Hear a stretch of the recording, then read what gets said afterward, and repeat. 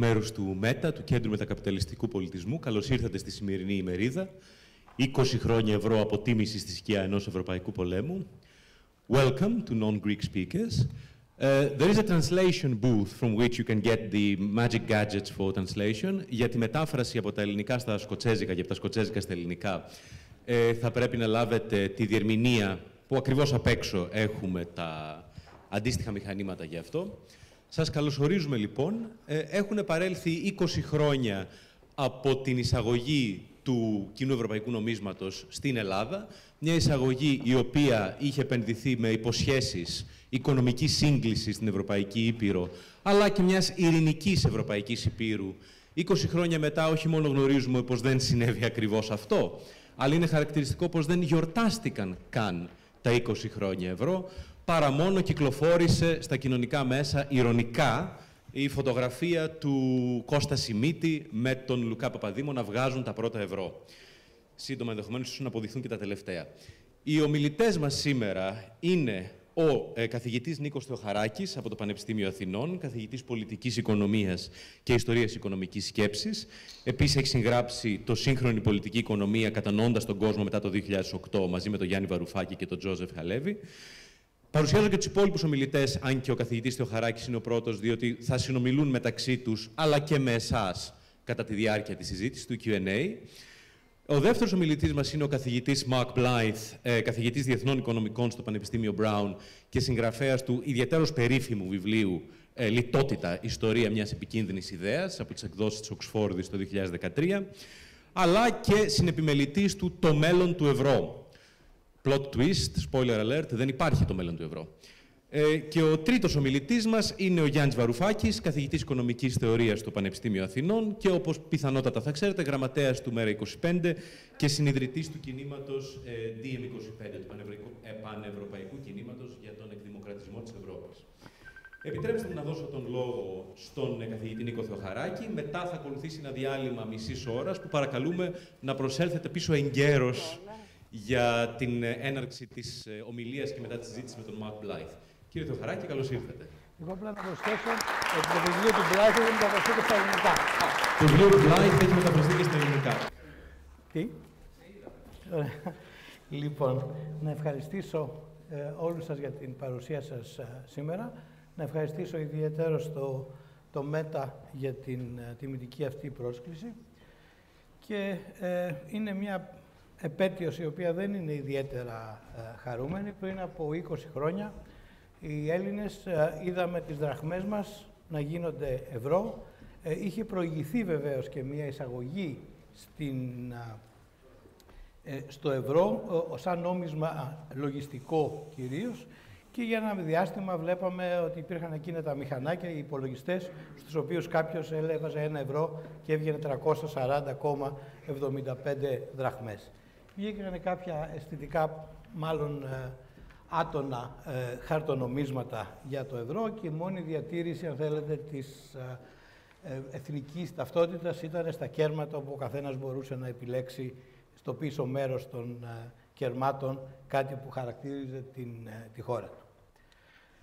Ε, υπάρχει ένα λαϊκό τραγούδι το, του 67 τι ωραίο τελειώνει με πόνο, οι πικραμένες καρδιές το ξέρουν μόνο το δε ρεφρέν είναι, είναι κακό στην άμμο να χτίζεις παλάτια, ο Ποριάς θα τα κάνει συντρίμια κομμάτια. Ε, δυστυχώς, ε, το τραγούδι αυτό έχει μεγάλη εφαρμογή στην περίπτωση του ευρώ, γιατί όντως υπήρχε μια ευρωεφορία γι' αυτό. Αν πάμε στη πιο σοβαρή μορφή τέχνης, ο Αριστοτέλης στην ποιητική, όταν μιλάει για την τραγωδία και λέει πώς μεταπίπτει κανένας από την ευτυχία στη δυστυχία, ε, μιλάει για επιφανείς άνδρες οι οποίοι όχι από κακία και μοχθηρία, αλλά από αμαρτία. Από αμαρτία στα αρχαία ελληνικά σημαίνει βεβαίως σφάλμα, οδηγήθηκαν σε αυτό. Κλασική περίπτωση, ο Ιδίποδας λέει ο Στατέλης και ο Θιέστης. Αυτές οι παρατηρήσεις έκαναν τον Ασόκα Μόντι, έναν οικονομολόγο που έχει περάσει και από την Παγκόσμια Τράπεζα και από το Διεθνές Νομισματικό Ταμείο, να γράψει ένα βιβλίο που εκδόθηκε το 2018 με τον τίτλο Euro Tragedy, μια ευρωτραγωδία. Ε, και βέβαια οι Έλληνες το είδαν στο πετσί τους αυτή την ε, τραγωδία, ε, υποκείμενη σε αυτό που ονομαζόταν στα λατινικά «teutonicorum furiosa insania», δηλαδή την μανιώδη παράνοια των τευτώνων, η οποία ουσιαστικά ε, έκανε έναν ολόκληρο λαό να υποφέρει χωρίς να χρειάζεται να υποφέρει ε, θύμα συγκεκριμένων συμφερόντων και μιας ε, παρανοϊκής σχεδόν ιδεολογίας και μιας λανθασμένης οικονομικής ε, θεωρίας. Αν ήθελα να χρησιμοποιήσω όμως μια άλλη μορφή τέχνης αντί για την τραγωδία θεατρική, το σωστό θα ήταν αυτό που ονομάζουν οι Εγγλέζοι comedy of errors, δηλαδή μια κομμωδία επανειλημμένων ε, σφαλμάτων και διάφορες γκάφες, οι οποίες έχουν προέρθει. Το ευρώ, στην πραγματικότητα, είναι η περίπτωση ενός πολιτικού βολονταρισμού, μιας ιδεολογικής τύφλωσης, συμφερόντων οργανωμένων και ε, ταξικών, εθνικών ε, πολιτικών, ατζέντες διάφορες, καθώς επίσης και διάφορες πολιτικές ε, συγκυρίες, οι οποίες στα τελευταία ανάλυση οδήγησαν σε αυτό το περίεργο πράγμα που έχουμε τώρα. Κυρίως όμως είναι αυτό που λέμε κακά οικονομικά. Και δεν χρειάζεται κανένας να είναι κανένας ριζοσπάστης με το μαχαίρι στα δόντια για να πει ότι ε, τα οικονομικά του ευρώ είναι λάθος. Οικονομολόγοι ακόμα όπως ο υπερσυντηρητικός Μίλτον Φρίντμαν ή ο κεϊνσιανός Νίκολας Κάλντορ είχαν από την αρχή επισημάνει τα προβλήματα που ενδεχομένως να αντιμετώπιζε το ευρώ. Τα κείμενα δε του Κάλντορ το 1971 είναι σχεδόν προφητικά. Η αλήθεια είναι ότι μετά τον πόλεμο, όταν φτιάχτηκε η, ε, η Ευρωπαϊκή Κοινότητα Άνθρακα και Χάλιβα, στη συνέχεια η, η ΕΟΚ, η Ευρωπαϊκή Οικονομική, οι Ευρωπαϊκές Οικονομικές Κοινότητες, προτού μπούμε μετά το Μαστρίχ το 1992 στην ε, Ευρωπαϊκή Ένωση, πάντα υπήρχε η πολιτική σκέψη, ένα όραμα σε εισαγωγικά, σε πάρα πολλά εισαγωγικά, ότι για να λειτουργήσει αυτό το πράγμα χρειάζεται να υπάρχει ένα κοινό νόμισμα.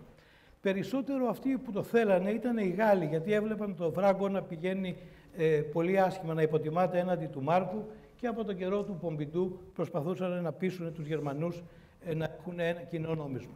Υποτίθεται ότι αυτό το κοινό νόμισμα θα έκανε πάρα πολλά καλά πράγματα. Οι Γερμανοί όμως από την άλλη μεριά είχαν ε, αντιρρήσεις.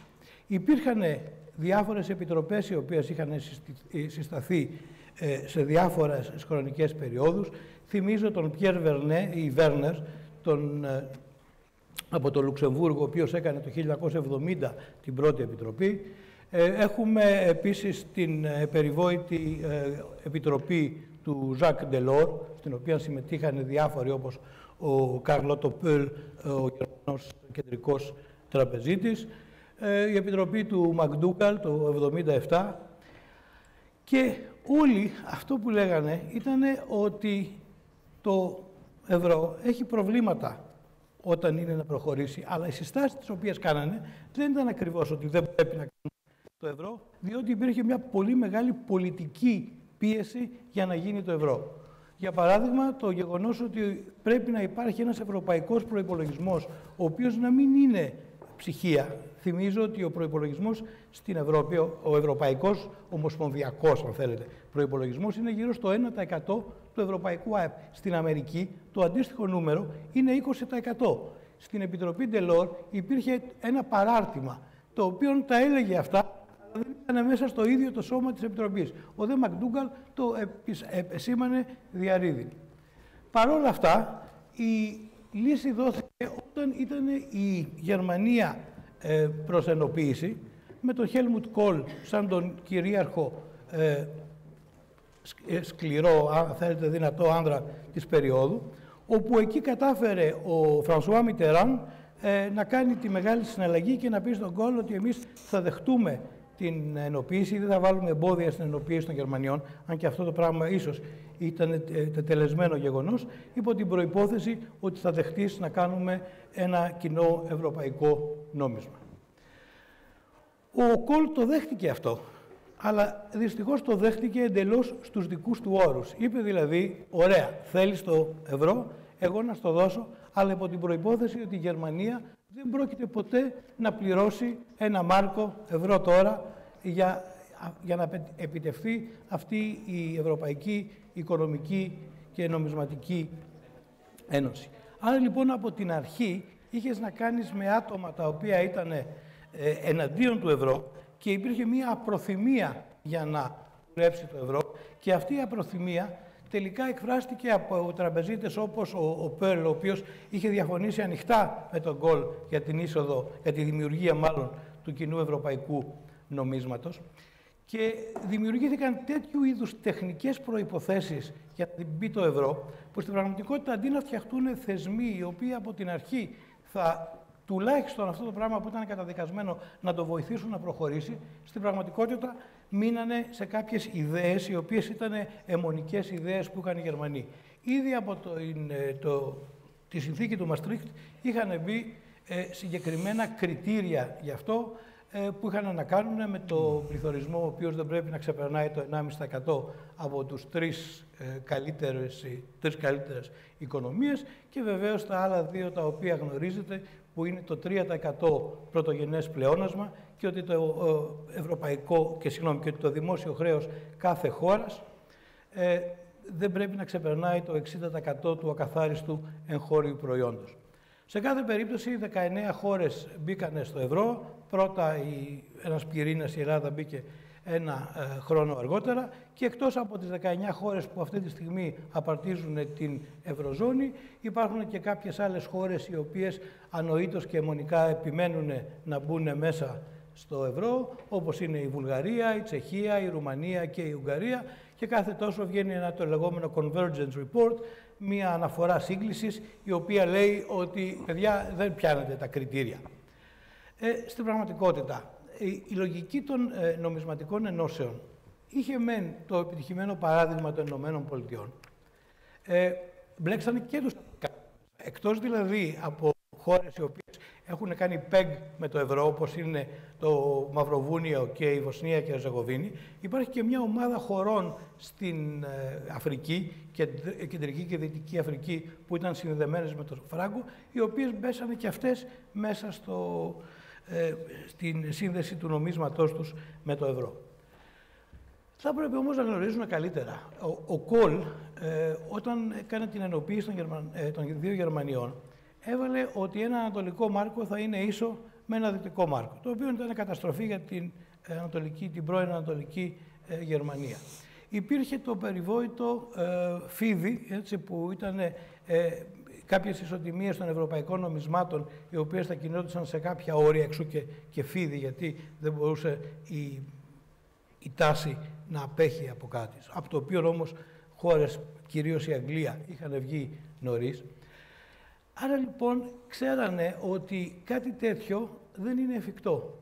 Τι κάνανε όμως, θεωρήσανε ότι όποιος μπει στο ευρώ σαν χώρα θα έχει ένα πρόβλημα ότι θα, θα έχει κάθε κίνητρο να μην είναι δημοσιονομικά σταθερός.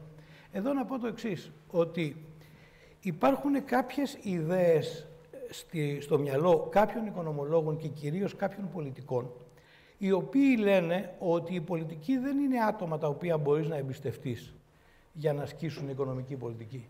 Γιατί αυτοί θα ασκήσουν μια οικονομική πολιτική που είναι διαφορετική από την οικονομική πολιτική που εμείς οι ίδιοι έχουμε κατά νου. Ως εκ τούτου λοιπόν το πρώτο βέλος από τη φαρέντρα που έφυγε ήταν η νομισματική πολιτική. Όταν μπήκε η έννοια ε, της κεντρικής τράπεζας η οποία είναι εντελώς ανεξάρτητη από την κυβέρνηση. Οι κεντρικοί τραπεζίτες έχουν μια συγκεκριμένη ιδεολογία. Περίπου άτομα τα οποία ε, έχουν ιδεολογίες έστω ελαφρά και ενσιανές, όπως ήταν παλιά ο Γιάννης Οστουνάρας, με το που γίνει κεντρικός τραπεζίτης, αμέσως γίνεται μια λογοτομή και σου μπαίνει μια νεοφιλελεύθερη κασέτα στο κεφάλι, η οποία ακολουθεί συγκεκριμένες λογικές. Αυτό το βλέπεις παντού. Δεν υπάρχει κεντρικός τραπεζίτης, ο οποίος να μην είναι ο κύριος εκφραστής της παραδεδεγμένης σοφίας. Πρώτο λοιπόν βέλος από τη φαρέτρα είναι η νομισματική πολιτική. Δεύτερον, δεν φροντίσανε να φτιάξουν, παρόλο που έχεις μια Ευρωπαϊκή Κεντρική Τράπεζα, η οποία είναι η Bundesbank η γερμανική με άλλο όνομα. Γι' αυτό ο Κολ η τράπεζα να είναι στη Φραγκφούρτη και να είναι ουσιαστικά υπό ε, γερμανικό έλεγχο. Άρα λοιπόν, ε, τι δεν κάνανε όμως; Ενώ φτιάξανε μια, Ευρω... ε, ε μια Ευρωπαϊκή Κεντρική Τράπεζα, από την άλλη μεριά δεν φρόντισαν να φτιάξουν ένα ενιαίο ευρωπαϊκό τραπεζικό σύστημα. Που, για παράδειγμα, να υπάρχει ασφάλιση των καταθέσεων και να μην δημιουργεί αυτές τις τεράστιες ανισότητες στα τραπεζικά συστήματα των ε, διαφόρων χωρών, κάτι το οποίο, όπως είδαμε και στην περίπτωση της Ελλάδας, ε, δημιούργησε ένα τεράστιο πρόβλημα. Άρα λοιπόν από τη φύση του το ευρώ φτιάχνει ποιητές. Δηλαδή αντί να φροντίζει όταν η οικονομία αυτή θα προχωρήσει και κάτι στραβό συμβεί, να ξαναφτιάξουμε και να, και να ε, γίνει η, οικονομία ίδια ε, με αυτή που περιμένανε, ξαφνικά αυτό όχι τη σύγκληση, αλλά την απόκληση όλο ένα και περισσότερο. Θέλω να πω, όταν το 2002 πήγα στο ευρώ, υπήρχε μια τεράστια ευρωεφορία. Όλοι λέγανε τι καλό που είναι να μπορώ να βάλω ένα εισιτήριο από το σταθμό Λαρίσης και με τα χρήματα που έχω στο πορτοφόλι μου να μπορώ να ταξιδέψω σε οποιαδήποτε ε, χώρα της Ευρώπης ε, θέλω, χωρίς να χρειαστεί τίποτα.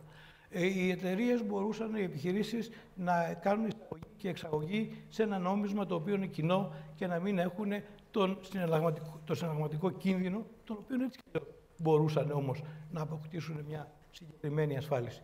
Το επιτόκιο δεν θα ήταν το επιτόκιο το οποίο θα ήταν ενός ε, νομίσματος που υπήρχε ο φόβος της υποτίμησης, άρα αναγκαστικά ήταν ψηλός γιατί υπήρχε ένα premium, μια διαφορά ε, στα επιτόκια των νομισμάτων εκείνων που κάποιοι φοβούνται ότι θα υποτιμηθούν και κυρίως τα, ε, το, το δανεισμός του, ε, του δημοσίου, του ελληνικού δημοσίου για παράδειγμα, ήταν τέτοιος που γινόταν σε ευρωπαϊκούς όρους. Τα ευρωπαϊκά ομόλογα, ε, δεν υπήρχαν ευρωπαϊκά ομόλογα, συγγνώμη, τα ομόλογα του ελληνικού δημοσίου δεν είχαν κάποιες λίγες ελάχιστες μονάδες βάσης, 100 μονάδες βάσης κάνουν μια ποσοστιαία μονάδα, από το γερμανικό Bund που ήταν το ισχυρό νόμισμα. Αυτό επέτρεψε να δημιουργηθούν διαφορετικές καταστάσεις σε διαφορετικές χώρες ανάλογα με το τι συνέβαινε. Στην Ισπανία, για παράδειγμα, και στην Πορτογαλία, αυτή η κατάσταση δημιούργησε μία εφορία και μία τεράστια φούσκα, η οποία πήγε κυρίως στα ακίνητα, με αποτέλεσμα μετά να μην μπορούν να μαζέψουν τις τράπεζές τους. Στην Ελλάδα δεν έγινε αυτό. Κυρίως το δημόσιο δανείστηκε πολύ περισσότερο με χαμηλά επιτόκια από ό,τι μπορούσε. Έχω την εντύπωση ότι αυτός ο μεγάλος δανεισμός έγινε από την κυβέρνηση Σιμίτη και αργότερα από την κυβέρνηση Καραμαλή, ώστε να μπορούν να εφαρμοστούν αφιλελεύθερα μέτρα, χωρίς όμως να χρειαστεί να γίνουν και οι απαραίτητες κοινωνικές συγκρούσεις, άρα και εκλογικές ε, ήττες που θα συνεπαγόντουσαν αυτές οι κοινωνικές ε, συγκρούσεις. Άρα λοιπόν είχες μία ε, κατάσταση η οποία φαινόταν ότι ετοιμαζόταν να σκάσει.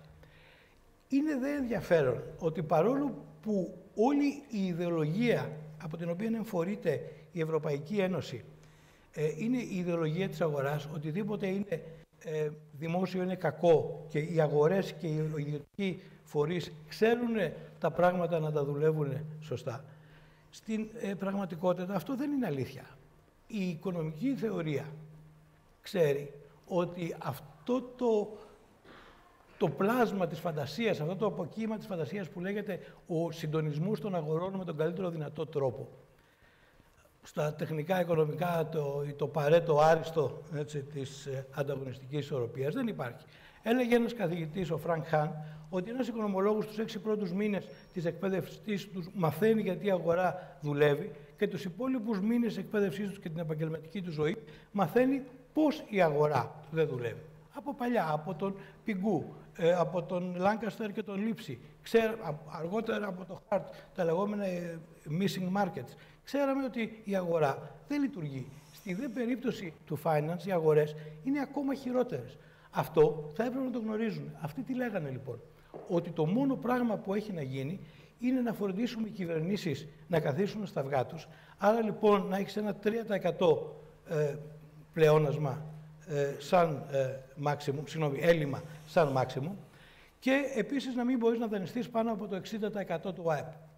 Άρα λοιπόν, όχι μόνο δεν έχεις πια τη δυνατότητα να τυπώσεις χρήμα, γιατί το χρήμα αυτό τυπώνεται από την Ευρωπαϊκή Κεντρική Τράπεζα, όχι μόνο δεν έχεις τη δυνατότητα να κάνεις μια πολιτική επιτοκίων η οποία θα είναι πιο κοντά στα προβλήματα που αντιμετωπίζει η δική σου οικονομία και κυρίως δεν έχεις το όπλο της συναλλαγματικής ισοτιμίας την οποία μπορείς να αλλάξεις αν τα πράγματα πάνε λάθος. Και μέσα σε όλο αυτό σου απαγορεύουν να χρησιμοποιήσεις de facto την δημοσιονομική πολιτική η οποία θα μπορούσε να λειτουργήσει αντικυκλικά. Άρα λοιπόν να κάνεις μεγαλύτερες δαπάνες δημόσιες και διπαραγωγικές δαπάνες όταν τα πράγματα θα πηγαίνανε στραβά και αντίθετα στο εμποδίζουν αυτό. Όταν δηλαδή τα πράγματα πάνε στραβά, εσύ θα πρέπει να τα στραβώσεις ακόμα περισσότερο. Δεν είναι λοιπόν περίεργο ότι αυτό το πράγμα λειτουργήσε με τον τρόπο που λειτουργήσε. Ένα άλλο μεγάλο ωραίο παραμύθι το οποίο λεγόταν την εποχή του ευρώ ήταν ότι αυτό θα μας φέρει όλους πιο κοντά. Θα είμαστε Ευρωπαίοι περισσότερο, άρα λοιπόν ο Γερμανός θα έρθει πιο κοντά στον Πορτογάλο και στον Έλληνα και στο Σουηδό και στο Φιλανδό. Αυτό όχι μόνο δεν έγινε, αλλά στην πραγματικότητα η άποψη που έχει ο μέσος Γερμανός για τον μέσο Έλληνα ή ο μέσος Έλληνας για τον μέσο Γερμανό έγινε ακόμα χειρότερη. Δεν έχετε παρά να δείτε τις γελιογραφίες οι οποίες υπήρχαν κατά τη διάρκεια της ε, μεγάλης κρίσης του δημόσιου χρέους στην Ελλάδα, τη Μέρκελ να την παρουσιάσουν με σβάστικες, την, ε, την Αφροδίτη να την παρουσιάζουν να κάνει άσεμνες χειρονομίες, να μιλάνε για τζιτζίκια και για μέρμικες και στη συνέχεια να ε, κατηγορούν το θύμα σαν υπέτειο γιατί τα χαλάμε τα λεφτά μας όπως έλεγε ο διαβόητος Γερούν Ντάισερμπλουμ σε ποτάκια σε ξενύχτια και δεν τα χρησιμοποιούμε για παραγωγικούς σκοπούς. Ο Τζίτζικας και ο Μέρμικας, όλα αυτά λοιπόν τα πράγματα τα οποία είχαν δουλέψει με αυτόν τον τρόπο. Και μέσα σε όλο αυτό, ενώ φτιάχτηκαν θεσμοί, οι θεσμοί οι οποίοι φτιάχτηκαν ήταν κατεξοχήν αντιδημοκρατικοί θεσμοί. Δεν έχει κανένας, ο, ο Γιάννης Βαρουφάκης θυμάται πάρα πολύ καλά, όταν είχαν αποφασίσει στο Eurogroup να κάνουν μία ε, σύσκεψη και να βγάλουν την Ελλάδα από τη σύσκεψη και τους είπε ότι αυτό το πράγμα δεν γίνεται, μετά από πέντε λεπτά είπαν, του λένε, μας είπαν οι δικηγόροι μας ότι δεν είναι συγκροτημένο αυτό με κάποιο τρόπο καταστατικό και ως εκ τούτου μπορούμε να κάνουμε ό,τι θέλουμε. Σαν να κάνουμε ένα πάρτι και να διώχνουμε όποιον γουστάρουμε και να καλούμε όποιον γουστάρουμε. Χωρίς κανενός είδους διαφάνεια. Θυμηθείτε ότι δεν κρατάνε πρακτικά ούτε στο Eurogroup ούτε στο Euro Working Group. Και πάνω απ' όλα έχει φτιαχτεί μέσα στην ίδια την Ευρωπαϊκή Ένωση, που δεν είναι θέμα μόνο ε, του, του ευρώ, ένας εντελώς αντιδημοκρατικό, ένα αντιδημοκρατικό διευθυντήριο το οποίο παίρνει τις αποφάσεις με έναν τρόπο που δεν δίνει λογαριασμό σε κανένα. Και όλοι αυτοί μιλάνε για την αγορά πώς δουλεύει. Στην πραγματικότητα αυτή η αγορά που έχουν κατά νου δεν δουλεύει. Κάποτε ο Ρολάν Μπάρτ στι μυθολογίε έδινε το παράδειγμα ενός ψαριού, το οποίο αφού το ξεψαχνίσεις και το κάνεις μαγιονέζα, αθηναϊκή μαγιονέζα, θα λέγαμε στην Ελλάδα, πάνω στο πιάτο του δίνεις τη μορφή του ψαριού.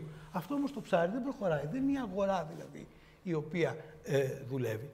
Μιμούνται την αγορά και κυρίως αυτό που κάνουν είναι να έχουν ένα αβυσαλαίο μίσος απέναντι σε αυτούς που δουλεύουν για να ζήσουν ή σε αυτούς που δούλευαν για να ζήσουν.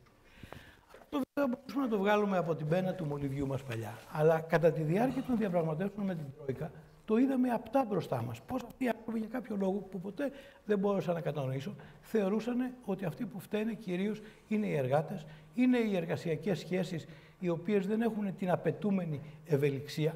Και όταν άρχισες να μιλάς για την ευελιξία στην αγορά προϊόντος, όπου εκεί υπάρχουν ολιγοπόλια, υπάρχουν ολιγάρχες, υπάρχουν συμφέροντα τα οποία ε, δουλεύουν με πολύ συγκεκριμένο τρόπο και μάλιστα με διασυνδέσεις και διαπλοκές με τους πολιτικούς, εκεί δεν τους ενδιέφερε. Αυτό που τους ενδιέφερε ήταν να σπάσει το σύστημα των ε, εργασιακών σχέσεων και όταν τους ρώταγες Ωραία. Το δικό μας σύστημα δεν δουλεύει. Μπορούμε να εφαρμόσουμε ένα σύστημα από χώρες οι οποίες έχουν μακρά παράδοση στην, ε, στις εργασιακές σχέσεις. Τη Γερμανία, την Ιταλία, τη Γαλλία κλπ. Χασκογελάγανε και λέγανε όχι, λέει ο Γερμανός, γιατί σε εμάς τα συνδικάτα δεν ενδιαφέρονται για την αύξηση του μισθού. Και όλο το ζήτημα ήταν το θέμα της αύξησης του μισθού. Στην πραγματικότητα λοιπόν αυτό που έγινε ήταν ένα μίσος κατά της εργατικής τάξης η οποία χειροτέρευε ολοένα και περισσότερο, γιατί οι ειδικευμένοι εργαζόμενοι που δεν μπορούσαν να βρουν δουλειά, η ανεργία των νέων ήταν περίπου ένα στους δύο, η μακροχρόνια άνεργη ήταν μεγάλη, έφευγε οτιδήποτε έχει πληρώσει ο ελληνικός λαός για να σπουδάσει και δεν μπορούσε να το απασχολήσει και που δημιουργούσαν τη βάση της παραγωγικότητας της ελληνικής οικονομίας, έφευγε στο εξωτερικό. Και ολοένα και περισσότερο υπήρχαν φαύλοι κύκλοι οι οποίοι όχι μόνο ε, δεν ε, καλυτέρευαν και δεν, ε, δεν υπήρχε αναστροφή σε αυτούς, αλλά ο ένας φαύλος κύκλος ουσιαστικά συνδεόταν με τον άλλον. Να σας πω ένα παράδειγμα. Όταν έχεις μια οικονομία η οποία έχει πέσει και μια επιχείρηση η οποία έχει δανειστεί, επί παραδείγματι, το 50% του τζίρου της. Αυτή η επιχείρηση αναγκάζεται να απολύσει κάποιους εργάτες οι οποίοι είναι οι πελάτες των άλλων επιχειρήσεων. Οι τράπεζες δεν μπορούν να του δώσουν χρήματα του συγκεκριμένου επιχειρηματία. Ο συγκεκριμένος επιχειρηματίας, λοιπόν, ο μόνος τρόπος τον οποίο έχει να ε, δανειστεί είναι να μην μειώσει τις τιμές ε, που θα του επέτρεπε να το κάνει το γεγονός ότι έχει πλέον λιγότερους εργαζόμενους και ένα χαμηλότερο μισθό σε αυτούς τους εργαζόμενους. Πέρα από αυτό, ο συγκεκριμένος όχι μόνο δεν μπορεί να δανειστεί, αλλά ακόμα και η πίστοση που του δινόταν από τους οίκους του εξωτερικού όταν έκανε, για παράδειγμα, μια εισαγωγή, αρχίζει και αλλάζει.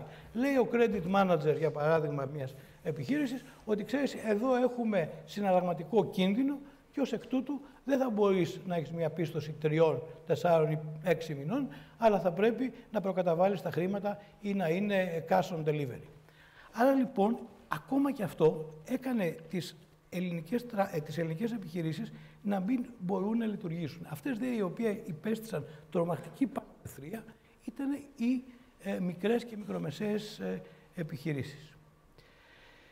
Έχεις πάρα πολλά κομμάτια σε αυτό και υπήρχε μια αιμονή ότι αυτό που φταίει είναι ότι η ελληνική οικονομία δεν έχει κάνει τις απαραίτητες μεταρρυθμίσεις. Η ελληνική οικονομία έκανε τόσες μεταρρυθμίσεις στην περίπτωση του ευρώ που δεν θα μπορούσε να την αντέξει πολιτικά ή οικονομικά καμία άλλη οικονομία.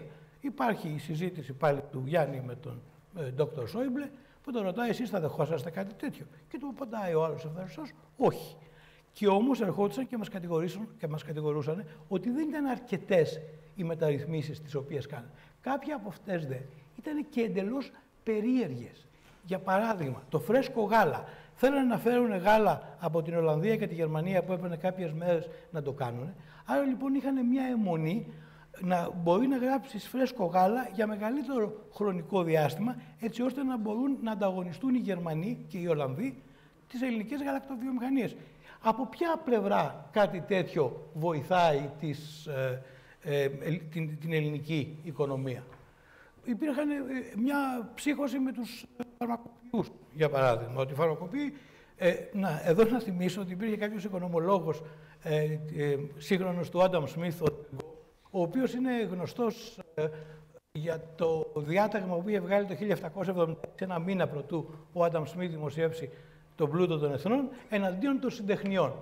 Αυτός λοιπόν έλεγε το δικαίωμα στην εργασία να απελευθερώσουμε όλες τις συντεχνίες με εξαίρεση τους φαρμακοποιούς, τους εκδότες και τους ε, κοσματοπόλες.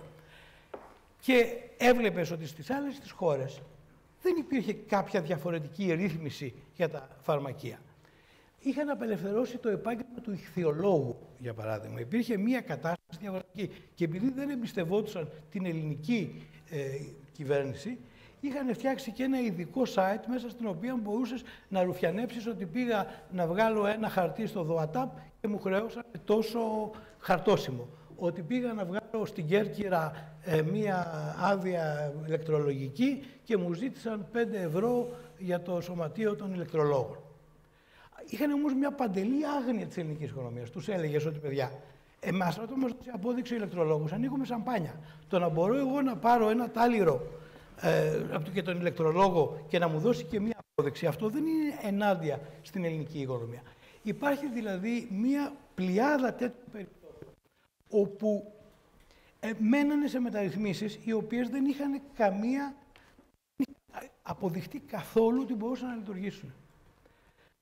Και όμως αυτό που κάνανε ήταν αυτό που λένε οι Άγγλοι double down. Δηλαδή, όσο δεν δούλευε το μέτρο, θεωρούσαν ότι έπρεπε να εφαρμόσουν ακόμα περισσότερα μέτρα με ακόμα μεγαλύτερη αυστηρότητα.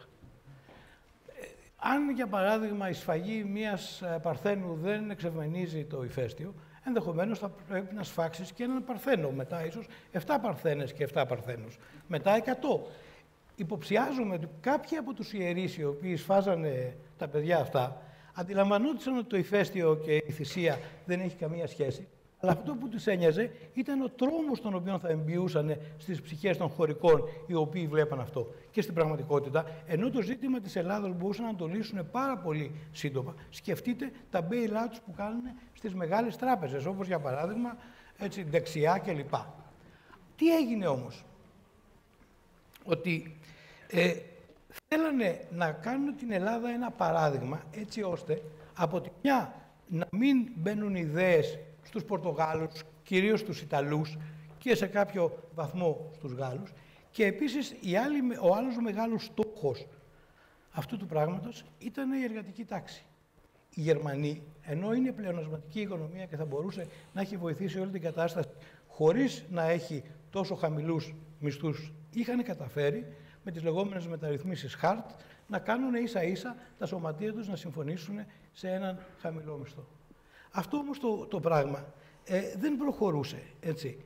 Ε, ήταν μια λογική ότι οτιδήποτε και να κάνεις πρέπει να έχεις ένα ισοδύναμο. Και στην αντιδημοκρατικότητά τους, όταν τους έλεγες ότι ο ελληνικός λαός ψήφισε να φύγει από τη λιτότητα, να φύγει από τα μνημόνια, ε, απαντούσαν ναι, αλλά και εμείς έχουμε τον γερμανικό λαό, ο οποίος λέει ότι θα πρέπει να σας βάλουμε κάτω να σας πατήσουμε ε, το κεφάλι. Και και ήταν φανερό επίσης ότι ένας από τους στόχους που είχαν ήταν να μην δοθεί καμία δυνατότητα σε μια αριστερή τότε κυβέρνηση να μπορέσει να δηλώσει κάποιες επιτυχίες. Κάποιες δε από τις μεταρρυθμίσεις αυτές ήταν φανερό ότι ήταν όχι ε, για το καλό της ελληνικής οικονομίας, αλλά γιατί εξυπηρετούσαν συγκεκριμένα συμφέροντα συγκεκριμένων χωρών. Για παράδειγμα, θυμηθείτε τη Fraport, όπου εκεί όχι μόνο τους δώσαμε τα αεροδρόμια για ένα πολύ χαμηλό τίμημα, αλλά το χρηματοδοτήσαμε από χρήματα των τραπεζών, τα οποία τα χρειαζόταν πάρα πολύ η ελληνική οικονομία. Θυμηθείτε τον ΠΑΠ, θυμηθείτε πάρα πολλές περιπτώσεις που το, περί, το, τους σιδηροδρόμους, όπου εκεί, γιατί μιλάγανε για ιδιωτικοποίηση, privatization, στην πραγματικότητα δεν ήταν ιδιωτικοποίηση. Περάσαν αυτά στα χέρια ε, εταιριών οι οποίες ελεγχόντουσαν από ξένες κυβερνήσεις. Άρα λοιπόν πρέπει να μιλάμε για αφελινισμό, αντί να μιλάμε για ιδιωτικοποίηση. Δηλαδή μετατρέπεται ένας δημόσιος οργανισμός, γίνεται ιδιοκτησία ενός δημόσιου οργανισμού μιας άλλης ε, χώρας. Ε, σε όλο αυτό το κομμάτι υπήρχε πια μια εχθρότητα καταφανής απέναντι των, ε, των Ελλήνων. Σε ένα Euro Working Group που είχα μιλήσει, μετά βγήκε ο Γερμανός και είπε ότι είχα λειτουργήσει σαν ταξιτζής επειδή ζητούσαμε επιμονή να πληρωθώ το, το κόμιστρο. Και έρχεται μετά ο Φιλανδός και μου λέει, συμφωνώ με αυτά που λες, αλλά στην κυβέρνησή μου δεν μπορώ καν να τους θέσω το ζήτημα της Ελλάδος. Δεν θα σε ακούσουν καθόλου οτιδήποτε και να πεις από πλευράς ελληνικής ε, κυβέρνησης. Θα μου πείτε, οι, οι οικονομολόγοι ε, είχαν διαφορετική άποψη, θεωρούσαν δηλαδή ότι η λιτότητα είναι κάτι το οποίο μπορεί πραγματικά να προχωρήσει. Η μεγάλη πλειοψηφία των οικονομολόγων ξέρει ότι αυτό είναι λάθος. Εγώ πιστεύω ότι και ο Σόιμπλε το ήξερε ότι είναι λάθος. Ο Σόλτς δεν είμαι πολύ βέβαιος γιατί το έχει φάει το παραμύθι, είναι και λίγο αφελή ω προς αυτά. Υπήρχαν όμως κάποιοι οικονομολόγοι, όπως ήταν ο Αλεσίνα Μακαρίτης, πλέον καθηγητής στο Χάρβαρντ, ο οποίος μίλαγε για την, πώς το έλεγε, ε, την ε, ε, expansionary contraction ή contraction, έτσι. Δηλαδή την επέκταση η οποία μπορεί να προέρθει από την, ε, το, το, την ύφεση. Και βεβαίως θυμάμαι και τον Chris Allen από την, όταν μιλάγαμε για τον κατώτατο μισθό και να μας λέει έχουμε μοντέλα τα οποία δείχνουν πώς μπορείς να έχεις ανάπτυξη μέσα από την ε, consolidation, το fiscal consolidation, αυτό το πράγμα. Ο Γιάννης Οστονάρας όταν ήταν στο ΙΟΒΕ ε, έλεγε 4-4-4, 4% πρωτογενές έλλειμμα, ε, πλεόνασμα, συγγνώμη, 4% ρυθμό μεγέθυνσης και 4% επιτόκιο. Του λέω Γιάννη, τέσσερα καρούλια για μου δεξιά, τέσσερα αριστερά γιατί δρομολογώς στον ΟΣΕ. Δεν είναι απάντηση, δεν γίνεται αυτό το πράγμα να μπορείς να θεωρήσεις ότι όλα αυτά είναι κάτι το οποίο μπορεί να λειτουργήσει. Δεδομένου ότι δεν μπορείς να έχεις μεγέθυνση όταν έχεις ε, την ίδια στιγμή τόσο μεγάλα πρωτογενή πλεονάσματα, ιδιαίτερα δε μέχρι πέρα. Θα έλεγα λοιπόν ότι αυτό είναι ένα παιχνίδι, διότι δεν φαίνεται καν να ενδιαφέρονται οι συγκεκριμένοι να εισπράξουν πίσω το χρέος τους. Η Γερμανία έκανε ένα, ένα κόλπο γκρόσο, το οποίο ήταν πάρα πολύ σημαντικό. Αντί να κάνει bail-out τις τράπεζές της για δεύτερη φορά, το παρουσίασε σε μια πράξη ευρωπαϊκής αλληλεγγύης. Δηλαδή, τι είπε, ότι ναι, εμείς θα βοηθήσουμε τους κακούς Έλληνες, παρόλο που ήταν τόσο κακά παιδιά και ήταν profligate και ε, σπάταλοι κλπ. Και θα το κάνουμε μέσα από την Ευρώπη. Δεν ήθελε όμως, ήθελε να προλάβει μη σκάσουν τα ελληνικά ομόλογα στα χέρια των γερμανικών και μέρη γαλλικών και ιταλικών τραπεζών. Αντί λοιπόν να πάει στο Bundestag και να ζητήσει στη Βουλή της και να ζητήσει μια δεύτερη, ένα δεύτερο bailout για την Deutsche Bank και τις άλλες εταιρείες, πάει και ζητάει και από τους φτωχούς της Ευρώπης, βαλτικές δημοκρατίες και όλους τους άλλους, να χρηματοδοτήσουν το ελληνικό χρέος, το οποίο δεν πρόκειται να αποπληρωθεί. Και έρχεται μετά βέβαια ο Εστονός και σου λέει: Μα γιατί δεν ζητάς να κόψεις τη συντάξη σου; Οι δικοί μου με 300 ευρώ σύνταξη ε, ζούνε. Εντάξει, έλα να ζήσεις στην Ελλάδα με 300 ευρώ σύνταξη για να δεις πόσα πίδια βάζει ο Σάκος. Προφανώς αυτά τα πράγματα δεν γίνονται. Αλλά όλη αυτή η λογική των μεταρρυθμίσεων φτιάχνεις μια οικονομία όπως εσύ τη φαντάζεσαι. Αν πάμε στον Μπρέχτη, ο κύριος Κόινερ λέει έφτιαχνε ένα σκίτσο και φρόντιζε ο άνθρωπος να μοιάζει στο σκίτσο και όχι το σκίτσο ε, στον άνθρωπο. Μια ιδέα ενός ε, φιλελευθερισμού ο οποίος λειτουργεί. Στον τραπεζικό τομέα είπα πάλι ότι εδώ έχεις ένα πρόβλημα ότι δεν υπάρχει ένα ταμείο το οποίο να ασφαλίζει τις καταθέσεις. Δεν υπάρχει περίπτωση να έχεις ε, ε, από πλευράς ε, ε, ανεργίας τα επιδόματα να δίνονται ευρωπαϊκά. Και η Αμερική έχει διαφορετικές οικονομίες. Άλλη είναι η οικονομία της Νεμπράσκα και της Άγουα, άλλη η οικονομία της Καλιφόρνιας και της ε, Νέας Υόρκης. Αλλά δεν θα μπορούσε ποτέ από μια κρίση μια μικρή πολιτεία να σηκωθεί, εάν δεν έμπαινε το αμερικανικό φίσκους να τη σηκώσει από το συγκεκριμένο. Αυτό στην Ελλάδα το θεωρούσαν κακό. Δεν μπορούσες ούτε δημοσιονομικά μέτρα να πάει ούτε οτιδήποτε. Και ακόμα χειρότερο, υπάρχει ένας φετιχισμό των κανόνων που έλεγε ότι οι κανόνες αυτοί ε, μπορεί και να τους τραμπουλήξει αν είναι να κάνει κάτι καλό. Στην, όταν είχαν πάρει οι Εγγλέζοι το δάνειο από τους Αμερικάνους για τον Δεύτερο Παγκόσμιο Πόλεμο, υπήρχαν κάποιες ρήτρες τις οποίες λέγανε μπισκ. Μπισκ δεν είναι η σούπα του αστακού, αλλά επειδή αυτοί παίζανε κροκέ και γκολφ κλπ., ήταν ένα είδος μειονέκτημα το οποίο είχες που παίζανε στα κολεγιά τους. Αυτό τι έλεγε λοιπόν ουσιαστικά η ρήτρα; Ότι εάν τα πράγματα πάνε καλά, θα σε πληρώσω παραπάνω. Αν τα πράγματα πάνε στραβά, μπορείς να μην πληρώσεις τη δόση. Το ίδιο ζητάγαμε κι εμείς, κάτι προφανές, δεν ήταν τίποτα μεγαλοφιές στα σχέδια τα οποία πρότειναν. Αλλά αυτό που γινόταν και αυτό που τους έκανε να βγάζουν ε, φλίκτενες με τον ε, Γιάννη και να καπνούς από τα αυτά, δεν ήταν ότι ήταν περίεργος. Ήταν ότι για κάθε μπουρδα που του λέγανε, αυτός απαντούσε με μία λύση η οποία ήταν θεσμικά ορθή και να... δεν θέλανε, δεν θέλανε να, να λύσουν το πρόβλημα. Όπως και τώρα δεν θέλουν να, θέλουν να μπορούν να ελέγχουν την οικονομία με τον τρόπο αυτό που θεωρούν χρήσιμο. Σε αυτό, εκτός από τους οικονομολόγους που σας είπα, τον Αλεσίνα, λέει ο Κρούγκμαν, The Night of the Living Αλεσίνα, έτσι, ε, και τον, ε, και τον Ρόγκοφ και την Ράινχαρτ. Στην πραγματικότητα, αυτό που είναι ακόμα χειρότερο, ότι υπάρχει και μια ομάδα, έτσι, αυτό οι Εγγλέζοι τους λένε bottom feeders, ε, πλάσματα του βυθού στο επίπεδο το δημοσιογραφικό, οι οποίοι ε, ουσιαστικά επιτείνουν αυτό το πράγμα και λένε ότι βγαίνουμε και ότι τα πάμε όλα καλά κλπ. Άρα λοιπόν αυτή η φοβερή εφορία η οποία υπήρχε μέχρι τότε, είναι λογικό ότι απεδείχθη ότι κατέστρεψε την Ευρώπη. Μια χαμένη 15 ετία κινδυνεύει να γίνει μια χαμένη 25 ετία και ίσως να πάμε παραπέρα. Και δεν είναι μόνο για την Ελλάδα, είναι για όλη την Ευρώπη, η οποία είναι ανίκανη ή όταν παίρνει μέτρα που θα έπρεπε να πάρει, όπως στην αρχή ήταν το QE, όχι πολύ δραστικό μέτρο, δηλαδή το quantum ε, easing, ποσοτική χαλάρωση, θα μπορούσε να τα προχωρήσει τα πράγματα ακόμα καλύτερα. Ευρωομόλογα. Χρειάστηκε για να κάνει ένα τραβεστίο ευρωομολόγων να δούνε τον κορονοϊό με τα, και το χάρο με τα μάτια τους για να μπορέσει να γίνει κάτι και αυτό έγινε πλημελώς.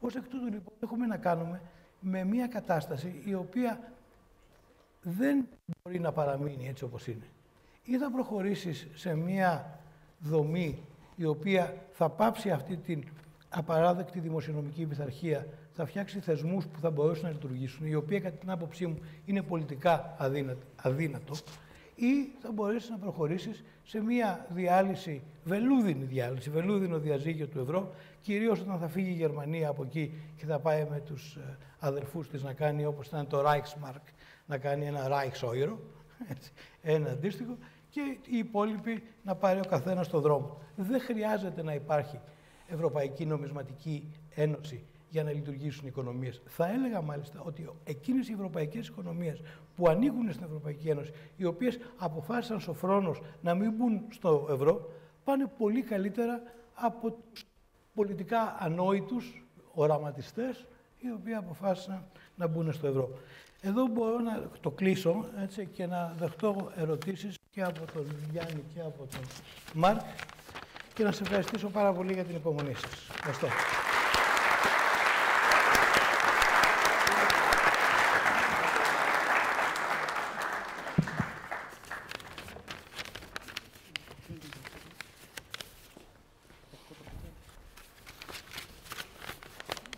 Απόγευμα και από εμένα. Δεν ξέρω αν δουλεύει. Δουλεύει.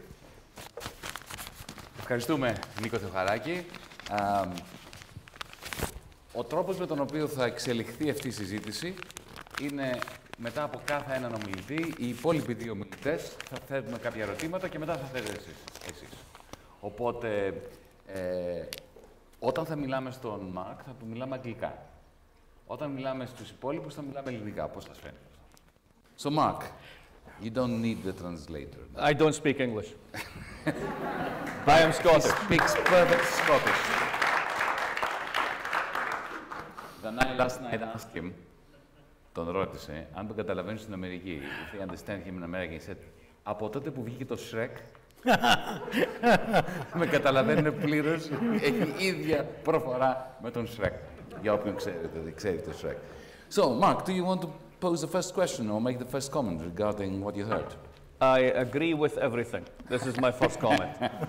um, I think the really interesting question that you raise is, is it ignorance or is it malfeasance? Mm-hmm. Right?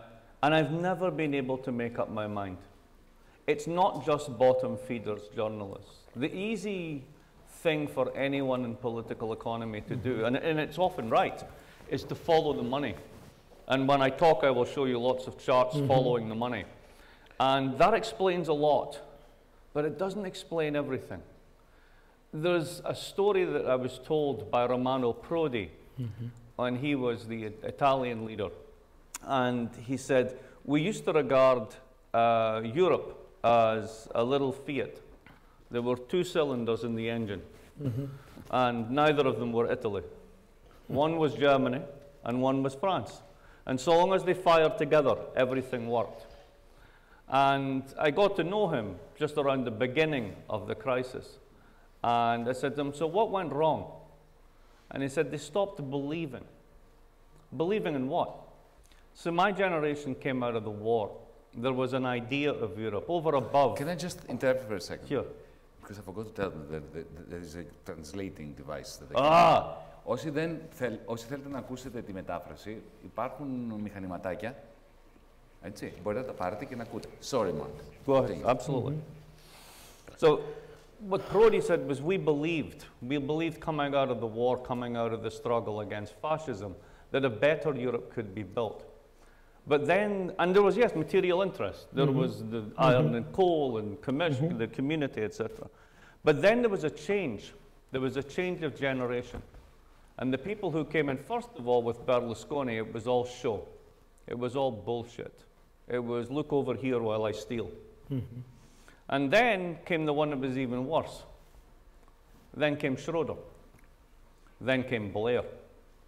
And then Europe became a very different project a project of transactions, a project of back scratching, mm-hmm. a project of politics, but politics without purpose. So the technocracy is in the background, pushing mm-hmm. what was meant to be the first stage of a political union. But the generation that wanted the political union and saw the purpose of the political union, they left the stage. The new ones who came in they had no such purpose. There's a wonderful piece written by uh, an American scholar who recently passed away called John Ruggie back in 1982, and it has a terrible title. It's called uh, International Institutions, Transactions and Change. But he has this idea called embedded liberalism. Mm-hmm. And the idea is that when you have these things like the Bretton Woods system or the EU, these big international institutions, they only work if they have what he calls a social purpose that is built into it, that everyone shares, that we know why we are doing this. And when you have that, it works. You can have the machine going on in the background when there is no social purpose, but then it's just a machine. Then it's just what we've, we've ended up with a hollowed out version. The euro was meant to be the first step towards political union and that first step was a half step that was then taken back by the generation that succeeded Prodi's generation. That's all I would add to what okay. you've said. Okay. Ε, καλά, συμφωνώ με αυτό που λέει. Θα, απλά να πω ότι πραγματικά είναι δυσδιάκριτο ποιο από αυτό ήταν ιδεολογική τύφλωση. Για παράδειγμα, ο, ή ο Μόντι ή ο Στίγκλιτς θεωρούν σε πολύ μεγάλο βαθμό αυτό είχε να κάνει με τη λαθασμένο φανταμενταλισμό της αγοράς ο οποίος υπάρχει.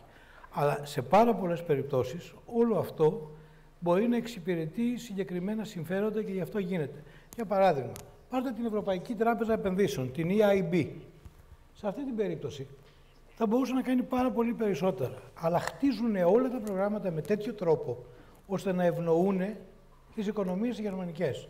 Αν αντί να χρησιμοποιήσω τον Τζίζικα και τον Μέρμιγκα ε, σαν μύθο του Εσώπου, θα χρησιμοποιούσα το μύθο της Αλεπούς ε, και, το, και του λελεκιού, όπου η Αλεπού καλεί το λελέκι να φάει, αλλά του βάζει ένα ρηχό πιάτο. Σε αυτή την περίπτωση λοιπόν δεν υπάρχει περίπτωση να φάει το λελέκι, γιατί όλο το παιχνίδι, όλα τα ζάρια είναι στημένα με τέτοιο τρόπο ώστε να μην λειτουργήσει η οικονομία. Ήταν πολύ σωστή η επισήμανση σχετικά με τον Σρέντερ. Ο Σρέντερ ήταν η μεγάλη διαφορά. Ο Χέλμουτ Κόλ ήταν γεννημένος που παρόλο που δεν πήγε να πολεμήσει στη Βέρμαχτ, ε, ήταν ένας άνθρωπος ο οποίος είχε υποφέρει από τον πόλεμο. Είχε δει έναν αδελφό να πεθαίνει, ήταν ξέρω, θείος του στο μέτωπο κλπ. Άρα ήξερε τι γίνεται, ήξερε ποια ήταν η, η ε, πώς το έλεγε το, το Fassbinder η ταινία για, το, για το γάμο της. Λοιπόν, ε, το είχε καταλάβει. Ο Στρέντερ από την άλλη μεριά, όπως απέδειξε και η μεταγενέστερη πορεία του που έγινε λακές των Ρώσων, έτσι, ήταν φανερό ότι δεν είχε κανενός είδους ε, ηθικές ε, επιφυλάξεις. Το ίδιο και ο Τόνι Μπλερ. Όλοι λοιπόν αυτοί χτίσανε μια διαφορετική Ευρώπη, που ήταν η Ευρώπη γενικά της αρπαχτής, να το πω έτσι. Άρα λοιπόν αυτό δεν θα μπορούσε καν να εμπνεύσει κανέναν. Ο λαός έβλεπε όλο ένα και περισσότερο ότι αυτοί οι θεσμοί είχαν γίνει για κάποιους άλλους. Ε, και επίσης βλέπαν το εξής. Τον πρώτο καιρό μιλάγανε για convergence και κάποιος Μονφόρ έγραψε ότι η Ευρωπαϊκή Ένωση είναι convergence, convergence machine, μια μηχανή σύγκλησης. Μέχρι το 2008. Αλλά στην πραγματικότητα, και γιατί ήταν αυτό που λένε fair weather σχήμα, ήταν για του καλού καιρού δηλαδή. Όταν άρχισε να υπάρχει το πρώτο κύμα, αυτό το πράγμα λειτουργήσε εντελώς διαφορετικά. Και ακόμα και οι ίδιοι δηλαδή οι εκθέσεις της Ευρωπαϊκής Ένωσης mm. δέχονται ότι αυτό δεν δουλεύει. Το ίδιο και από το IMF. Δεν δουλεύουν αυτά τα πράγματα και πραγματικά ήταν ότι υπάρχει τύφλωση από τη μια ή υπάρχουν τα συγκεκριμένα συμφέροντα. Λέει ο Άνταμ Σμιθ ότι οι, πολιτικές, οι θεωρίες πολιτικής οικονομίας διαμορφώνονται καταρχήν από τα vested interest, τα οργανωμένα συμφέροντα και τις προκαταλήψεις των ανθρώπων που μετά τις παίρνουν οι διανοούμενοι και τις μετατρέπουν σε οικονομικές θεωρίες. Ναι, συμβαίνει αυτό, αλλά από ένα σημείο και πέρα είναι δυσδιάκριτο. Όπως είναι δυσδιάκριτο να δεις αν αυτό είναι από κακία ή από τύφλωση και για την περίπτωση του καλού, κάπου τα εξηγεί αυτά ο Κάντ, ότι ε, είμαι καλός διότι φοβάμαι την αστυνομία ή είμαι καλός διότι το εσωτερικεύω αυτό. Κάποια στιγμή η εσωτερήκευση του ότι εγώ αξίζω αυτά τα χρήματα και η οικονομία μου πρέπει να πάει καλά και ας πάνε ε, να τσακιστούν όλοι οι υπόλοιποι, είναι κάτι που το έβλεπες μέσα στην Ευρωπαϊκή Ένωση. Όλο αυτό το πράγμα δεν δούλευε. Και επίσης αυτό είχε και σαν αποτέλεσμα ότι η ποιότητα του πολιτικού προσωπικού να είναι είτε στο όριο της ηλικιότητας, έτσι, είτε ε, στο όριο της απαταιωνιάς. Δεν θέλω να φέρω συγκεκριμένα παραδείγματα, αλλά ε, είναι αυτό. Και πράγματι, malfeasance ή ignorance. Τι είναι από τα δύο; Κακία και μοχθηρία που λέει ο, ο Αριστοτέλης ή αμαρτία. Why choose? Why choose? Πριν πάμε στις ερωτήσεις, να πω και εγώ το δικό μου. Ε, όταν πρέπει να επιλέξω μεταξύ της εξήγησης στο πλαίσιο της συνωμοσίας ή της ηλικιότητας, πάντα επιλέγω την ηλικιότητα. Εάν πρέπει να επιλέξω. Όμως, εδώ έχουμε τη γέννηση της Ευρωπαϊκής Ένωσης. Σαν ένα καρτέλ μεγάλης, μεγάλων επιχειρήσεων βαριάς βιομηχανίας. Άνθρακας και χάλιβας. Και χάλιβας. Με τη συνθήκη της Ρώμης, αυτό το καρτέλ επεκτείνεται. Μπαίνουν μέσα, από τη μία μεριά και, άλλες, και άλλοι κλάδοι, ηλεκτρονικά, ηλεκ, ηλεκτρικές συσκευές, αυτοκινητοβιομηχανία και βεβαίως οι αγρότες κοινή αγροτική πολιτική, οι οποίοι έπρεπε να εξαγοραστούν με ένα κομμάτι των economic rents, των προσόδων της βιομηχανίας, για να παίξουν μπάλα και οι Γάλλοι αγρότες, να το πω απλά. Αντίθετα με οποιοδήποτε κράτος, είτε είναι οι Ηνωμένες Πολιτείες, είτε είναι η Γερμανία, είτε είναι η Ελλάδα, είτε είναι ο Καναδάς, που δημιουργείται το κράτος ως αποτέλεσμα μιας σύμπτυξης και σύγκλησης θεσμών με στόχο την αλληλοεξουδετέρωση ταξικών συγκρούσεων. Η Ευρωπαϊκή Ένωση δημιουργήθηκε ως ένα καρτέλ, όπως ο ΟΠΕΚ. Ένα καρτέλ, όπως ο ΟΠΕΚ, έχει ανάγκη κοινό νόμισμα. Ο ΟΠΕΚ λειτουργεί στη βάση ότι το πετρέλαιο πωλείται σε δολάρια. Κοινό νόμισμα έχει ο ΟΠΕΚ. Δεν έχει σημασία αν είναι η Ινδονησία ή αν είναι η Σαουδική Αραβία. Είναι το δολάριο. Όταν δημιουργήθηκε, και δημιουργήθηκε από τους Αμερικανούς η Ευρωπαϊκή Ένωση, αφήστε αυτά που λέμε εμείς οι Ευρωπαίοι ότι τη φτιάξαμε εμείς. Ήταν Αμερικανική σχεδίαση στην Ουάσιγκτον. Άσχετο αν υπήρχε ενθουσιασμός από τις πολιτικές και οικονομικές ελίτ στη Γερμανία, στο Βέλγιο, στη Γαλλία. Όταν δημιουργήθηκε, να το, μην το ξεχάσουμε αυτό, δημιουργήθηκε σε μια περίοδο όπου είχαμε κοινό νόμισμα. Ήταν το δολάριο, με σταθερές ισοτιμίες, fixed exchange rates. Άρα δεν υπήρχε πρόβλημα. Όταν αρχίζει να, δια... να καταργείται από τις Ηνωμένες Πολιτείες αυτή η ζώνη δολαρίου, δηλαδή αυτό που είχαμε, είχαμε Eurexit. Η Ευρώπη πετάχτηκε έξω από τη ζώνη του δολαρίου, 15 Αυγούστου του 1971. Το βλέπαν να έρχεται αυτό. Γι' αυτό έγινε το report του Βέρνερ. Mm Έτσι. Άρχισαν να πανικοβάλλονται. Έπρεπε να δημιουργήσουν ένα ευρωπαϊκό νόμισμα. Και ξεκινάει το FIDI, το Snake. Ξεκινάει το EMS. Ξεκινάει το ERM. Όλα αποτυχάνουν. Μέχρι που σου λέει η μόνη λύση είναι να αφήσουμε αυτά τα fixed exchange rates.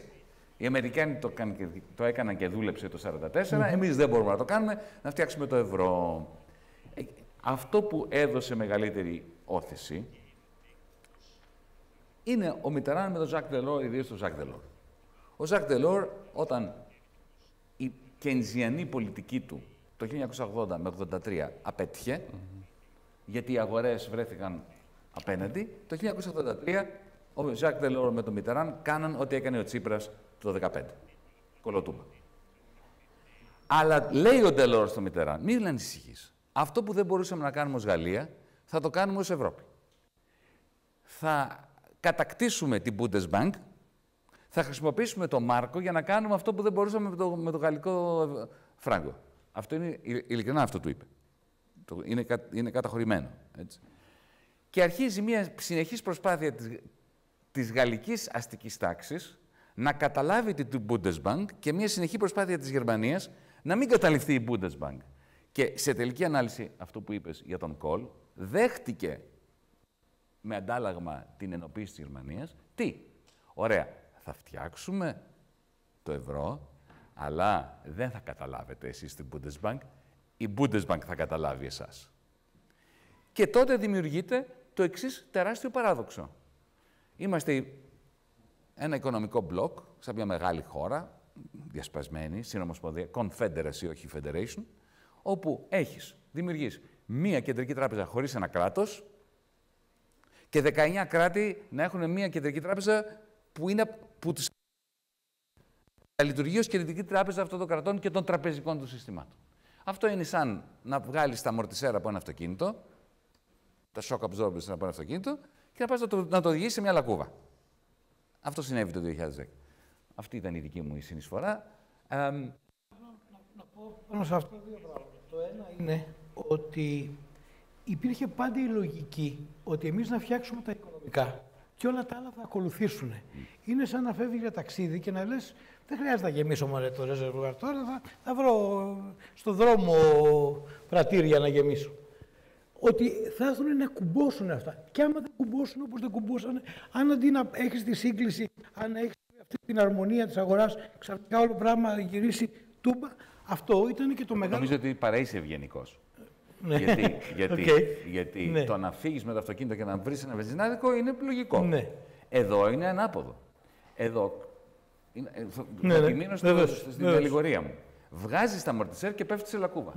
Δηλαδή, ε, εγγυάσαι ότι θα υπάρξει κρίση και την ώρα που το εγγυάσαι με τα ίδια εργαλεία βγάζεις από πάνω σου, αφαιρείς, στερείς τον εαυτό σου όλα εκείνα τα πράγματα που θα σε βοηθούσαν να ανταποκριθείς στην κρίση. Όχι αυτή η αυτοδέσμευση, η οποία έλεγε ότι στην πορεία θα λυθούν κάποια άλλα ζητήματα, τα οποία δεν θα μπορούσαν ποτέ να λυθούν από τον τρόπο που το έχεις φτιάξει, ήταν το καταστροφικό κομμάτι της. Και δηλαδή αυτό το, αυτό το πράγμα ήταν πραγματικά εντυπωσιακό για την Ευρωπαϊκή. Και ένα δεύτερο ήταν μια ιδεολογία την οποία είχαν πάρει από τα οικονομικά της ε, συμμετρίας της πληροφόρησης και της ασφάλισης, το λεγόμενο moral hazard, ο ηθικός κίνδυνος. Ότι άμα το επιτρέψεις αυτό, δηλαδή αν εγώ ασφαλίσω το σπίτι μου λίγο παραπάνω από όσο έχει, εγώ θα κάψω το σπίτι μου. Είναι σαν να λες ότι ο ακροβάτης θα πηδήξει καλύτερα αν αντί να έχει δίκτυα ασφαλείας από κάτω, έχει παλούκια νερά. Δεν είναι πολύ βέβαιος ότι κάτι τέτοιο πρόκειται να βοηθήσει που ρανκουραζέ λεζότρο, έλεγε ο Βολτέρος. Κρέμασε, λέει, έναν άβαρχο το ναυαρχείο για να ενθαρρύνει τους υπόλοιπους. Δεν λειτουργεί ποτέ. Λοιπόν, να πάρουμε ερωτήσεις από το κοινό. Ο Σωτήρης Πετραλέξης. Μικρόφωνα. Ε, καλημέρα, καλησπέρα. Ε, θέλω να κάνω ένα σχόλιο που μπορεί να είναι και ερώτηση.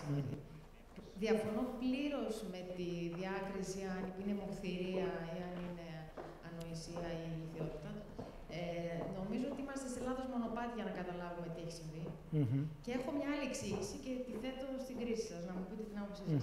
Νομίζω ότι είναι κοινικότητα και μάλιστα είναι η στρατηγική κοινικότητας. Και αυτό ε, το βλέπουμε άλλωστε και στον τρόπο που η, ε, ας το πούμε, η Ευρωπαϊκή Άρχουσα Τάξη οργανώνεται στις ε, κυβερνήσεις από Μακρόν, ας πούμε, είναι το νεότερο παράδειγμα αυτής της κοινικότητας. Ε, και αν, αν αυτή την υπόθεση εργασίας την προχωρήσουμε, αντιλαμβανόμαστε ότι πρέπει και εμείς να επαναθεωρήσουμε τον τρόπο με τον οποίο συζητάμε ποιες μπορεί να είναι οι λύσεις, οι διέξοδοι κτλ. στο μέλλον. Αυτό είναι ένα πρώτο σχόλιο που θέλω να δω πώς το αντιλαμβάνεστε. Εσείς. Δηλαδή, μιλάμε για ανθρώπους οι οποίοι είναι ιδιαίτερα ευφυεί, κατά την άποψή μου, αλλά δεν έχουν καμία επαφή με την πραγματικότητα, με την κοινωνική πραγματικότητα, ε, έλλειψη ενσυναίσθησης και έλλειψη αντίληψης του τι συμβαίνει ε, στην καθημερινή ζωή των ανθρώπων. Και αυτό είναι πιο Να βαρύ. πάρουμε μερικές Ναι, ερωτήσεις. ναι βεβαίως. Αυτό. Ναι. Ευχαριστούμε. Θα πάρουμε και μερικές άλλες ερωτήσεις για να, μ- για να είναι πιο δίκαιη η κατανομή του χρόνου. Καλησπέρα σας. Καλησπέρα. Καταρχάς να πω ότι όλα όσα έχετε αναφέρει είναι πάρα πολύ ενδιαφέροντα και κατανοητά. Ε, εγώ θα ήθελα να κάνω μία ερώτηση. Είναι σχετική με την ερώτηση που έκανε η κυρία. Ε, έχουμε καταλάβει όλοι ότι όταν υπάρχει μία ένωση η οποία είναι μόνο νομισματική, δεν είναι πολιτική, ε, αυτό είναι αναπόφευκτο να φέρει κατολίσθηση. Αυτό το βιώνουμε και μπορούμε να το αντιληφθούμε. Ε, πάνω σε αυτό λοιπόν που είπε και η κυρία. Εγώ αυτό το ερμηνεύω ως έλλειψη πνεύματος. Όταν η φιλοσοφία δεν κυριαρχεί στη ζωή μας, δεν νομίζω μπορούμε να κατανοήσουμε καλύτερα το γίγνεσθε. Δεν ξέρω εσείς ποια ερμηνεία δίνετε. Εγώ αυτό αντιλαμβάνομαι. Θα ήθελα να ακούσω πάρα πολύ την άποψή σας. Ε, μια πολύ σύντομη ερώτηση στο σύντροφο Παουρφάκη. Ε, νομίζω ότι ο όρος θεσμοί προήλθε από εσάς από την εποχή που ήσασταν υπουργός Οικονομικών.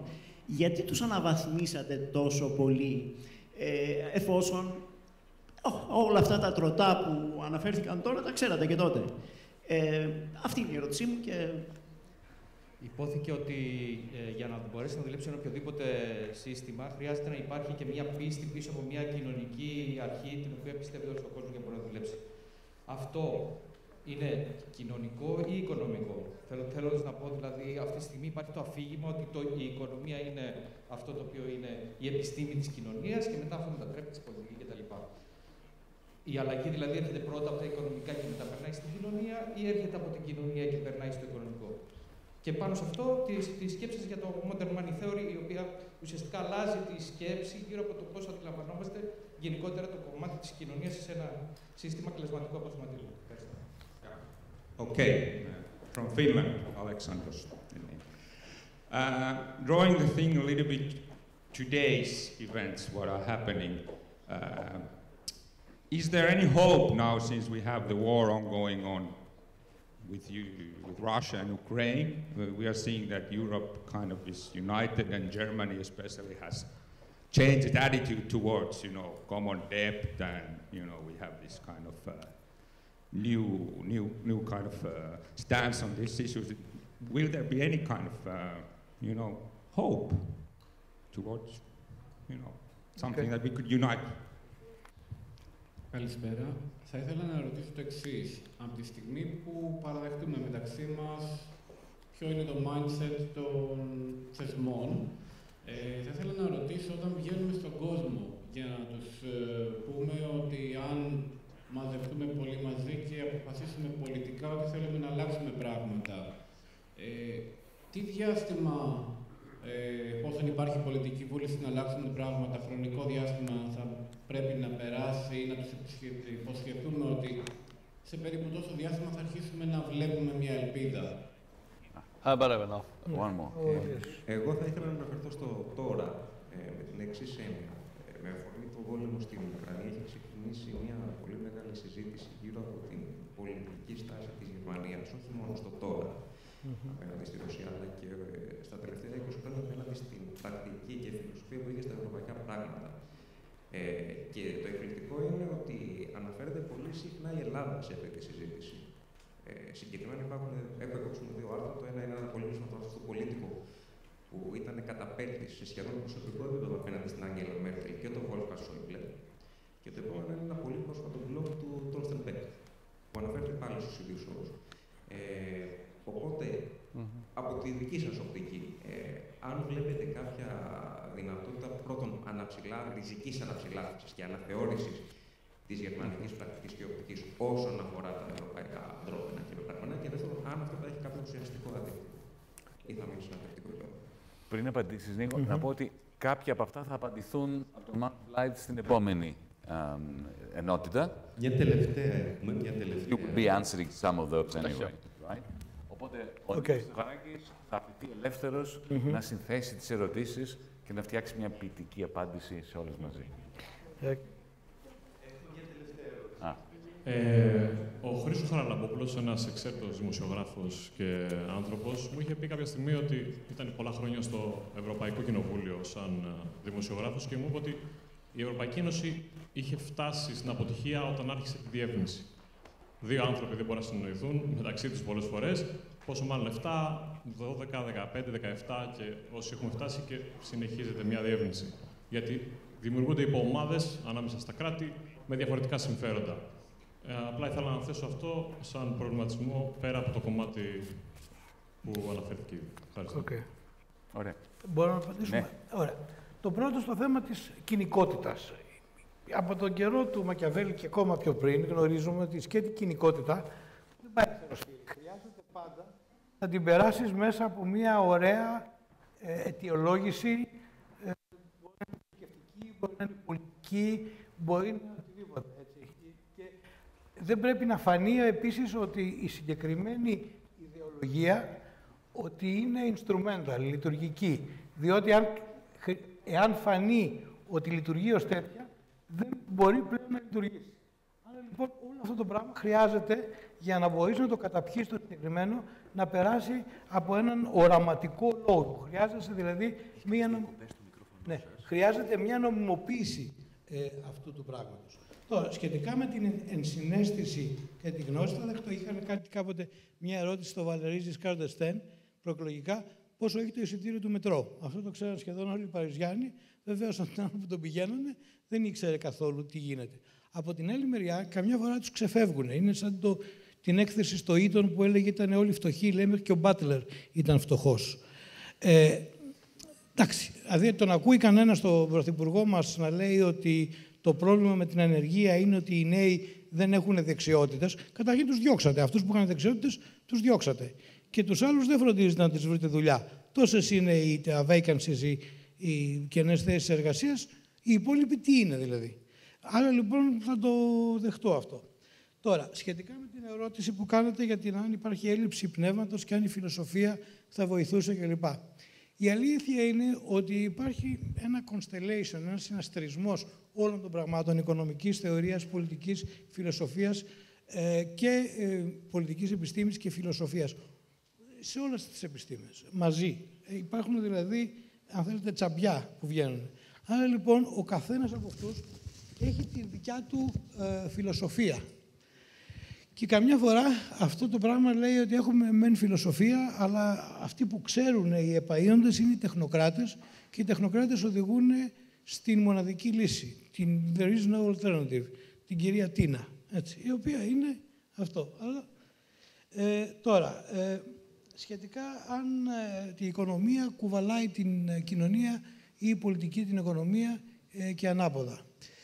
Εντάξει, συνήθως οι οικονομολόγοι τείνουμε να είμαστε αναγωγιστές, δηλαδή να θεωρούμε ότι το πρωτεύον είναι η παραγωγική βάση και από πάνω υπάρχει το επικοδόμημα, ε, το, ο λεγόμενος νόμος της αντιστοίχησης, το Entsprechungsgesetz που λένε οι Γερμανοί. Ε, η αλήθεια είναι ότι κατά την άσε, όπως ένας Ρουμάνος ο οποίος χρησιμοποιεί τον όρο νεοδουλοπαρικία, ο του Μπουργκιάνου Γκερέα, λέει ότι μπορείς να φτιάξεις πρώτα το επικοδόμημα και μετά να έρθει να κάτσει η παραγωγική βάση πάνω σε αυτό. Δεν είμαι πολύ βέβαιος ότι μπορείς να εξηγήσεις το ένα ερήμην του άλλου. Διότι η οικονομία λειτουργεί ε, μέσα σε ένα πλαίσιο θεσμών, πολιτικών, κοινωνικών κλπ. Άρα λοιπόν ε, είναι μια απάντηση η οποία πρέπει να απαντηθεί στη συγκεκριμένη περίπτωση ε, τι συμβαίνει. Τώρα, το, για το πολίτικο, εντάξει. Το πολίτικο είναι το Axel Springer, έτσι, ο οποίος τα παίρνει από την Αμερική κατευθείαν. Τώρα, από ποια υπηρεσία δεν έχει καμία σημασία και ε, του λένε και ο άνθρωπος γράφει. Είναι όπως είναι ο κλαρινιτζής στα πανηγύρια που του λες: Παίξε το παπάκι, πάει στην ποταμιά και το παπάκι πάει στην ποταμιά. Έτσι. Άρα λοιπόν δεν έχω να πω τίποτα ε, γι' αυτό. Ε, το mindset και το δημοψήφισμα είναι πάρα πολύ καλή ερώτηση θα την κοιτάξουμε κατευθείαν στα μάτια και θα περάσουμε απέναντι, διότι, ε, τι να πω, το είδαμε στο δημοψήφισμα. Τι ήθελες παραπάνω; Είχες στα δύο τρίτα του ελληνικού εκλογικού σώματος, ο οποίο είχε σαφές ταξικό πρόσημο, αλλιώς ψήφιζε η Νέα Ζωή στον Ασπρόπυργο και αλλιώς ψήφιζε το ψυχικό και, και η Εκάλη.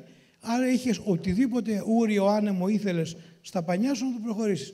Πόσο πήρε; Ε, μέχρι ότου έναν Ιούλιο μετά από 17 ώρες συνέβη το απονοημένο διάβημα. Ε, Ουκρανία. The, uh, whether there is a hope after the war, etc. The thing is that we have a perfect storm. After a global financial crisis, a special crisis in the Eurozone and in Greece, then we have uh, the pandemic. Then we have the war. This is a question of the of the perfect storm. Uh, I don't know whether all those things are connected. In a sense, they are, but uh, not uh, directly. So, if I'm optimistic, I mean, I would love to be optimistic. really, trust me, I would like to be. But I don't see that uh, uh, there is uh, some sort of light at the end of this tunnel. very handy Okay. ideological Mhm. to this by Mhm. Mera 25. Okay. We maintain hope against all evidence. Okay. Trust in God and keep your powder dry. okay. Μου φαίνεται και, και υπήρχε και άλλη μία ερώτηση που ε, δεν απάντησα. Ε, δεν θυμάμαι. Ωραία. Hm? Okay. Mark, comment? Just a quick, quick one so we can get to more uh, questions. Um, I, I keep going, cynicism is a very interesting thing because cynicism is antithetical to democracy. You, you can't really have a functioning democracy if your ruling class is just inveterately cynical. So I hope that they're not, against all evidence. Mm. Perhaps I'll put it that way. In terms of the, the question of the social purpose of the regime, etc., again, in this, I'll go back a little bit. Germany began as an exporter, modern Germany in 1870. It has basically run a surplus, apart from the Hitler years when it ran a very antagonistic surplus against captured territories, um, for its entire life. Uh, its companies have always relied upon markets that are bigger than its home markets. And when you do that, you develop an entire school of economics, not out of cynicism, but out of the fact that that's your business model. And your business model is one that basically says, okay, how does this work? So we sell stuff abroad, we get foreign cash. We need to bank that foreign cash at home, but we can't because it's foreign cash. If we turn this into our cash, all of our prices and wages will go up, and the stuff that we sell abroad will be more expensive. That will kill the business model. So what do we do? We need to send it abroad, and that takes lots of different forms. Spanish real estate in one juncture, buying American debt in another juncture.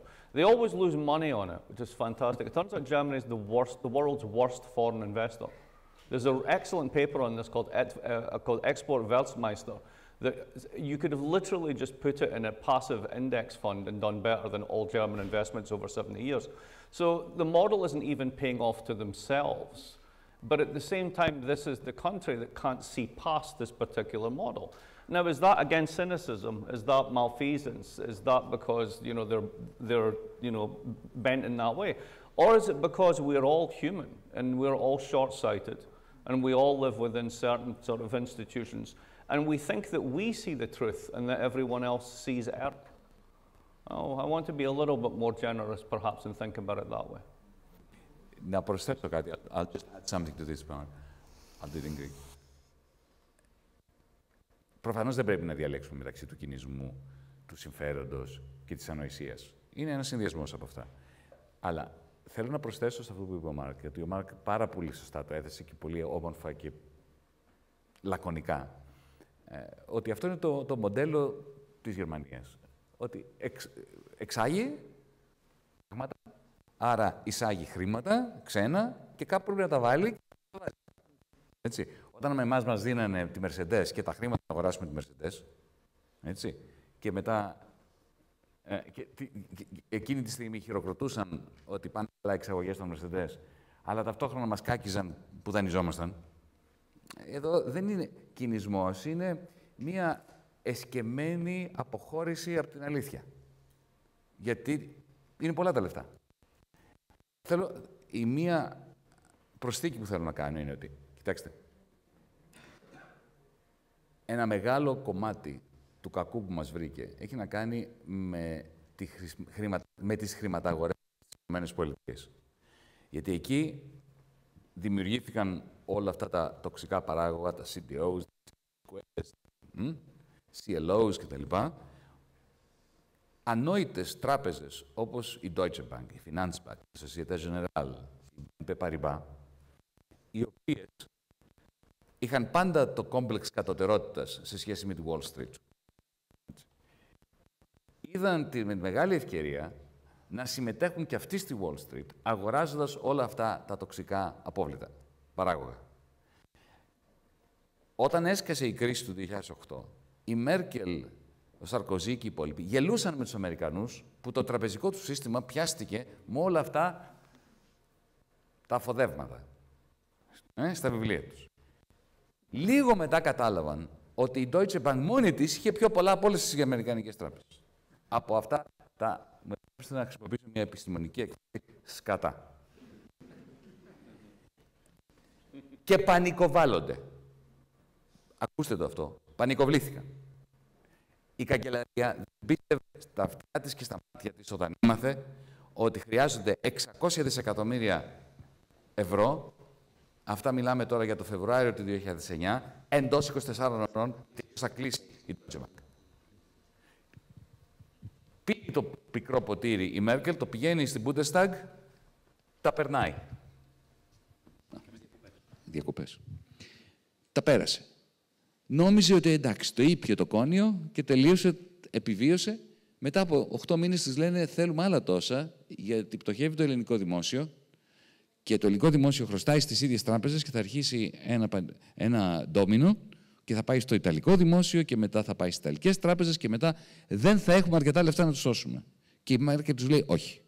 Δεν μπορώ να ξαναπάω στη Βουλή να πω: Δώστε μου πάλι λεφτά για την Deutsche Bank. Και της λένε: Δεν πεις αυτό, θα πεις: Θα τα δώσουμε στους Έλληνες για Ευρωπαϊκή Ελληνική. Αλλά για να τα περάσει όμως από, από τη Βουλή έπρεπε να πείσει τους χριστιανοδημοκράτες βουλευτές γιατί πρέπει να δώσουν τόσα χρήματα στους Έλληνες όταν δεν δίνουν στους Γερμανούς. Οπότε, τι θέλω να πω, μην, μην το βλέπετε που πάει δεν είναι κινησμός. Είναι πανικός. Είναι ανοησία της Deutsche Bank, όχι της Μέρκελ. Η Μέρκελ μετά είναι με το πιστόλι στον κρότοφο, λέει ψέματα στους βουλευτές. Είναι σαν το Macbeth. The Scottish play. Έχουμε και το Σκοτσέζο εδώ. Κάνεις ένα έγκλημα και μετά κάνεις ένα δεύτερο για να καλύψεις το πρώτο. Κάνεις ένα τρίτο για να καλύψεις το δεύτερο. Σε πιάνει και ο κινησμός, σε πιάνει και η ανοησία. Hitchcock. Πώς πιάνεται τελικά ο κακός. Τελικά δεν πιάστηκε ο κακός. Βούλιαξε ο ελληνικός λαός και ο γερμανικός λαός. Γιατί το 50% των Γερμανών πολιτών δεν μπορούν να τα βγάλουν πέρα 15 χρόνια μετά τη συσσόρευση όλων αυτών των φοβερών πλεονασμάτων. Και με αυτήν την αισιόδοξη νότα κλείνουμε την παρούσα συνεδρία. Ευχαριστούμε πολύ. Thank you very much. Και ξεκινάμε με την δεύτερη συνεδρία της ημερίδας μας. We welcome Professor Mark Blythe, uh, from Brown University, a professor of international economics and an expert in austerity and the euro. And uh, we welcome you, Professor Blythe, to the capital of austerity, Athens. The floor is yours. So, let me go back for a minute. 12 years ago, there was a crisis. And there are two stories about the, how this happened. Now, as we said before, is it malfeasance or is it stupidity? And I said, well, why choose? So I'm going to give you an example of this on a macro level. So there's a sort of official story of the crisis we can do very quickly. And then we'll fill in some of the details on what actually happened, which you have already said. Right? So we'll just do this as our setup. So here's the picture that matters. You may have seen this. This is the convergence in bond yields, what you interest you get paid for holding a bond. Uh, in the Eurozone and what became the Eurozone basically from 1990 to 2011 when the crisis kicks off. The, the clue is the red line is Greece, right? Now, the first story about this is about the ECB. So you've used the phrase, I think you used the phrase, Deutsche Bank über alles, right? When you basically say, all right, everyone who has a printing press, put it away. What you're doing is you're saying you will no longer have to worry about what they call exchange rate risk in a bond, right? You can't touch that anymore because you don't print your own money. Also, you won't have to worry about interest rate risk either because you have control of an independent money supply in the same way. So what that means is far-sighted bond traders and other people in finance can look at this picture and say, how much am I getting paid for holding a Greek bond just now? 20%. That's really sweet, but there's a lot of risk in that bond. So thank goodness that by 1999, those Germans are going to be running the show, and none of those Greeks or French people or Italians will have a printing press anymore. And that way, I will pay less interest rate. They will get rewarded less interest rate. You will pay out less interest rate as a sovereign for holding these bonds. So as EMU came closer and closer and closer, the interest rates converged. Then they were almost indistinguishable from each other. We all became Germany. Then, when the crisis hit, it discovered we were not Germany. Now, what caused us to discover we were not Germany? Well, I would have thought the first clue was none of you were talking German. But that was just me. This is the other side of the story. The red line in this case is Germany. Germany is the exporter. That's the one running the surplus. You notice that over the same time period, everybody else begins to run a deficit. That's significant. Why? Because you were all spending too much. You see that interest rate convergence made it really, really cheap to borrow money. So you borrowed all this money and then you spent it. Shameful. Terrible people spending all that money. And you see, Germany spent the least because they're good people, and Ireland and Spain and Greece spent the most because obviously you're bad people. And when you spend all that money, what that is that going to do? It's going to erode your unit labor cost, your wage competitiveness. Suddenly, you are going to become very expensive you're not actually able to make money in the world anymore. That's why you have those deficits. You see how all of this comes together, right? In some, cheap credit and rising wages, too much expenditure from the government, made these unsustainable increases in external debt. You're borrowing. And then when the mortgage crisis hit and bank lending dried up, bond yields exploded, Europe fell into crisis. Ta da! The official version of the story. Now, it's pretty plausible and you can even get numbers that kind of work with that. But is that really what happened? There's something missing in this story that Nikos talked about. Let's have a look at this one. This is my favorite advert from America in 2005. Citibank ran an advertising campaign that cost them $100 million just for the adverts. This is an example of one of these adverts. It says, open a cravings account not a savings account, a cravings account. And what does that tell us? It tells us that there's a thing called overborrowing, but there's also a thing called overlending. And banks love overlending because through overlending you get leverage, and leverage amplifies your profits. So let's run that story again, but think about overlending rather than overborrowing. And that's what I wrote in this piece in 2015 and I got hate mail from all over Europe, so I knew I was right. Here's what the story is. Let's do this again. I'm a finance person. I get paid 20% for holding Greek debt. And some bastard's going to take that away from me. That bastard's called the ECB. Shit. So I've got seven years left of enormous spreads. Those spreads are going to come down. Why? Because people will buy the spread, and as they buy the spread, because it's going to go down, it will go down even further. It's a volume effect. So, how do you make money when the spread is going down? You have to buy more of it. And I will buy more of it because it's getting cheaper, which means that the government will be idiots not to lend it to me. And let's face it, it's guaranteed, right? Because now they don't have a printing press. Now the Germans are going to be in charge. What could possibly go wrong? So here's the fun bit. This is the debts gone bad in 2011 of the banks of France, Netherlands, Portugal, and Germany. Oh, look, one third of French GDP are debts from periphery sovereigns stuffed into their banking sector.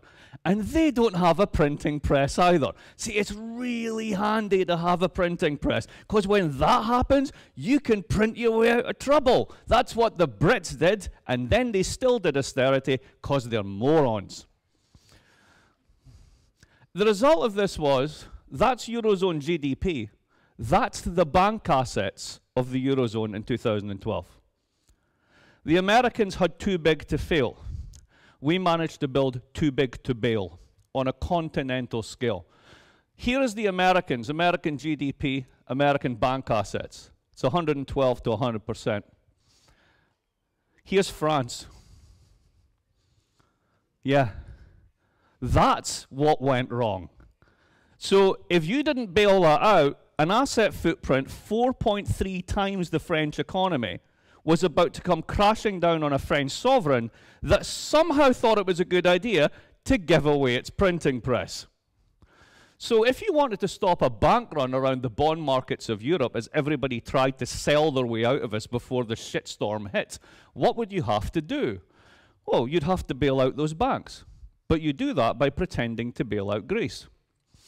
So the Greek bailouts, as you will record, was 110 billion in standby and loans in the first three years, followed by 20 billion from the IMF and 145 billion, which now sits in the ESM, in Luxembourg in a private company at an interest rate of 1.39%. 27 billion stayed in Greece, which means that over 200 billion went right through as a conduit and went straight back to BNP Paribas, went straight back to Deutsche Bank, went straight back to Commerzbank, and all the people who were over lending to start with. We know this because by 2013, Greece was running a surplus. It had no need to borrow. Why were you giving it money? You were giving it money because it was a pipeline. The rest of the funds went through Greece, right back to the French and German banks who did the overlending. Then you do austerity. Why? Because you have to stabilize those budgets. Because if you can't run a surplus when the whole economy is crashing, it's called a depression. Unfortunately, Alesina was mentioned, there was no confidence fairy. For those of you who forgot how insane this was, let me give you the short, non technical summary of the expansionary austerity thesis. Imagine that you work in, let's say, Spain. You work in the private sector, your partner works in the public sector. You get instant laid off because you have a really shitty labour contract. But don't worry, my partner works in the public sector. Oops, along comes austerity. That partner now has one third of their income left. I've just suffered the 60% income drop. But don't worry, you see, I have long sighted expectations looking at the future value of taxes versus welfare transfers, I am able to calculate that just a few years from now, we will have an expansion which will make the crash worth it. Buoyed by this, I run out to IKEA and buy a couch, thereby ending the recession before it starts. That is literally the logic that the EU peddled for doing this stuff. Growth in real incomes fell. Then they decided to tighten it up with a six pack. This continued to 2015. A weak recovery kicks in in 2017. Now, what did this do to everyone? Let's push the story forward. This is a rather complex table. Forget the bits in brackets. I just want to explain. This is a thing called a growth models table. And what it does is it looks at whether a country's export sector or domestic economy is more powerful in very crude terms, right? So if you do nothing but exports, by definition, you will have a small and weaker domestic economy. You want to keep prices and wages down. Welcome to Germany. Welcome to the northern exporters.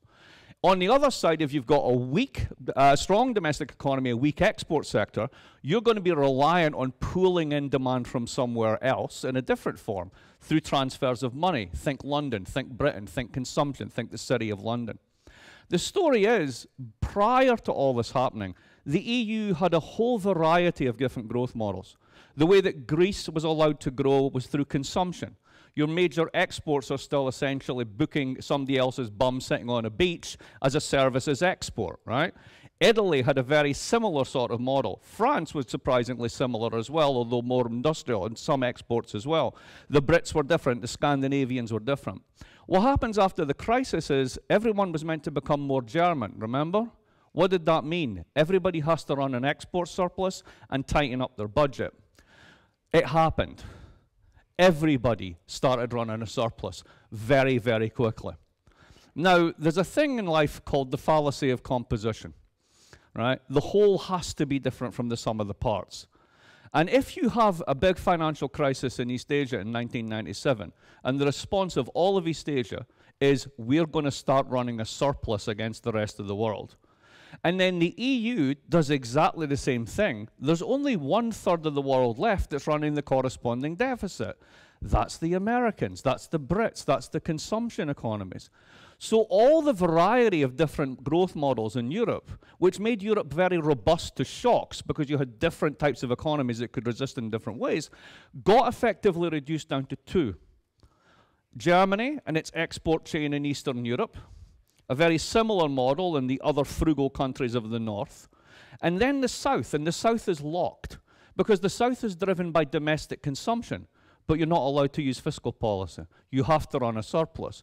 So after 2015, the Commission figured out this doesn't work. So they began to go sotto voce on the deficit. France really began to run a deficit on the quiet. Italy began to run a deficit on the quiet. And the ECB, let's bring this back to the euro, starts to engage in massive programs of quantitative easing. Why? Because what you're doing is, remember those yields? You're keeping them down again because you haven't recovered, you've just suppressed. Greece, as you can see, is still driven by travel and tourism. It's not the best business model in the world, but it's not the worst.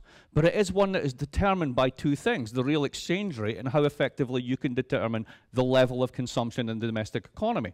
If those two things are constrained, as they are in the euro, then you will never file at full capacity, regardless of what your economy looks like once again, we're in a position if everyone is running an export surplus, those exports have to be recycled. They can't go back into the domestic economy because they will cause prices and wages to go up, which we would all like, but it would be bad for the exports. So the exports have to find another destination. And what do we find? The north is running an export surplus. The south, once again, still isn't because of these constraints. It's locked in. It's very hard to get out of this.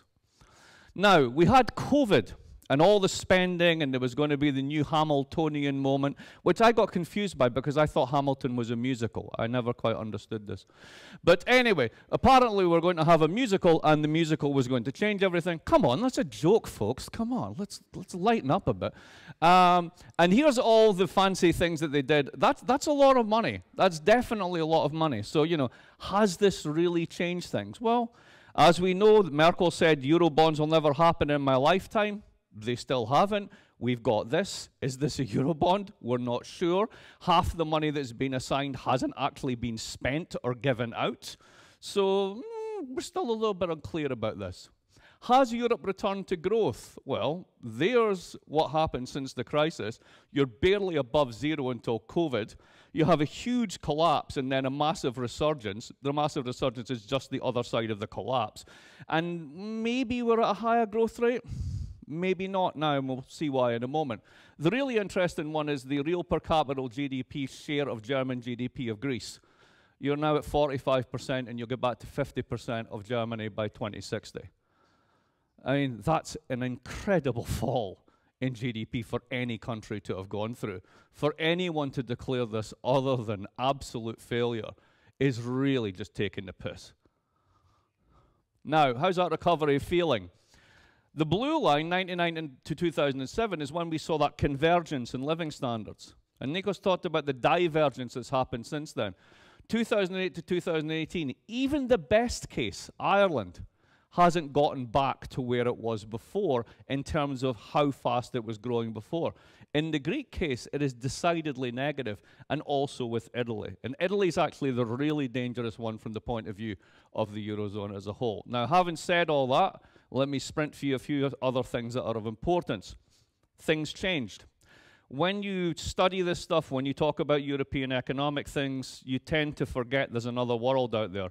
And the other world changed quite drastically. The first one is I live in America. Woo! Watch out for this one, folks.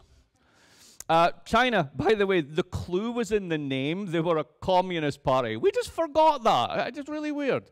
Uh, the EU gets caught in the middle of all this stuff, and the key idea I want to talk about is a little bit to do with climate change, the distributional politics of climate. So let's start here. Here's a very simple way to think about American politics that people don't do enough of. Uh, the bottom map is the Trump electoral map. The top map is the states that produce the most carbon. It's not a perfect fit, but it's pretty close. What happened was in 1971, one in five jobs in America was in autos and one in three in related industries. It's a carbon economy. Oil shocks in the 70s and the shift to services in the 1980s basically residualized these carbon assets in particular states. You can run from Alaska to the Dakotas, through Oklahoma, down to East Texas, along to Louisiana, straight up to West Virginia. I call it America's crooked carbon smile, and it's every state is hardcore Republican. So US political polarization is really a climate transition trust game among states. And the people who are carbon heavy do not trust the blue states on the coast to bail them out. And for good reason, because I wouldn't trust them either. Now, what does this mean? It means that the US commitment to decarbonization that Europe takes quite seriously, at least in comparative terms, is very much in doubt. This guy outside January the 6th, giving it the Mussolini salute, is likely to be a very serious Republican leader going forward. They are now a right wing populist party. They are climate change denialists, not because they're stupid, but because the business models of their core states are all carbon dependent. Biden's going to lose ability to pass legislation later in 2022. They will be back in power in 2024. At that point, there will be a 10 year carbon binge. And Europe can forget all the stuff that it's happily singing just now about unity, transatlantic alliance, the Ukraine effect, and everything else. American domestic politics is going to override this quite drastically. And it's going to be globally destabilizing. Why? Because the pull out of Afghanistan belies an enormous increase in US military spending, particularly on the Navy, that's going up over the next decade. That's basically aimed at defending Taiwan if China invades. And if what we now know from the Trump administration was Trump's vision of NATO was basically to privatize it.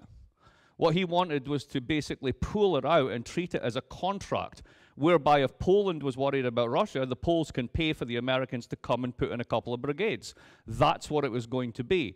I'm not saying it's going to go back to that, but it's a far cry from the fantasy that's been pushed around in the newspapers just now. Now, China. This guy in the background of this shot is incredibly important. You've never heard of him. His name's Wang Huning. Wang Huning was given an award by the American Political Science Association in 1994. He was a political theorist. And he was asked to tour America as a modern de Tocqueville and marvel at how wonderful America was as a democracy. So he did, and he spent a year traveling around America at different political science departments, and he went back and wrote a book called This Place is Fucked. It wasn't actually called that, that was the unofficial title, but that's basically what he came back to. He said, What did you do to your capital stock? Why did you send us all of your manufacturing jobs? What the hell are you doing? The Communist Party picked him up and put him inside an internal think tank. He's been incredibly influential since then. His main targets have been financial tech and entertainment elites. Apparently, there was a dinner he was at when Xi was just rising to power, and he, he posed the following question for this, ver this very tight Politburo dinner, which is the following What exactly does America get for having 400 billionaires? It's a pretty reasonable question. So they have changed. They're turning away from property led growth and financialization. And here's a thought for the weekend I put up on Twitter a few months ago. Last year, China built more offshore wind capacity than the entire world had in the previous five years. The previous leader was the UK with 10 gigawatts. China built one and a half X that last year alone. How's your transition going? They have to do this. This is what's called a wet bulbs predictor map. Basically, the northeast there on the right hand panel at three degrees, all those red areas are, are basically uninhabitable for more months, four months of the year. So China has every incentive to get off coal, which is heavily dependent on. They've already banned Belt and Road coal investment. They declared 2060 as a net zero target. The rumor is they're going to go to 2050. They banned Bitcoin while pushing the digital renminbi, which is very significant. Ramping up green tech investment, dominating the EV market is a strategic goal. And they have that serious risk of heat bulb, wet bulb uh, effects, so they have every incentive to make this happen. Now, why does this matter? It matters because all of this is pegged on the Taiwan question. And we've said before that if his credibility is dependent on this, and they have the capacity to do it, and the US has changed, this could get very, very nasty very, very quickly, and we could already be on that way. Now, if you're the EU and we're thinking about the Europe and the Euro and all this sort of stuff, we're looking inside here. All of this is going on outside and is hugely significant. I, I love this cartoon. I, I, I honestly can't tell the difference. Red, blue, red, blue, it's all the same to me. So, what is it that the EU's been doing? I like to call it hide and trade. The de definition of Euro European foreign policy for the past 15 years has been to put as many German businessmen on an A380 as possible, fly them to Beijing, say nothing about human rights, and come back with contracts. That has been the definition of foreign policy. They are beginning to worry about the US stance on China, but at the same time, their export surplus, where do you think it's going? It's not going here, it's going over there. They see green tech as a way to both compete and cooperate with China. The green transition is underway, at least in skeletal form. The structural funds are becoming transition funds. And then along comes the wild card. He's a system spoiler. But if you've been paying attention, he's been planning this since 2008, since the Munich speech.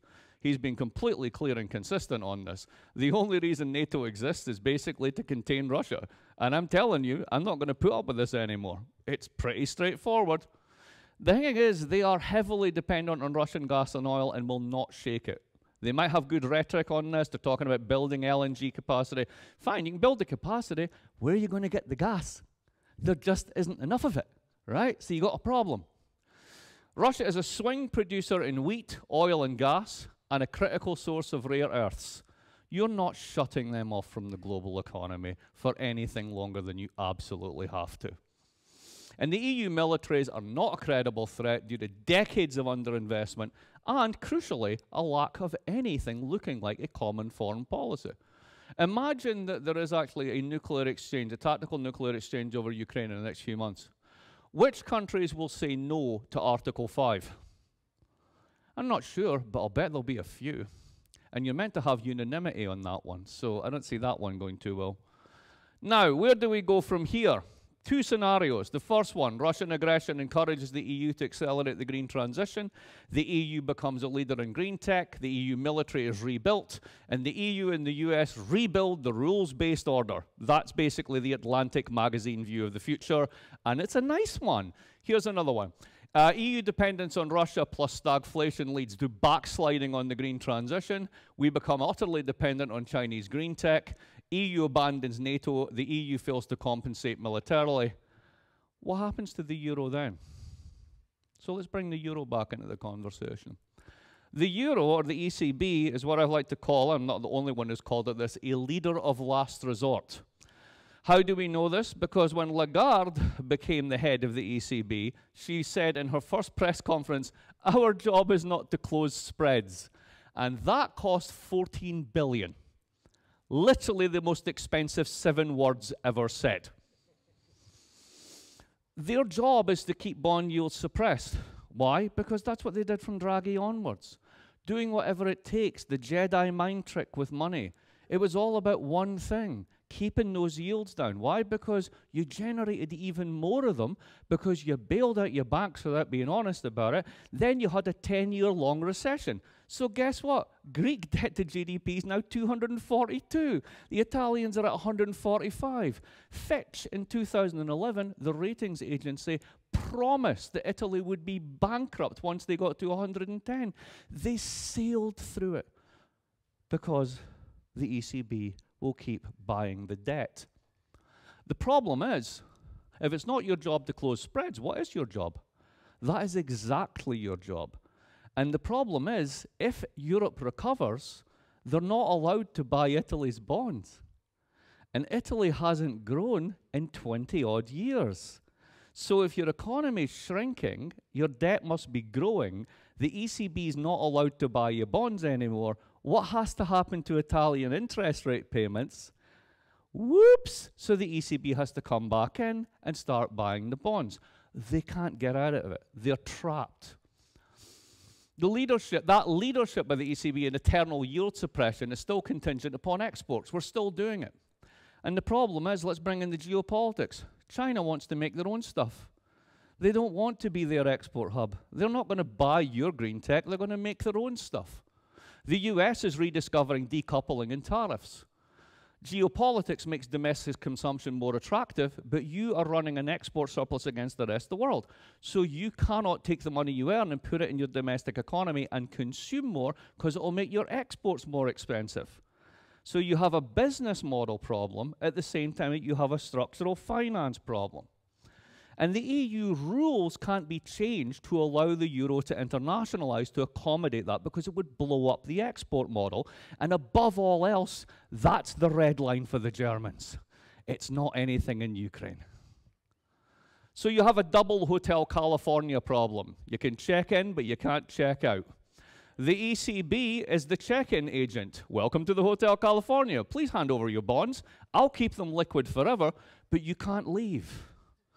You can't get out of this one. You can check in, but you can't check out. The only way you can check out, unless you have something really clever like a digital currency system, maybe we'll hear about that shortly, I don't know. But the traditional view of this is that you'll have capital flight throughout the single market. If you have, for example, Italy tries to get out, any Italian doesn't have rocks in their head is going to open a German bank account. All those German, Italian euros suddenly become German euros. You have huge imbalances in the system and this weird thing called target two. The central banks can't compensate, the whole system falls down. That's the standard story. But you can also change the rooms in the hotel. And what I mean by that is you could, if you had enough political foresight, see these problems coming and adapt to them. If China's not going to play ball and be your export market, if you're not going to declare some kind of wonderful victory for democracy in Ukraine over the long run, if you're strategically dependent on people you don't happen to like, the smart thing to do is to admit it. And what does that also mean? It means getting off of exports. It means the end of deficit fetishism. It means the need for a common debt instrument well beyond the next jet fund. So, what is the, for the future for the next 20 years? Can't become a global currency because it's addicted to exports still generating its own risks that mean constant yield suppression, the Hotel California problem for the ECB. We still have very incomplete institutions, still trying to make one size fits all policy. Everybody should become a bit more German. And what we desperately need to do is recognize that not just the South, that all of Europe in the world going forward is going to be reliant upon domestic consumption. And domestic consumption for a properly integrated Eurozone is 440 million people. It's bigger than the US, for goodness sake. If it was actually done properly, it could be kind of amazing. Yet we seem to have, through a combination of malfeasance, short sightedness, stupidity, dumb luck, and a lack of paying attention to what's going on outside, a set of people who just don't see these as problems. We'll see how it ends up. Thank you.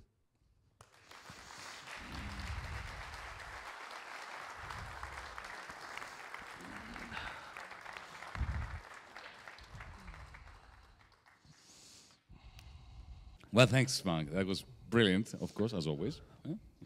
Um, you see why we invited him. He's not only brilliant, but he's very entertaining too. Although you didn't laugh at three obvious jokes, so I'm, I'm, I'm worried about the state of this you country. See, they were reading the subtitles when, when, they, when they were watching Shrek. I know. That's so. it.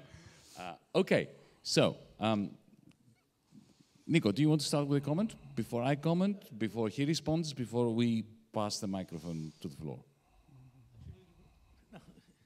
Frankly, it was such a tour de force. I was really, I enjoyed it thoroughly, and it was very um, edifying. And so, because it was not only about uh, the euro and what went wrong, but you had a geopolitical uh, a scenario that's much more plausible than the standard received wisdom reading of what's going on. So uh, how can it be so beautiful, you know? And um, of course, uh, things are not as uh, they seem. So not really. I don't have a, I mean, a comment, or I have to let CP. Okay. Everything you said stands. I just want to add a wrinkle to the whole thing. Uh, one great advantage of the euro is that it makes any possibility of a wealth transfer from the haves to the have-nots impossible. Mm -hmm. It's not that you know, liberal democracies have had many events of such a transfer, but yeah, 1933, Roosevelt did it, Willy Brandt did it in the late 1960s, early 1970s in Germany, Bruno Kreisky a little bit in Austria, maybe Harold Wilson to some extent in Britain. Papandreou had a, had a go just for two or three years. The euro makes it absolutely impossible, even for Germany. Mm -hmm. Germany has a few more degrees of freedom in that regard, but once you lose the monetary policy tools, all the developments and dynamics, the financial sector developments, mm -hmm. Are pushing governments against fiscal constraints. Mm -hmm. So they lose fiscal policy um, levers as well. So suddenly, democracy is banned. Mm -hmm. If you are an oligarch, the euro architecture is a wet dream. Mm -hmm. It's a dream come true. So this is going back to a discussion we had earlier. It's not that the people in the know do not know this. They peddle the official story. Yeah. But they do know all this. From my experience, uh, people like Draghi, um, Draghi, and maybe Draghi. all three of them. Yeah, all three of them understood that, Mm. right? But the political system in every country, you see, one question that your talk leaves in abeyance is okay, well, if the German business model is so embedded in the German ruling class's mindset and it buggers up everything else, why can't there be an Italian, Spanish, uh, Irish, Greek um, rebellion? The answer is that if you are a Greek oligarch, an Italian oligarch, a Spaniard in the money, you don't want to do away with this model mm-hmm. because the troika, call them what you might, will always come to your aid. They will not come to your country's aid. The troika will always look after you. And together, yeah, mm-hmm. those oligarchs and the troika will continue the maintenance of the German business model against all rationality. Mm-hmm. I, I- I think that, you know, So just, just to clarify though, so everyone is on the same page, are you saying that the lack of ability to meaningfully redistribute comes from the lack of policy tools or the business model, the deeper one, which is to say, if you are focusing on doing exports, then you have to suppress wages and you have to do consumption. So you have an interest in not redistributing, or are you actually saying the architecture means you can't redistribute even if you want Both. to? Right. Because if you think about it, the architecture, okay, what does the architecture do? The moment you bring, you, you know, you bind together the drachma and the Deutschmark, mm-hmm. right? You create a tsunami of lending, as you put it, from Frankfurt to Athens. Mm-hmm. This creates bubbles. It creates a false sense of having arrived, of convergence. The bubble bursts. It's you know just completely deterministic. The bubble bursts, then either you have a Grexit, or you have what we had, hmm. which is austerity, which is wage suppression. The wage suppression here then spreads to Germany mm-hmm. via Ireland, via um, France. So you have austerity everywhere. And that is completely functional mm-hmm. to the business model. So the architecture and the business model are one and the same thing. So even countries outside of the Eurozone don't escape this in a different way, even if they're the consumption ones. Think about the discussions that you hear now about inflation. So the simultaneously, there's always two stories. The first one is, well, we have to worry about this because people who are poor, the bottom 40, 60% of the income distribution, they're the ones that suffer the most from rising prices. Parentheses, because their wages are so low. Close. Um, therefore, we need to raise interest rates to get rid of inflation. In other words, the people who are the most credit constrained, but also pay the most for credit, now have to pay more for credit so that they can pay less for everything else? Parenthesis. That doesn't make much sense the minute you begin to think about it, unless you think about it from the same point of view. What is the ultimate function of all of these architectures? It's wealth preservation. The particular language of central banking calls it price stability, but we should call it what it actually is wealth preservation. I do like the line, I forget who said it, it might have been Warren Mosler. I'm, I'm MMT sympathetic, but I'm not fully in the camp. But I think it was Warren Mosler who said that increasing interest rates is UBI for the already rich. And it's a very simple way of thinking about how that architecture constrains, not just in the euro, but right across the world. A question. Your analysis of why the European Central Bank cannot afford to wind down its money printing Mhm. is clear. There's no doubt about that. I have a feeling that the same thing applies, applies to the Federal Reserve in the United States. That the American central bank cannot abandon all those years of printing money on behalf of corporates and Wall Street. And um, could you comment on that and why that might be so, if it is so? So there's a peculiar way you can think about this, which is It's as if the Fed and the ECB actually did read modern monetary theory and realized that it does apply to them, so let's use it in a very peculiar way. Because if debt is really something that we owe to ourselves, I can just keep doing this, right? Because I have the deepest liquid printing press. So, so long as people are willing to hold dollars, and they have to because you can't really hold any other asset at scale, I can keep adding to this debt pile. Why? Because there's infinite demand for this as a savings asset. So I can keep doing it. And we, we saw this with COVID when the asset manager BlackRock was the consultant to the Fed telling them which assets to put into this index so that when those values fell, they went and indirectly supported those assets. Do you think there might be a slight conflict of interest with an asset manager telling the Federal Reserve which assets to protect in value? Yeah, that's how far we have come in this. So, uh, to me, the test on this is if there is ever a very big collapse in American uh, equity markets, the stock exchange, the, the official line is, you know, we don't go near that.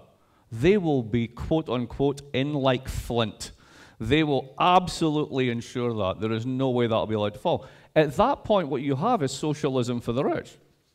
I mean, it really is. It's socialism for the rich and capitalism for the poor. And we're three quarters of the way there. The ECB just does this sotto voce. That's all it is. It's just, it's the same thing. Their, their problem is slightly different. Italy is Argentina. And I don't mean that in a pejorative sense. When anyone ever talks about Argentina in finance, it's like, I don't mean this at all. Argentina had a unique set of problems, which very few people appreciate, which was when Argentina decided that in the 1940s it was going to basically modernize and industrialize after World War II. It had a problem that the Brazilians didn't face so much. It didn't have a sector to squeeze because it was already democratic. You couldn't turn around and squeeze the uh, landowners because the landowners were too powerful in the provinces. And you couldn't squeeze labor, as they did in East Asia, for the source of the original savings and capital, because they were part of the Peronist electoral coalition. So it was always difficult for them. But the early stages of post war growth enabled Argentina to get up to a reasonable level. Then it go into hell in the 70s, the generals come in, etc. And then they commit to foreign borrowing. And that's why they've had the problems that they've had. Now, Italy is very different. People forget this, but the fastest growing economy in the OECD from 1960 until 1990 was Japan, followed by Italy. It was an astonishingly successful growth model. And it started to come apart in the 1990s. Now, we can go into the reasons why, but the bottom line is this. By the time that you get past Berlusconi, you have a very low growth rate and an enormous pile of debt. You are to the ECB what the, I, the Argentina is to the IMF. You're too big to fail. They cannot allow that one. It will blow a massive hole in the balance sheet, and they can't allow it to happen. So they're absolutely stuck with it. So the best thing for them, bizarrely, is for the north of Europe, their responsibilities is for Europe to have a very strong recovery, preferably one on exports. But if that happens, they have to stop buying the Italian debt, in which case they have a new problem, Argentina shows up on their balance sheet. Ετοιμαστείτε για τις ερωτήσεις σας while they're preparing to put their hand up. What do you say, just playing devil's advocate on behalf of people who are not here, what, do, what would you say to somebody who says that, you know, they've done a Volcker shock before, mm -hmm. they could do one again? For, for those who don't know what Volcker, the Volcker shock is, στα τέλη της δεκαετίας του 70, ο Κάρτερ έβαλε τον Volcker και διοικητή της Κεντρικής Τράπεζας των ΗΠΑ, τον Πολ Βόλκερ, ο οποίος για να αντιμετωπίσει το, την αύξηση του πληθωρισμού του 1979 ανέβασε τα επιτόκια των ΗΠΑ από το 6% στο 21%. Δημιούργησε μια τεράστια οικονομική κρίση. Ε, κλείσανε, κλάψανε μανούλες που λέμε ε, στην Αμερική, στην Ευρώπη, ε, πτώχευσαν μια σειρά από χώρες στην Αφρική, στην Ασία, η Ιουγκοσλαβία ε, και η Πολωνία. Και αυτό άλλαξε τον κόσμο σε πολύ μεγάλο βαθμό. Και από εκεί ενισχύθηκε το χρηματοπιστωτικό σύστημα της Αμερικής την ώρα που κατέρεε η μεσαία τάξη της Αμερικής. Okay, I just explained the Volcker yeah, shock. Fine. Και το ερώτημα που του θέτω είναι και ποιος μας λέει ότι δεν θα δημιουργήσουν ένα νέο Volcker shock; So the Volcker shock wasn't just about interest rates. The Volcker shock was also about financial deregulation, although that happened in Congress. Once you allow banks to integrate on the scale of the United States and you remove capital controls, as Britain and the United States did, it's almost simultaneously in 78 and 79, you begin a process of financial globalization. This is very important for the disinflation story of Volcker because it's not only causing this burnout of domestic capital by making money very expensive, you're allowing money to go offshore to find a return elsewhere.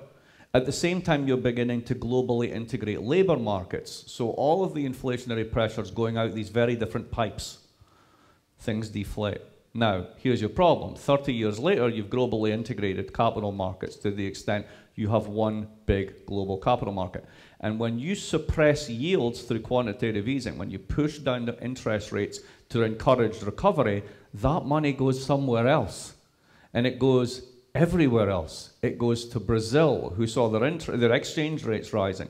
It goes to Turkey, where they've had this. The, the, I saw statistics that said that Turkey has built more hotels in the past 10 years than it had in all other points of its history, mainly in places where they'll never get any tourists. This is called yield tourism. You're out there trying to find something that earns you a bit of money because at home it's very hard to do so with the interest rate suppression. So here's the Fed's problem. Inflation is 7 8%. If you want to call that, you have to raise it to 10% nominal to get a 2% real rate. If you do that, you will cause a huge recession in the United States. That means the Republicans come back. The Fed actually don't want that. They're all Democrats. Uh, but the bigger problem is if you do this, all that money sitting in Turkey and Brazil and everywhere else comes flying out of those pipes straight back to the United States You will have the mother of all global financial crashes if that happens. And they know this. So, guess what? They've built their own Hotel California. You can raise rates, but never too far. Okay, ερωτήσεις. Hello. Uh, I'm going to pose a question which I have already done uh, to Yanis about two or three years ago, but I would like also uh, an answer with a northern British accent. I would fancy. I one. can definitely supply that. okay. Uh, do you think that uh, euro was a solution to the problem of uh, American industry and American exports? I've got a funny view on this one, in that I've never been convinced that the e- America needs an outlet for its export market story as much as most people have. Because I see it op- operating through the capital account, through the money channel, rather than through the, re- the real goods channel. It was certainly the case that Europe up until 1958 was, there was no convertibility between the currencies. And this is when European economies grew their fastest. This is when the Germans have, you know, the Wirtschaftswunder. The Italians had the, one, the best. The, the French had Le, le Trente Glorieux, but the, the really glorious part was the first 10 years. And uh, the Italians had the best one ever. They called it Il Boom, which I just adored. It's so cute. It's like a Cinquecento. But anyway, at that point in time, you didn't have capital account convertibility. You had a huge, everyone's dollar short. You want to take as much American technology as you possibly can because you're essentially building Fordism at home. And that works for a while. Then there's a kind of fallacy of composition that sets in. You can have Fordism, by which I mean Fordist mass production, organized labor, if you have stable prices of inputs. You can have stable prices of inputs so long as everyone isn't trying to do it. But the minute Toyota comes online, and the Germans come online, and the Italians come online, and the Brits are already there, you've got too many damn cars. And at that point, the stability of the system starts to come apart. So I see Europe, in a sense, as a response to that. The kind of fallacy of composition at the heart of Fordism that falls apart in the 70s. And that's one part of where Europe comes from. But as with anything very large and complex, there are multiple actors with multiple motivations pushing it. But that's how I would tell that part of the story, if that makes sense, in a North British accent. Should we answer questions one by one or collect a number of answers and then? Ας τις, let's take them one by one this Okay. time around. Let's experiment. Ε, όσο μένεται ο πόλεμος και ταυτόχρονα ε, κλιμακώνεται και οξύνεται ο οικονομικός πόλεμος. Θεωρείτε ότι στο εγγύς μέλλον υπάρχει πιθανότητα τουλάχιστον για τις ρωσικές ή κινέζικες τράπεζες να δούμε μία πιθανή επιστροφή στον κανόνα του χρυσού; Ooh. the gold bug question. Um, I, I, well, mm, there's, there's a good German word, jein. Ye- yes and no. Um, you already have the gold standard that's called the euro, so you don't really need it in that regard. More seriously, there isn't enough gold in the world at current levels to redenominate a gold standard without having a crushingly high exchange rate. So even if you tried, it would be extraordinarily painful. The more interesting one is disintermediating with digital currencies. And the, the- I know that Yanni's going to talk about this, but to me, I see this happening very much on the state front. There is absolutely no reason why you need to go through dollars if you're doing bilateral trade. It's stupid. It's stupidville, right? Blockchain exists. Nobody knows what to do with it. This might be it, right? You can try that. You can see how it goes.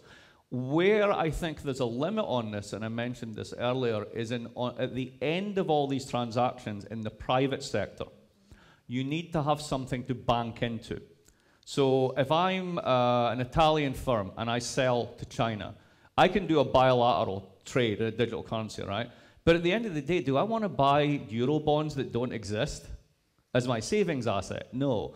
Do I want to buy Chinese bonds? Well, I might, but then they might just tighten the currency controls and then I can't get my money out. Do I want to buy Russian bonds? No thanks, I'll take a pass on that. We know what happened in 96, right? So, what's the most obvious thing you can buy? Treasuries. There's more treasury, there's more dollars made outside of America than made inside America because of euro markets. So, so long as you don't have something of that deepness and, and size and liquidity to bank into, if you will, an alternative, digital is good for transactions, but it's too volatile. You're stuck in a sense with the dollar, and that's the ace in the hole for the Americans. That's why you won't go to gold or, or do anything else, I think. Let, Next let one. me get in into this because we had this conversation last night over dinner. So I'll repeat here what I said in response to exactly the same point. The, it's not contrary to Mark, what Mark said. It's additional to it. Um, he's absolutely right. In the end, no currency can challenge the exorbitant privilege, the reserve currency status of the dollar, unless you have a form of debt which is solid, safe, and goes along with it. This is the reason why the euro will never be, or cannot be at the moment, given its architecture, a serious challenger to the dollar. Because if you're selling lots and lots of stuff to wherever, from Germany, right? Um, where do you put it? Exactly as, as Mark said. But, but the digital one is offering a very cheap system of payments of transactions, which is no, not under the, um, the threat that recently the United States made real vis-a-vis Russia. So there are many countries in the global south Yep. who are shit scared of what the Americans did to Russia happening to them. They have a lot of exchanges, trade with the Chinese, who have a lot of trades with the Russians, because the Russians do produce, as Mark put up on the screen, a lot of the things that China needs rare earths, um, military technology, and of course, energy. Energy, yeah, let's not forget energy, oil and gas and stuff. So the digital one is becoming a clear and rising, not threat to the dollar, but addendum to the dollar. The moment of truth will come, uh, this is what I said to you last night, when China develops a relationship with countries like Vietnam, perhaps, like um, in Africa, I don't know where, Pakistan maybe, where those countries play for China the role that Europe has been playing for the United States for the last 70 years or so. Then China can allow itself to drift into being a deficit country. And once it is a deficit country, it will be borrowing. And once it's borrowing, there will be a safe asset, and they will need to borrow, so it will be a safe asset. And that's what, you know, that's a scenario. But gold, f- forget about gold. Even the gold standard was not based on, on gold. It was a fiction. Ε, θα ήθελα να ρωτήσω, ε, να επαναλάβω αυτό που ρώτησα και πριν, αλλά μάλλον δεν απαντήθηκε, δεν πειράζει. Ε, μια και πάνω κάτω συμφωνούμε πολιτικά στο τι θέλουμε να κάνουμε, τι πρέπει να γίνει, να αλλάξουμε τον τρόπο που σκέφτονται οι πολιτικοί μας και οι οικονομίες και θέλουμε να βγούμε στους δρόμους να πείσουμε κι άλλο κόσμο. Το ερώτημα είναι ότι όταν τον μιλάμε, του μιλάμε και μας πει ότι ναι, έχετε δίκιο, αλλά πότε θα δούμε κάτι να αλλάζει. Ε, πώς μπορούμε να του πούμε ότι ξέρεις, από τη στιγμή που θα βρεθούμε, θα τα πούμε και θα περάσει το δικό μας, ε, πότε θα μπορέσει να αισθανθεί κάποιος ότι μάλλον πάμε καλύτερα αντί για να πάμε χειρότερα; Δηλαδή, όχι πότε θα γίνει, ναι, θα καταλήξουμε να φτάσουμε στο τελικό αποτέλεσμα, αλλά πότε θα, βλέ, θα αρχίσει να βλέπει ότι κάνοντας αυτό που αποφασίσαμε να αλλάξουμε πορεία, θα δει φως στο τούνελ. Πόσο σύντομα μπορεί να γίνει αυτό; The light at the end of the tunnel. Um, it depends how far back in the tunnel you are. And we're all at different stages of the tunnel. The problem is that we've developed societies where 80% of everything is effectively owned and controlled by 20% of the population. And as far as they're concerned, they're already out of the tunnel. Uh, that's who politicians pay attention to. There's some very good work by a political scientist called Ben Ansell from Oxford on this. He writes about asset democracy, how basically, if you look at the way policies are written, it's all about the protection of assets, assets, ownerships, etc. Um, if we look at the way that economies are being increasingly organized by asset manager firms, the clues in the name, right? I mean, it's basically about protecting the value of those companies and the income streams that they, they generate uh, for, again, for asset holders. So the, the political trick, if you will, is how, how does mass democracy interface with asset owning capitalism? Because that's a new problem, right? It's a, what you have to do is to convince peop, a, a smaller amount of people that your preferences are their preferences, but never have those preferences been so far apart. And a, a simple example of this is the Yellow Jackets in France. Right, the inability of the French ruling class to think through the consequences of that carbon tax and how it would affect working class people commuting into Paris and other cities rather than sort of the, the budgetary effects is just a great example of that disconnect. So I think that the role of political parties and social movements is to try and make that conversation happen so that asset owners realize that the protection of their assets is insufficient. They need to protect democracy. Democracy is the ultimate best insurance policy over the long run for assets It's not self-protection. And that's, that's how we need to change that. That's straight out of his book, Austerity, The History of a Dangerous Idea. It correct? is indeed. Okay. I'm nothing if not consistent. Good. Don't forget that the President of France, the Prime Minister of Italy, and the Prime Minister of Greece, they're both ex-asset managers. From GS, yep. Okay, πάμε για άλλη. No woman has asked a question, so I thought I might try one. In continuation to what you just were talking about, maybe. And I'm thinking, okay, let's uh, uh, hy- hypothesize that people really understand that they're the, the majority on the planet, and they go, out there on the streets and they demand, they, they do a huge revolution, I don't know what, but it happens one day.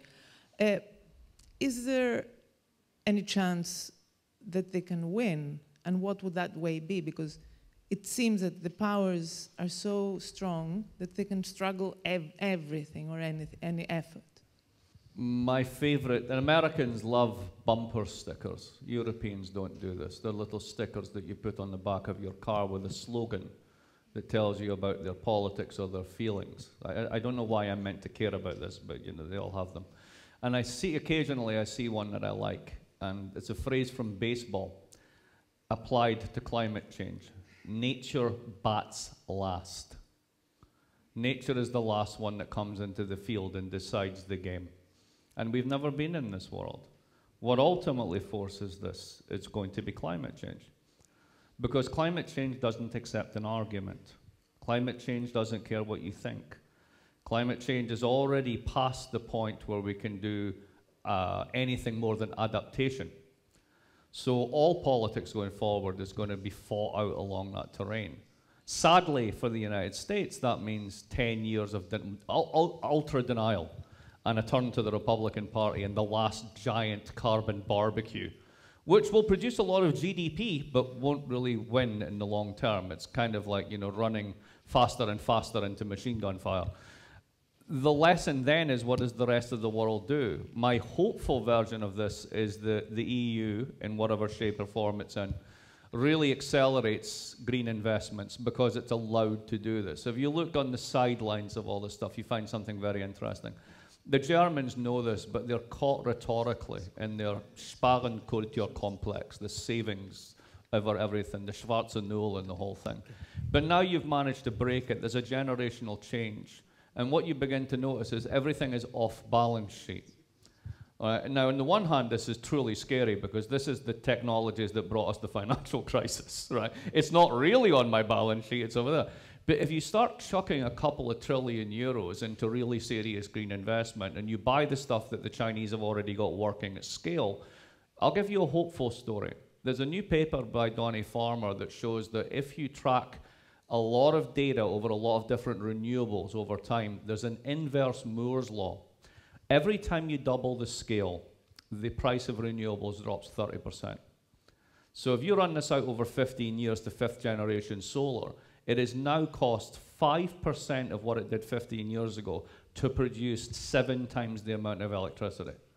That's astonishing. Now, is it going to halt all climate change? No. But you're damn straight that China's going to do it. And if the EU and China work together on this, that opens up a whole set of possibilities. My worry for where I live is the United States gets permanently left behind. That's what's going to weaken the dollar more than anything else.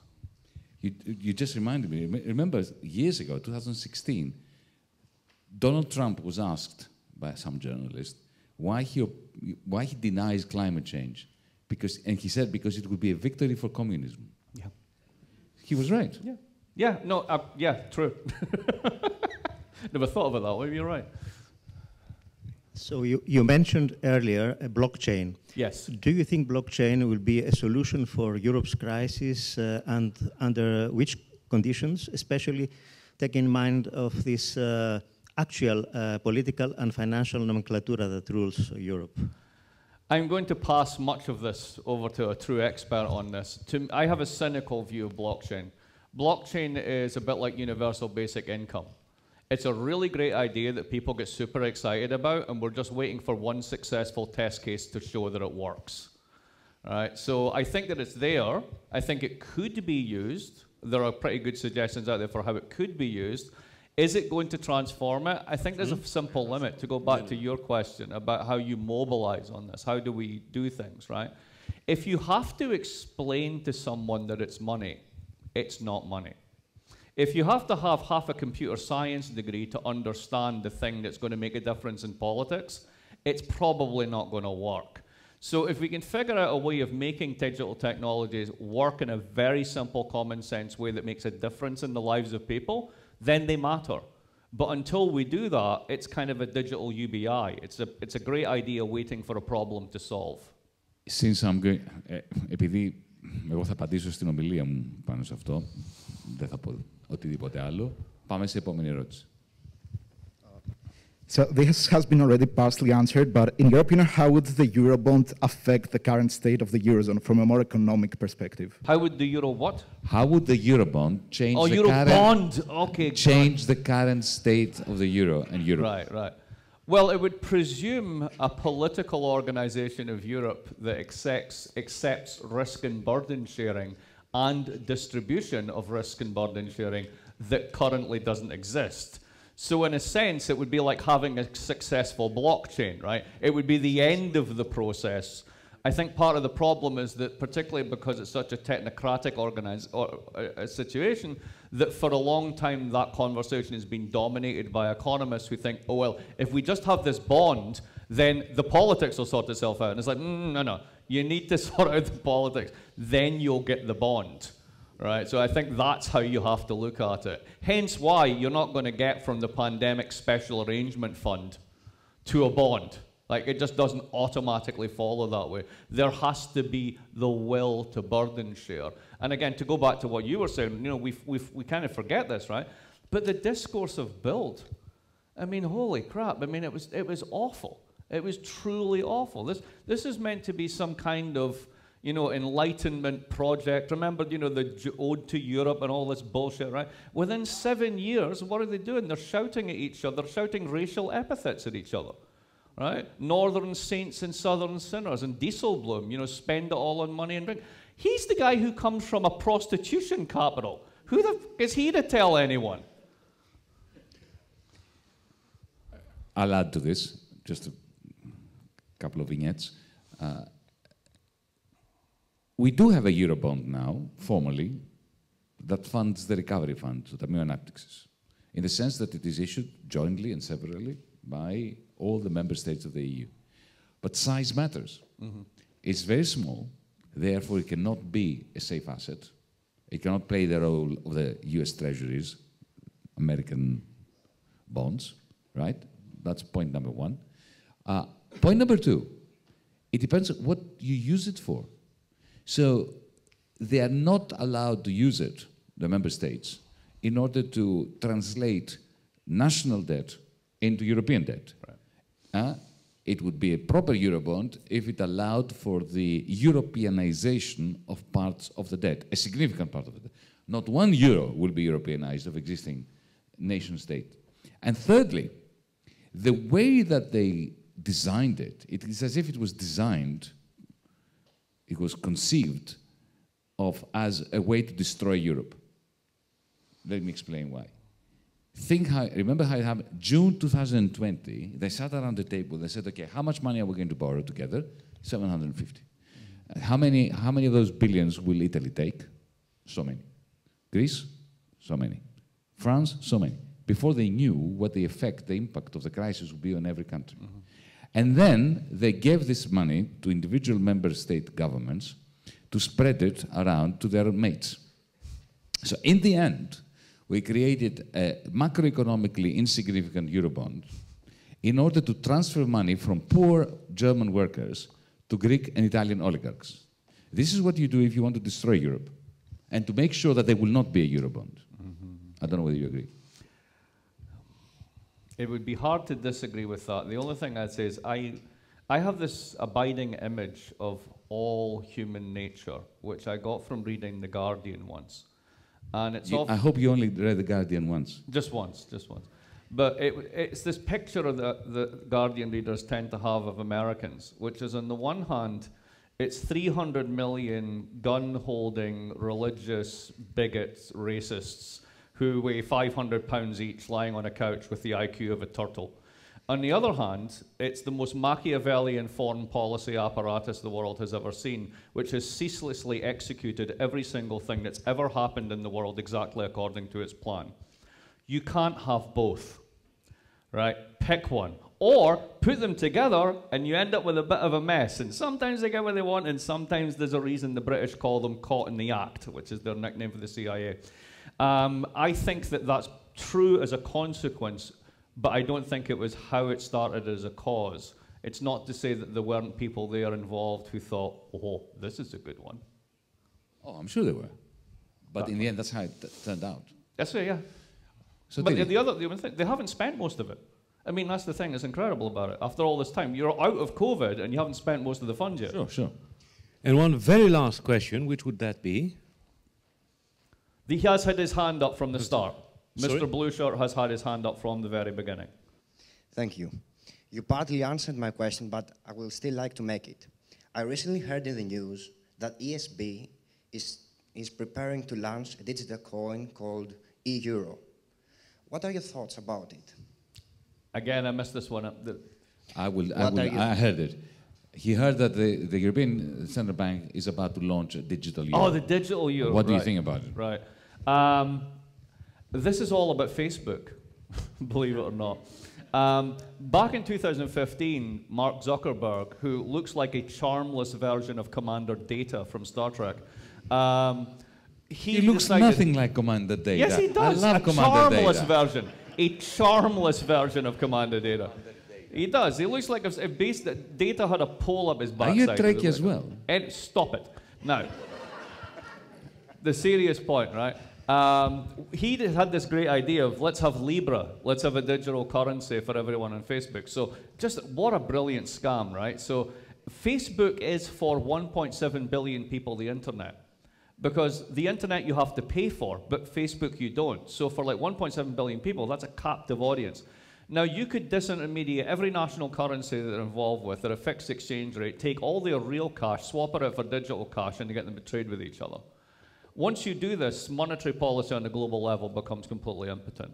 So the, the Treasury sat down, apparently, in an emergency meeting with the Fed and went, okay, what are we going to do about this? So they had a conversation, and that got pushed to the side. But then, basically, they took the Chinese one seriously because they were like, hang on a minute, aren't the Chinese doing this? And then, and then loaded it. So it's happening. It's more important in the government space. It was Libra that kicked it off. The ECB is just coming very late to the party. The thing is, it's a very different type of currency, right? Precisely because it's not a reserve asset. When Wall Street says it's going to cash, what they mean is they're buying treasury bonds. It doesn't mean they're actually going to cash, right? When European firms mean they're going to cash, it means, fuck, I'll buy anything, right? Because we don't have a reserve asset. It's totally different.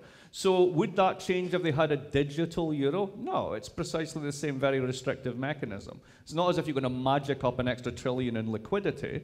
Now, given that it's based on a blockchain, if you had individual accounts, you, you could do that if you wanted to, but they just don't want to. So I think that everything's a reaction to Libra. The Chinese one is serious.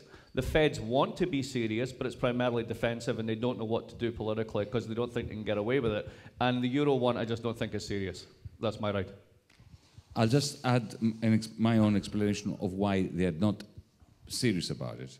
It's not that they don't want to. I have inside information which tells me that they are very keen to do it. But they have a constraint that the Chinese central bank doesn't have. And the constraint is the private bankers. The private bankers in the West have an exclusive relationship with central banks. So the only Americans who have the right to hold an account with the Fed, the only Europeans who have the right to have an account with the ECB are the bankers.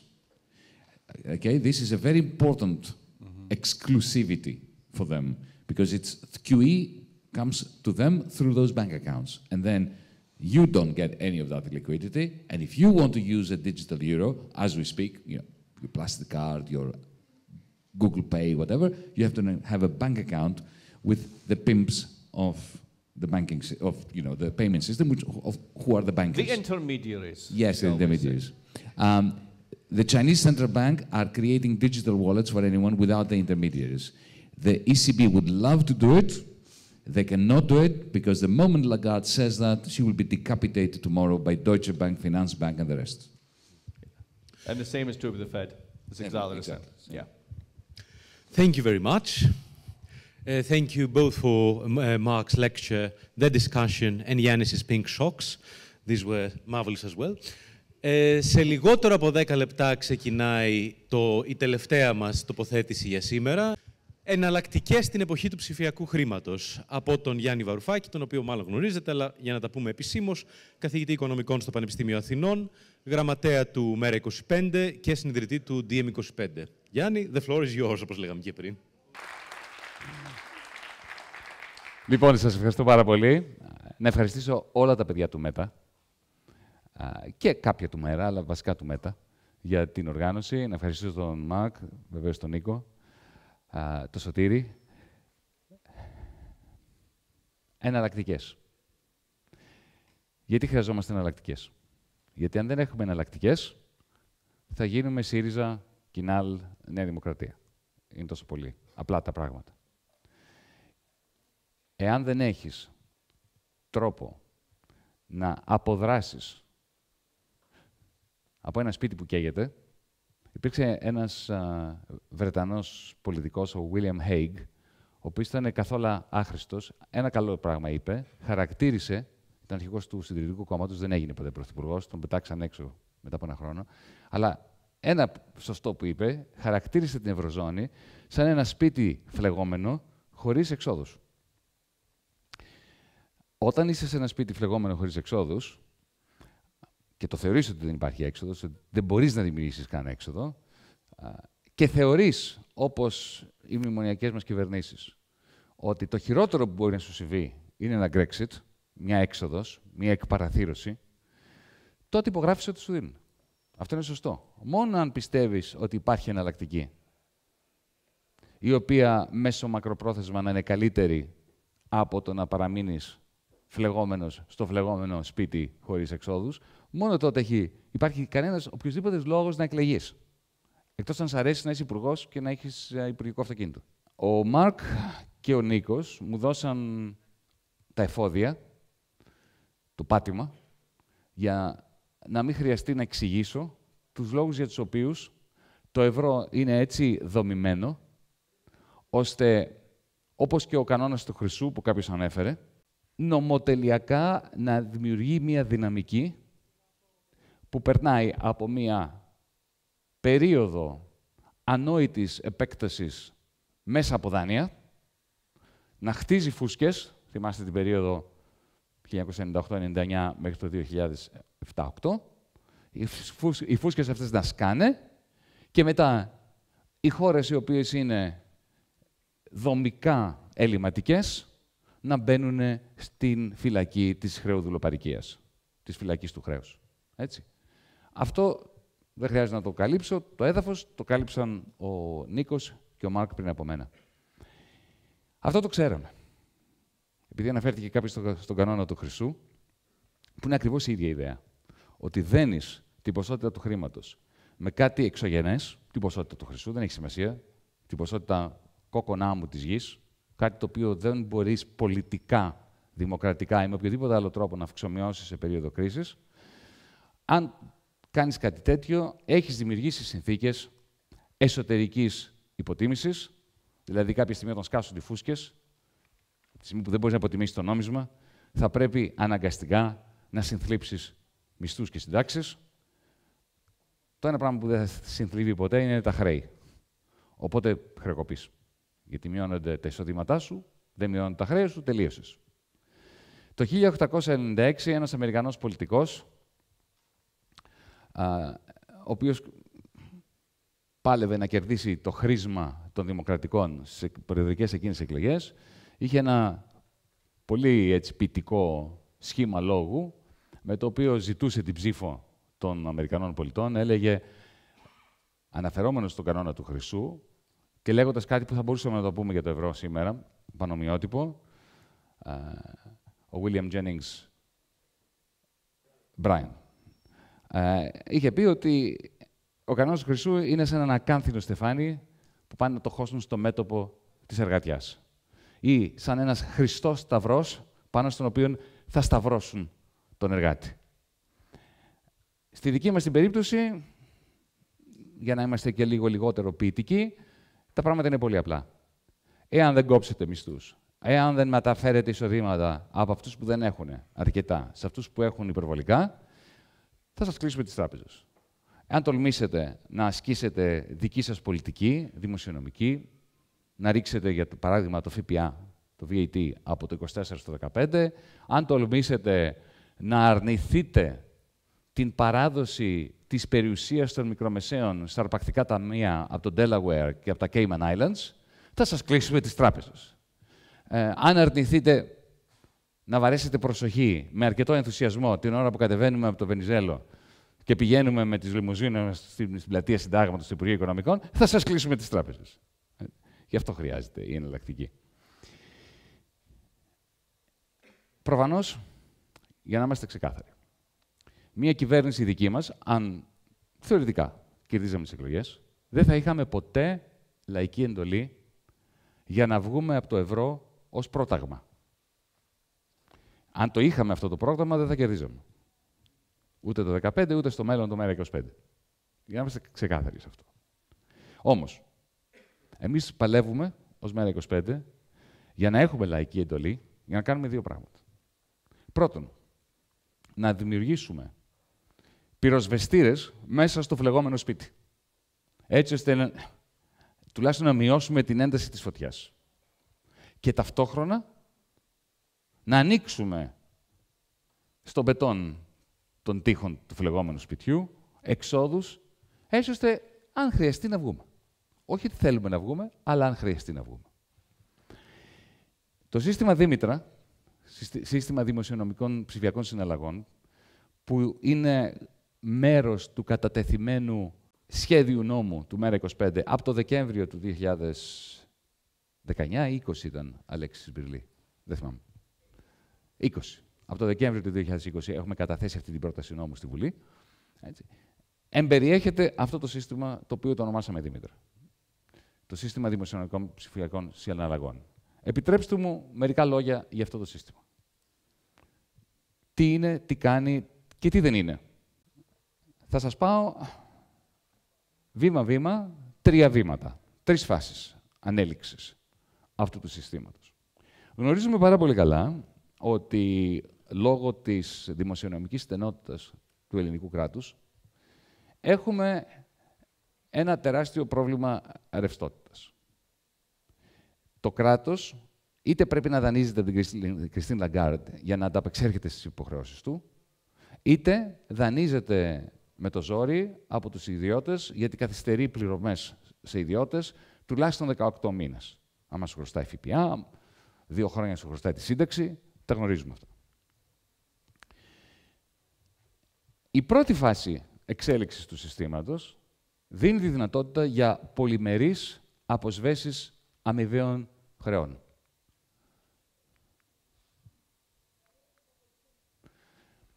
Ουσιαστικά πρόκειται για αυτό που ονομάζουμε μεταβιβάσιμες φοροαπαλλαγές, που κάνουν χρήση μονάδων πιστοτικών που ουσιαστικά αποτελούν μια μορφή χρήματος, μια μορφή μονάδων αγοραστικής αξίας, που σε τι στηρίζονται. Δεν στηρίζονται στο χρυσό, δεν στηρίζονται στο σημερινό ευρώ, στηρίζονται στο γεγονός ότι αυτός που τις έχει κερδίζει φόρο απαλλαγή στο μέλλον. Θα το δούμε πολύ σύντομα. Ένα παράδειγμα του τι εννοώ με αμοιβές αποσβέσεις χρεών. Έστω ότι έχουμε μια περίπτωση, και έχουμε συνεχώς τέτοιες περιπτώσεις, όπου το κράτος, για παράδειγμα, χρωστάει ένα εκατομμύριο ευρώ στην εταιρεία Α και καθυστερεί να της τα δώσει. Γνωρίζουμε ότι ο μέσος όρος καθυστέρησης εξόφλησης ληξιπρόθεσμων οφειλών του κράτους στον ιδιωτικό τομέα είναι 18 μήνες. Έτσι. 17 με 18 μήνες. Έστω λοιπόν ότι χρωστάει ένα εκατομμύριο και δεν τα δίνει. Στο μεταξύ η εταιρεία αυτή χρωστάει στην υπάλληλο, α την πούμε Ελένη, της χρωστάει 5.000 ευρώ. Η υπάλληλος Ελένη χρωστάει 4.000 στο κράτος και δεν έχει να τα δώσει γιατί δεν τα έχει πάρει. Η εταιρεία Α χρωστάει 500.000 σε μια άλλη εταιρεία Β που είναι προμηθευτής της, η οποία χρωστάει 200.000 στο κράτος. Να, τι σημαίνει; Αμοιβαία χρέη, τα οποία οδηγούν στην έλλειψη ρευστότητας. Γιατί το γεγονός ότι δεν πληρώνει το κράτος, καθυστερεί το κράτος να πληρώνει αυτό το 1 εκατομμύριο στην εταιρεία Α, οδηγεί την υπάλληλο της Α να έχει έλλειψη ρευστότητας, την εταιρεία Β να έχει έλλειψη ρευστότητας. Θα μπορούσε να το κάνει πολύ πιο περίπλοκο, βέβαια, αυτό το διάγραμμα. Γιατί; Δεν χρειάζεται, το καταλαβαίνετε. Όλοι χρωστούν σε όλους και κανείς δεν μπορεί να πληρώσει. Αυτή είναι η κατάσταση της Ελλάδας από το 2010 και μετά. Τι θα μπορούσε να γίνει στο πλαίσιο του δημοσιονομικού συστήματος Δήμητρα; Καταρχάς, πώς το χτίζεις, ποια είναι η φυσική του μορφή; Δεν είναι φυσική η μορφή, είναι ψηφιακή. Έχουμε το σύστημα TaxisNet, δεν ξέρω αν το έχουν αλλάξει τώρα και το λένε κάτι άλλο, το ηλεκτρονικό σύστημα της εφορίας, της λεγόμενης ΑΑΔ τώρα, όπου μπαίνετε με το αφημί σας και πληρώνετε. Ο καθένας μας έχει ένα αφημί, κάποιοι έχουν πιο πολλά αφημί, οι εταιρείες έχουν αφημί, αφημί παντού. Έστω ότι πατάς ένα κουμπί και το λογισμικό, το ίδιο αυτό το λογισμικό, χωρίς κάποια αίτηση, χωρίς εσύ να κάνεις οτιδήποτε, δημιουργεί ένα κουτάκι κάτω από κάθε αφημί. Ένα ηλεκτρονικό κουτάκι κάτω από ένα αφημί. Χωρίς καμία άλλη διαδικασία. Έτσι. Αυτό το κουτάκι είναι ένας αποθεματικός λογαριασμός. Δηλαδή το κράτος μπορεί να βάλει χρήματα σε αυτό το λογαριασμό. Δεν θα είναι χαρτονομίσματα. Θα, κάποιος θα κάτσει και θα τα τυπώσει. Μη μου πείτε τι είναι αυτό. Αυτό κάνει η τράπεζα. Άμα πάτε στη Eurobank, άμα πάτε στην Τράπεζα Πυραιός και πάρετε ένα δάνειο, και έχετε μπάρμπα στην κορώνη και το πάρετε δηλαδή, έτσι, ε, πώς νομίζετε ότι θα προκύψει αυτό το δάνειο; Ελπίζω να το έχουμε κατανοήσει πλέον, να το έχουμε κάνει μέρος του σκέπτες θέμας, ότι δεν σου δίνουν τις αποταμιεύσεις της Κατερίνας ή του Νικόλα. Κάθεται ο τραπεζίτης ή κάποιος από την τράπεζα και δακτυλογραφεί δάνειο 10.000, 10.000 μπαίνει στο κουτί. Δεν υπάρχουν αυτά τα χρήματα, είναι καθαρά αέρας κοπανιστός. Έτσι λειτουργεί το παγκόσμιο καπιταλιστικό χρηματοπιστωτικό σύστημα. Λοιπόν, όπως το κάνει η τράπεζα αυτό και σου δίνει 10.000 και ένα πιν με μια κάρτα, έτσι κάνει και το σύστημα Δήμητρα. Το σύστημα Δήμητρα, έτσι, τι κάνει. Δίνει στον υπάλληλο της εταιρείας Α, στην υπάλληλο, στην εταιρεία Α, στην εταιρεία Β, σε κάθε αφημί έναν λογαριασμό. Έστω λοιπόν ότι το κράτος που χρωστάει ένα εκατομμύριο ευρώ στην εταιρεία Α, δακτυλογραφεί στο κουτάκι του αφημί της εταιρείας Α ένα εκατομμύριο και δίνει και στην εταιρεία Α ένα πιν. Για να μπορεί να μεταφέρει από το δικό του λογαριασμό η εταιρεία Α να μεταφέρει σε όποιον θέλει. Πώς θα τα μεταφέρει; Στο αφημί της υπαλλήλου Α. Με άλλα λόγια, από αυτές τις πιστοτικές μονάδες που έχει πάρει στο αφημί η εταιρεία Α, μεταφέρει τόσα χρωστάει, πέντε χιλιάρικα, στην υπάλληλο Α. Όχι, στην υπάλληλο της Α. Στην υπάλληλό της. Ελένη την είχαμε πει. Μην μπερδεύω. Τώρα, η Ελένη δεν μπορεί να πάει να πάρει να τα τραβήξει αυτά από ATM. Αυτά είναι μέσα σε αυτό το σύστημα Δήμητρα, δηλαδή μέσα στα κουτάκια που κρέμονται το κάθε ένα κάτω από κάθε αφημί. Θα μου πείτε, άμα δεν μπορεί να τα τραβήξει μετρητά η Ελένη, γιατί έχουν αξία για αυτήν; Η Ελένη χρωστάει 4 χιλιάρικα στο κράτος. Με το δικό της PIN, από το δικό της αποθεματικό λογαριασμό στο σύστημα Δήμητρα, δίνει τα 1.000 ευρώ στο κράτος, τα 4.000 ευρώ στο κράτος και εξόφλησε. Ξαφνικά εκεί που χρώσταγε 5.000 στο κράτος, χρωστάει 1.000. Ταυτόχρονα η εταιρεία Α, που χρωστάει 500.000 στην εταιρεία Β, τα μισά από αυτά που της έβαλε στο αφημί της το κράτος, τα περνάει στο αφημί της εταιρείας Β. Και τότε η εταιρεία Β μπορεί να κάνει το ίδιο, να καταθέσει τα 200.000 που θυμάστε χρώσταγε στο κράτος, στο αφημί του κράτους. Στο κράτος δηλαδή. Κοιτάξτε να δείτε τι έχει γίνει. Έχουμε δημιουργήσει επιπλέον ρευστότητα 1.705.000, προσθέσετε όλα αυτά τα νούμερα, έτσι. Και παραμένουν από αυτά στο σύστημα Δήμητρα γύρω στις 796.000 ευρώ. Όχι γύρω, ακριβώς. 495.000 ευρώ είναι, παραμένουν στο αφημί στον αποθεματικό λογαριασμό της εταιρείας Α, 300.000 της εταιρείας Β και κρατάει και η υπάλληλος η Ελένη ένα χιλιάρικο. Οπότε αυτό το σύστημα πλέον έχει ρευστότητα. Έχουν γίνει αποσβέσεις χρεών και παραμένει και χρήμα μέσα σε αυτό το μονάδες Δήμητρας, ας τις πούμε μονάδες Δήμητρας, που μπορούν να χρησιμοποιηθούν γιατί η Ελένη έτσι, που έχει, τις έχουν μείνει χίλια από, αυτά, από αυτές τις μονάδες Δήμητρας στον αποθεματικό, έτσι, μπορεί να θέλει να αγοράσει ένα ποδήλατο, λέμε, που κάνει χίλια ευρώ. Και πάει στο μαγαζί με τα ποδήλατα, λέει: Δεν έχω λεφτά, αλλά μπορώ να σας δώσω στο φημί σας χίλια ευρώ από αυτά. Γιατί να τα δεχτεί το ποδηλατάδικο, Γιατί χρωστάει και αυτό φόρου. Οπότε είναι ένα σύστημα το οποίο βασίζεται, οι μονάδες του βασίζονται στη δυνατότητα αυτών των μονάδων να σβήνουν φόρους, να αποσβαίνουν φόρους. Αυτό είναι το πρώτο στάδιο της ανάπτυξης του συστήματος. Όπως βλέπετε, αυτό έχει το εξής μεγάλο ατού. Πρόκειται για ένα σύστημα το οποίο δεν έχει καμία σχέση επισήμως με νομισματική πολιτική. Είναι ένα σύστημα που αφορά φόρους. Άρα είναι δημοσιονομική πολιτική. Άρα δεν εμπίπτει στη δικαιοδοσία της Ευρωπαϊκής Κεντρικής Τράπεζας. Γι' αυτό το μισεί τόσο πολύ η Ευρωπαϊκή Κεντρική Τράπεζα αυτό το συγκεκριμένο πλάνο. Γιατί είναι ένα σύστημα συναλλαγών που δεν το ελέγχει. Και γι' αυτό το μισούν και οι τραπεζίτες. και θα κάνουν τα πάνδυνα να μην υπάρξει αυτό το σύστημα. Και γι' αυτό εμείς πρέπει να το δημιουργήσουμε. Πάμε τώρα στο δεύτερο στάδιο ανάπτυξης. Γιατί το πρώτο στάδιο ανάπτυξης βασίζεται μόνο στις οφειλές του κράτους σε συγκεκριμένους. Τι γίνεται άμα δεν σου χρωστάει το κράτος; Η ποσότητα της ρευστότητας που θα έχουμε δημιουργήσει με την πρώτη φάση θα είναι σχετικά περιορισμένη. Η δυνατότητα ελαφρύνσεων μελλοντικών φόρων δίνει τη δυνατότητα στο Υπουργείο Οικονομικών να προβεί σε σύναψη σχέσης δανειζόμενου δανειστή με τους πολίτες. Να προχωρήσουμε δηλαδή σε άμεσο έντοκο δανεισμό του δημοσίου κατευθείαν από τους πολίτες. Πώς; Έστω ότι το, το σύστημα Δήμητρα προσφέρει τη δυνατότητα στην Ελένη, θυμάστε την Ελένη, να πάρει χίλια από αυτά τα ευρώ. Θυμάστε τα χίλια ευρώ που της είχαν μείνει στο λογαριασμό της. Έτσι. Ε, ψέματα. Ξανά από την αρχή. Δεν είναι τα ίδια χίλια ευρώ. Έστω ότι έχει άλλα χίλια ευρώ η Ελένη στην εθνική. Έτσι. Μπορεί να τα προσθέσει στο λογαριασμό της στο Δήμητρα να τα μεταφέρει, όπως μεταφέρεις από τον άλλο λογαριασμό στον άλλον, να μεταφέρει αυτά τα 1000 ευρώ. Και έστω το κάνει αυτό τη 16η, 16η Τετάρτου 2022, σήμερα δηλαδή. Ωραία. Επειδή είναι ψηφιακές αυτές οι μονάδες, αυτές οι μεταφορές, έχουν πάνω τους σφραγισμένες, σταμπαρισμένες ψηφιακά την ημερομηνία που έγινε.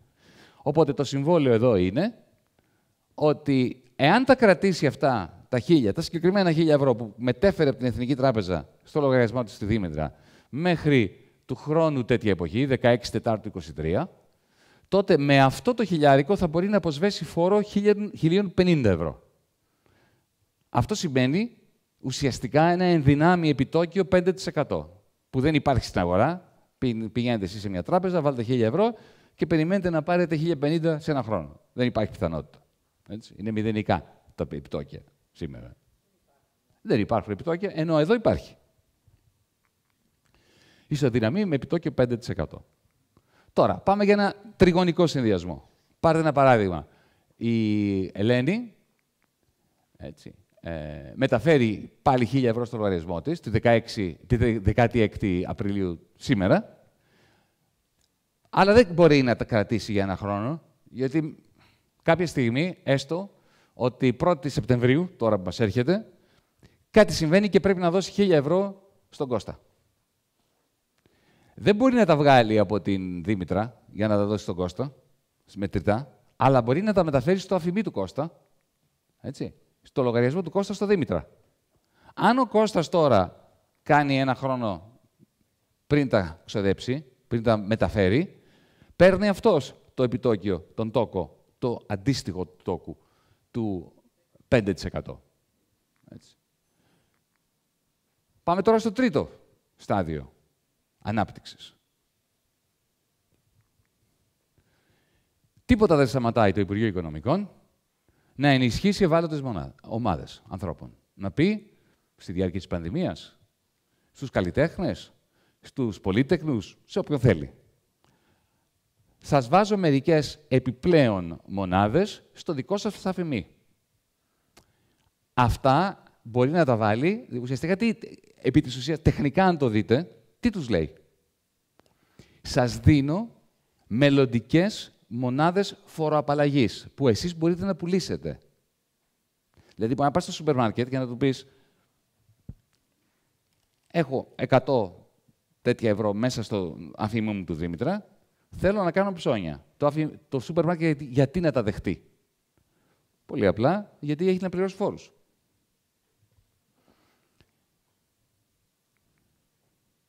Τώρα, επιτρέψτε μου να παίξω το συνήγορο του διαβόλου. Ποιες είναι οι ετηρήσει που παρουσιάζονται κάθε φορά που παρουσιάζω αυτή την ιδέα; Είναι τέσσερις. Πρώτον, σιγά βρε Βαρουφάκη, θα εμπιστευτεί κανένας στο κράτος; Λογικών. Το ελληνικό κράτος ιδίως. Έτσι. Θα απαντήσω σε όλα μαζί, αλλά και λίγα-λίγα. Στους τε... Έναν έναν αυτούς τους, φόρους, τους τέσσερις φόβους. Πρώτον, να σας θυμίσω ότι στην πρώτη φάση εξέλιξης του συστήματος δεν χρειάζεται εμπιστοσύνη. Σου βάζει κάποιες μονάδες το κράτος στο αφημί. Ε, δεν θες να τις χρησιμοποιήσεις, μην τις χρησιμοποιήσεις. Αλλά γιατί να μην τις χρησιμοποιήσεις, αν τα χρωστάς χρήματα στο κράτος. Δηλαδή, αποσβαίνεις τους φόρους. Άρα, στο πρώτο στάδιο, κανένας δεν πρόκειται να πει δεν εμπιστεύομαι το κράτος. Το κράτος ουσιαστικά σου δίνει φοροαπαλλαγή. Θα πεις όχι. Δεύτερον, η πρότασή μας είναι Παζόπουλε, μη χαρείς. Δεν προτείνω αλγόριθμο τύπου blockchain. Προτείνω αυτό που λέγεται Eponymous Distributed Ledger. Με άλλα λόγια, κάτι αντίστοιχο με blockchain, το οποίο δεν χρειάζεται όμως ε, proof of work, δεν χρειάζεται υπολογιστές οι οποίοι να καίνε πάρα πολύ ενέργεια για να επιβεβαιώνουν ο ένας τη συναλλαγή του άλλου. Για όποιον ξέρει από bitcoin καταλαβαίνει τι εννοώ. Απλά το ledger, αυτό το βιβλίο που κρατάει ε, όλες τις ε, πληροφορίες για το ποιο είναι το συνολικό ποσό των μονάδων Δήμητρα που υπάρχει μέσα στο σύστημα Δήμητρα, αυτές οι πληροφορίες είναι accessible, είναι προσβάσιμες από όλους. Είναι μοιρασμένη η πληροφορία. Κανένας χρήστης, ούτε το κράτος, δεν έχει περισσότερα προνόμια στο να βλέπει ποια είναι η συνολική ποσότητα αυτού του μέσα σε εισαγωγικά χρήματος, αυτής της ρευστότητας. Αυτό γιατί έχει σημασία. Γιατί εκείνοι που λένε σιγά που θα εμπιστευτούμε το κράτος, έχουν δύο επιχειρήματα. Το πρώτο είναι ότι ένα κράτος που έχει τέτοια δυνατότητα α, θα αρχίσει να μοιράζει. Μοιράζοντας, θα υποτιμήσει την αξία στην αγορά αυτών των μονάδων. Για να μπορεί να το κάνει όμως αυτό το κράτος, να μας κλέψει έτσι, να παράξει πολλές τέτοιες μονάδες, να δίνεις σε όλους, όσο να είναι, και να το πληθωρήσει, θα πρέπει εμείς να μην ξέρουμε, τουλάχιστον σε πραγματικό χρόνο, πόσες μονάδες υπάρχουν στο σύστημα. Να μας κοροϊδέψει. Όμως με το Eponymous Distributed Ledger δεν μπορεί να το κάνει αυτό. Όλοι βλέπουμε σε πραγματικό χρόνο ό,τι βλέπει και το κράτος όσον αφορά τη συνολική ποσότητα αυτών των μονάδων στη Δήμητρα. Αλλά ταυτόχρονα λύνουμε το πρόβλημα της ιδιωτικότητας γιατί όλες οι συναλλαγές είναι αδιαφανείς. Ξέρεις ποιο είναι το συνολικό ποσό μέσα στο σύστημα δεν ξέρεις τι έχω εγώ, τι έχεις εσύ, σε ποιον έδωσα, από ποιο πήρα. Ούτε το κράτος. Υπάρχει τρόπος να γίνεις scrambled αυτή η πληροφόρηση. Οπότε, οι δύο επόμενες αντιρρήσεις, ότι αυτό θα δημιουργήσει πληθωρισμό ή θα δημιουργήσει υποτίμηση, όχι του νομίσματος, γιατί το νόμισμα είναι ευρώ, δεν είναι δικό μας, είναι Φραγκφούρτες. Αλλά υποτίμηση των μονάδων της Δήμητρας σε σχέση με το με τις μονάδες του συστήματος Δήμητρα. Εφόσον έχεις αυτή τη διαφάνεια και εφόσον τηρείς κάποιους βασικούς κανόνες μακροοικονομικής δυναμικής. Με άλλα λόγια, η συνολική ποσότητα, θα το δούμε στο επόμενο slide, η συνολική ποσότητα πρέπει να, να είναι περιορισμένη και πρέπει να είναι περιορισμένη από συγκεκριμένες μεταβλητές. Πριν φτάσω σε αυτό, τρία επιπλέον πλεονεκτήματα. Είναι ένα σύστημα το οποίο αντίθετα με το σύστημα πληρωμών που έχουμε σήμερα, που είναι τραπεζοκεντρικό, είναι δωρεάν. Δεν σου χρεώνει το σύστημα Δήμητρα ούτε ένα λεπτό του λεπτού του ευρώ. Να, άλλος ένας λόγος που οι τραπεζίτες θα προτιμήσουν να μας φάξουν ζωντανούς παρά να μας αφήσουν να το κάνουν και είναι άλλος ένας λόγος για τους οποίους πρέπει να το κάνουμε. Τους στερούμε το μονοπόλιο πάνω στο σύστημα πληρωμών. Αυτή τη στιγμή, για να μπορέσετε να πληρώσετε ψηφιακά, πρέπει να ανοίξετε ένα λογαριασμό σε μία από τις τέσσερις συστημικές τράπεζες, άντε και σε καμιά άλλη από τις άλλες, Παγκρίτια, Αττική κτλ. Έτσι. Και βεβαίως σας χρεώνουν για τα πάντα. Και για το καλημέρα που σας λένε. Και για το email που σας στέλνουν. Το δεύτερο. Θέλω να δείτε τη διαφορά που έχουν αυτές οι πιστοτικές μονάδες του Δήμητρα σε σχέση με τα κανονικά ευρώ. Τα κανονικά ευρώ φεύγουν από τη χώρα έτσι. Μπορείς να πας στο εξωτερικό να ξοδέψεις χρήματα, μπορείς να κάνεις εισαγωγές. διαφεύγουν λόγω της έλλειψης capital controls μέσα στην Ευρωζώνη, τουλάχιστον για τώρα, διαφεύγουν στο εξωτερικό πολύ εύκολα. Το βλέπουμε αυτό από το 2017. Ο Μάρκ είπε πολύ σωστά πριν ότι μετά το 2017 είχαμε μία ασθενική μεγέθυνση, ανάπτυξη ε, στην Ευρωζώνη ολόκληρη. Αμέσως άρχισε να βαθαίνει ξανά το έλλειμμα στο ισοζυγείο πληρωμών της χώρας. Τα χρήματα φεύγουν. Οι μονάδες Δήμητρα, Δήμητρα δεν φεύγουν. Δεν μπορούν να φύγουν. Είναι εγκλωβισμένες μέσα στο ελληνικό φορολογικό σύστημα. Στα αφημί μας. Μπορούν να κυκλοφορούν από τον έναν στον άλλον, δίνουν ρευστότητα στην οικονομία, δίνουν ανάσες στους μικρομεσαίους, δίνουν ανάσες στους ευάλωτους, αλλά δεν μπορούν να αποδράσουν. Και είσαι ακόμα στο ευρώ. Τα άλλα ευρώ που έχεις, κάνε τα ό,τι θες. Στείλ τα όπου θέλεις. Δεν έχω το slide αυτό που, που, που, στο οποίο αναφέρθηκα πριν, γι' αυτό θα σας το πω. Η συνολική ποσότητα των μονάδων Δήμητρας που θα δημιουργήσουμε θα εξαρτάται από τρεις μεταβλητές. Το ένα είναι ο ρυθμός μεγέθυνσης του ΑΕΠ, της φορολογικής βάσης. Γιατί όσο μεγαλύτερη η φορολογική βάση, τόσο περισσότερες μονάδες μπορεί να έχει το Δήμητρα μέσα, χωρίς να πληθωρίζεται σε σχέση με το ευρώ. Το δεύτερο είναι ε, ένα μπόνους που μπορείς να δίνεις για μετακύληση. Θυμάστε πριν είχα πει ότι αν η Ελένη βάλει 1000 ευρώ, από την, μεταφέρει 1000 ευρώ από το τραπεζικό της λογαριασμό στην Εθνική και τα πάει στον, στον λογαριασμό της στο Δήμητρα, μετά από ένα χρόνο, έτσι, θα πάρει ένα, μια φοροαπαλλαγή της τάξης του 5%. Μπορεί να μην θέλει να τα χρησιμοποιήσει. Αν της δώσεις μάλιστα ένα κίνητρο, ένα rollover bonus, έτσι, τότε αυτό κρατάει, δεσμεύει πιο πολύ χρήμα από το να μετακινείται εντός του Δήμητρα και άρα σου δίνει δυνατότητες να εισάγεις πιο πολύ από αυτό μέσα στο σύστημα. Ωραία. Ε, και υπάρχει και μια τρίτη μεταβλητή που έχει πολύ μεγάλη σημασία. Είναι αυτό το επιτόκιο που είχαμε πει το 5%. Οπότε είναι πολύ εύκολο. Υπάρχει και ένα appendix στο άρθρο το οποίο μπορείτε να κατεβάσετε, θα μπορείτε να κατεβάσετε, γιατί θα το ανεβάσουμε αυτό στο site του Meta. Είναι σχετικά απλό να υπολογίσεις, βάσει αυτών των τριών μεταβλητών, ποια πρέπει να είναι η συνολική ποσότητα στο σύστημα Δήμητρο. Εδώ κλείνει το κεφάλαιο πυροσβεστήρας. Θυμάστε, έχουμε ένα φλεγόμενο σπίτι που καίγεται, χωρίς εξόδους. Και είπαμε ότι το σύστημα Δήμητρα κάνει δύο πράγματα σου δίνει ένα πυροσβεστήριο όσο είσαι μέσα, αλλά κάνει και ένα δεύτερο πράγμα. Σου δίνει τη δυνατότητα, ένα τρυπάνι, τέλος πάντων, να ανοίξεις μια τρύπα στον μπετονένιο τοίχο, να φτιάξεις μια έξοδο κινδύνου που θα τη, θα, θα τη χρησιμοποιήσεις αν κρίνεις ότι θα τη χρησιμοποιήσεις. Με άλλα λόγια, η μετατροπή του Δήμητρα σε ένα νέο εθνικό νομισματικό σύστημα. Μέχρι τώρα δεν είναι νομισματικό σύστημα. Είναι δημοσιονομικό σύστημα. Το οποίο τι σημαίνει, έχει μεγάλη σημασία όχι τόσο πολύ επί της ουσίας, αλλά νομικά. Γιατί να σας θυμίσω ότι στην Νομισματική Ένωση, θεωρητικά, η δημοσιονομική πολιτική είναι θέμα του κράτους, του μέλους της Ευρωζώνης. Η νομισματική πολιτική είναι στα χέρια της Ευρωπαϊκής Κεντρικής Τράπεζας. Άρα δεν έχει νομικά το δικαίωμα να σε σταματήσει. Έχει όμως επί της ουσίας de facto την ικανότητα να σε σταματήσει.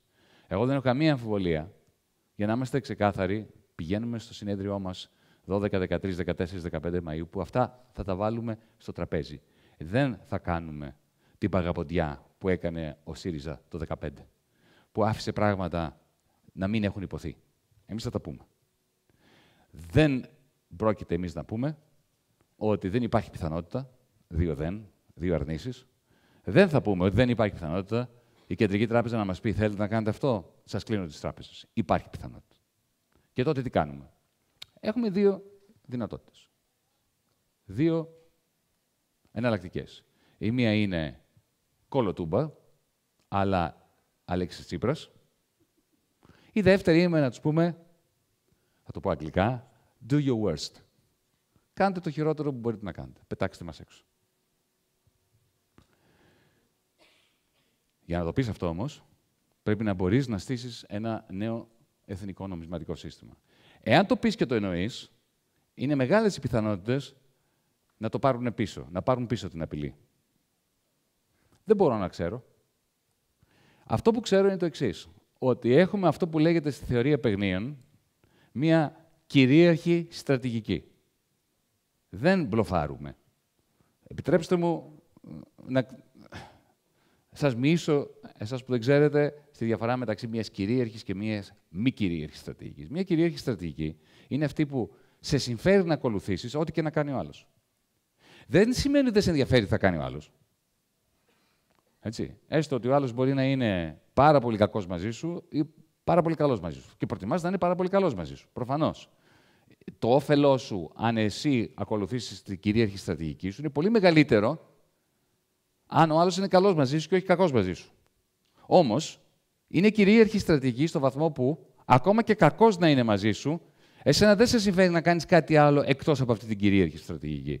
Οπότε, η υπόθεση εργασίας που καταθέτω ενώπιον σας είναι ότι η δημιουργία του συστήματος Δήμητρα είναι η κυρίαρχη στρατηγική.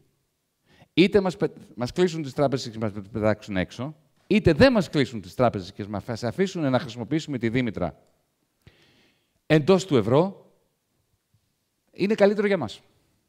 Και εδώ έγκυται η διαφορά μας με το μνημονιακό μπλοκ. Εκείνοι θεωρούν ότι αν τελικά σε διώξουν από το ευρώ, αυτό είναι ο Ορμαγεδόν. Εμείς θεωρούμε ο Ορμαγεδόν είναι να μείνει στο ευρώ υποκατάσταση μόνιμης αποτελμάτωσης. Stagnation. Για πάντα. Το διάγραμμα που μας έδειχνε ο Μάρκ. Ωραία. Πώς μετατρέπεται τώρα η Δήμητρα, το σύστημα Δήμητρα, σε εθνικό νομισματικό σύστημα; Στο ένα. Δεν είναι ωραίο; Το ένα.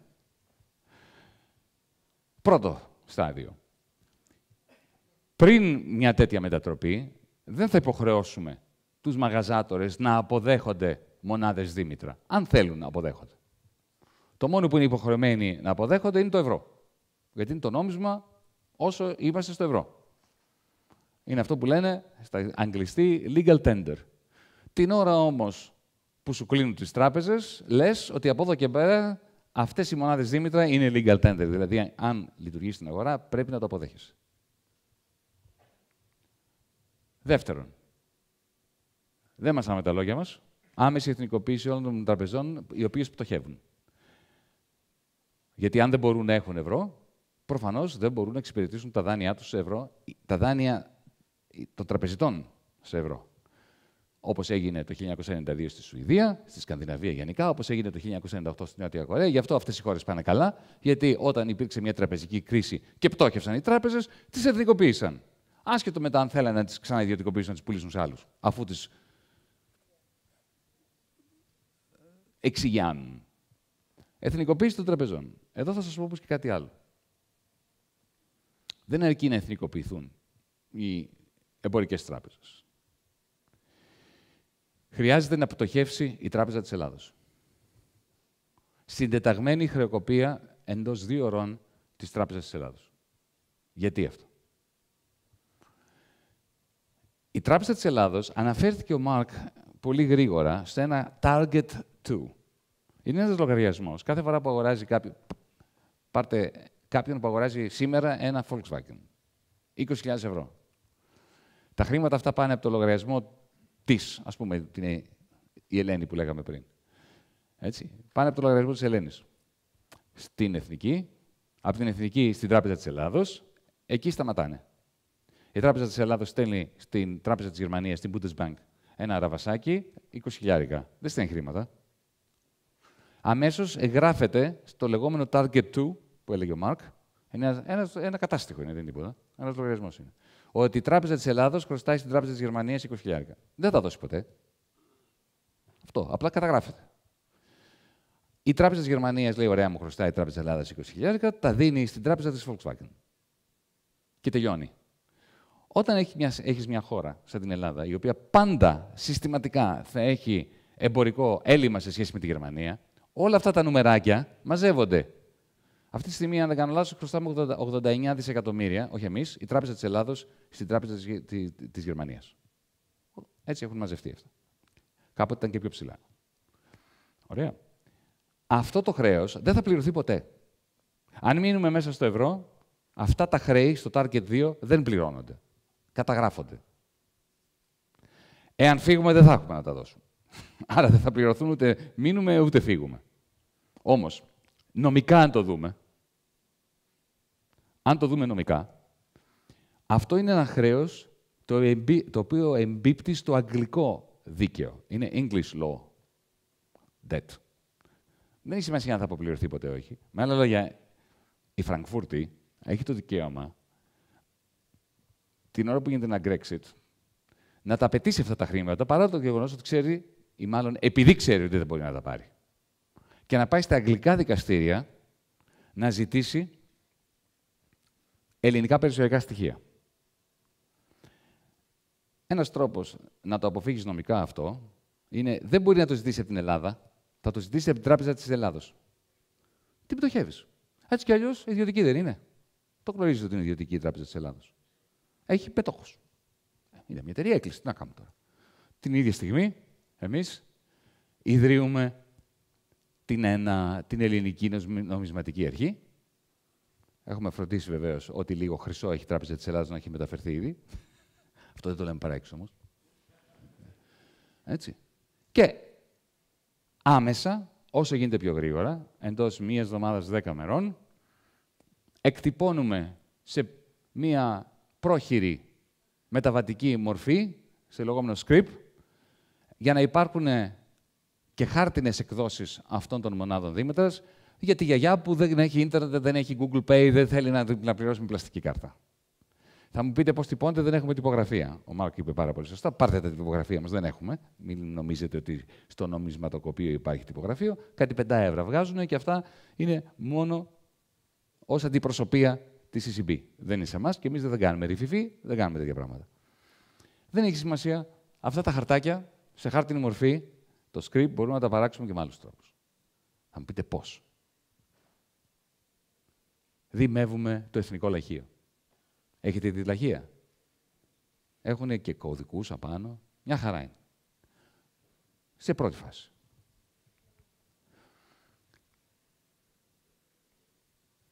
Αυτόματα οι τράπεζες κλείνουν ένα τρίμερο, Σάββατο, Κυριακή, Δευτέρα, και μετατρέπουν τα συστήματά τους σε μονάδες Δήμητρα, από ευρώ.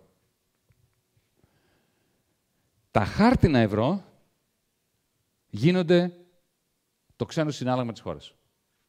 Γιατί κάποιοι είχαν πει κάποτε ότι πρέπει να κάνουμε αυτό που έκανε η Σλοβακία όταν αποχωρίστηκε από την Τσεχία. Εντάξει, τότε το τσεχοσλοβάκικο νόμισμα δεν είχε καμία αξία παγκοσμίως. Οπότε τι κάνανε εκείνοι; Πήραν οι Σλοβάκοι τα τσεχοσλοβάκικα νομίσματα, τους πατήσανε μια ανεξίτηλη βούλα μπλε μελανιού και είπαν ότι αυτά που έχουν μπλε μελάνι είναι σλοβάκικα, αυτά που δεν έχουν είναι τσέχικα. Και κάποιοι προτείνουν να κάνουμε το ίδιο πράγμα με τα ευρώ. Σιγά που θα κάνουμε το ίδιο πράγμα με τα ευρώ. Τα ευρώ είναι ξένο συνάλλαγμα. Είναι σαν να πάρεις δολάρια και να τα ασκήσεις.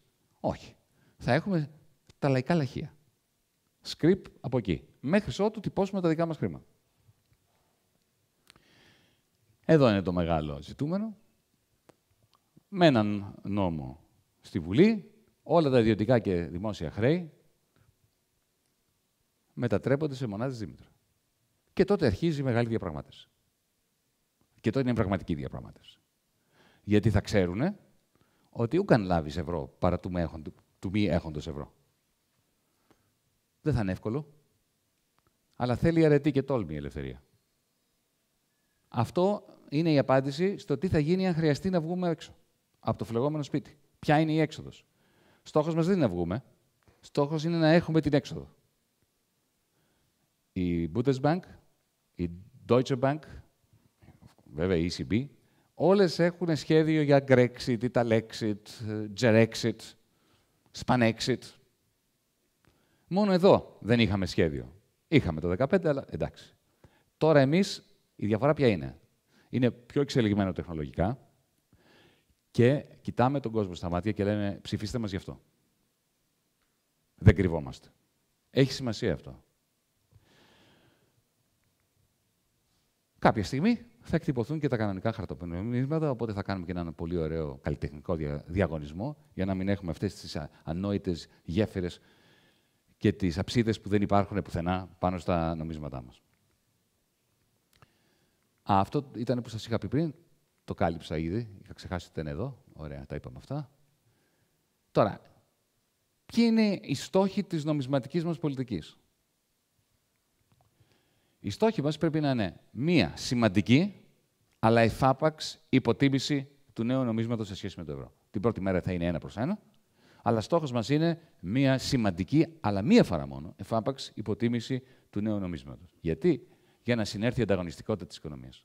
Για να πάψουμε να έχουμε σκληρό νόμισμα σε μία μαλακή οικονομία. Κάτι το οποίο πνίγει τον κόσμο μας. Όμως, από την επόμενη μέρα και μετά, στόχος μας θα είναι η σταθεροποίηση. Όχι συνεχής υποτίμηση, ένα μπαμ, 40% κάτω και μετά μια σταθερότητα που θα εξασφαλίζει ότι η άνοδος του πληθωρισμού που θα γίνει λόγω της υποτίμησης θα είναι πολύ πρόσκαιρη και μετά θα έχουμε σταθερότητα. Τουλάχιστον μεσοπρόθεσμα. Περιληπτικά.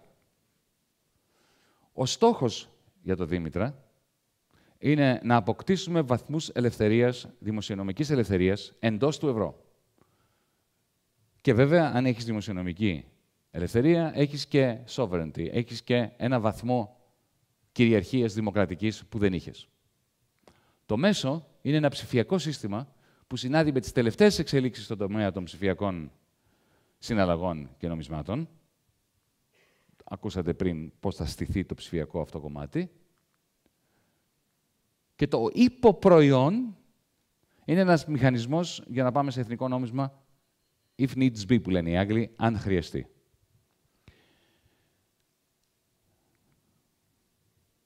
Σας θυμίζει τίποτα; Ευχαριστώ.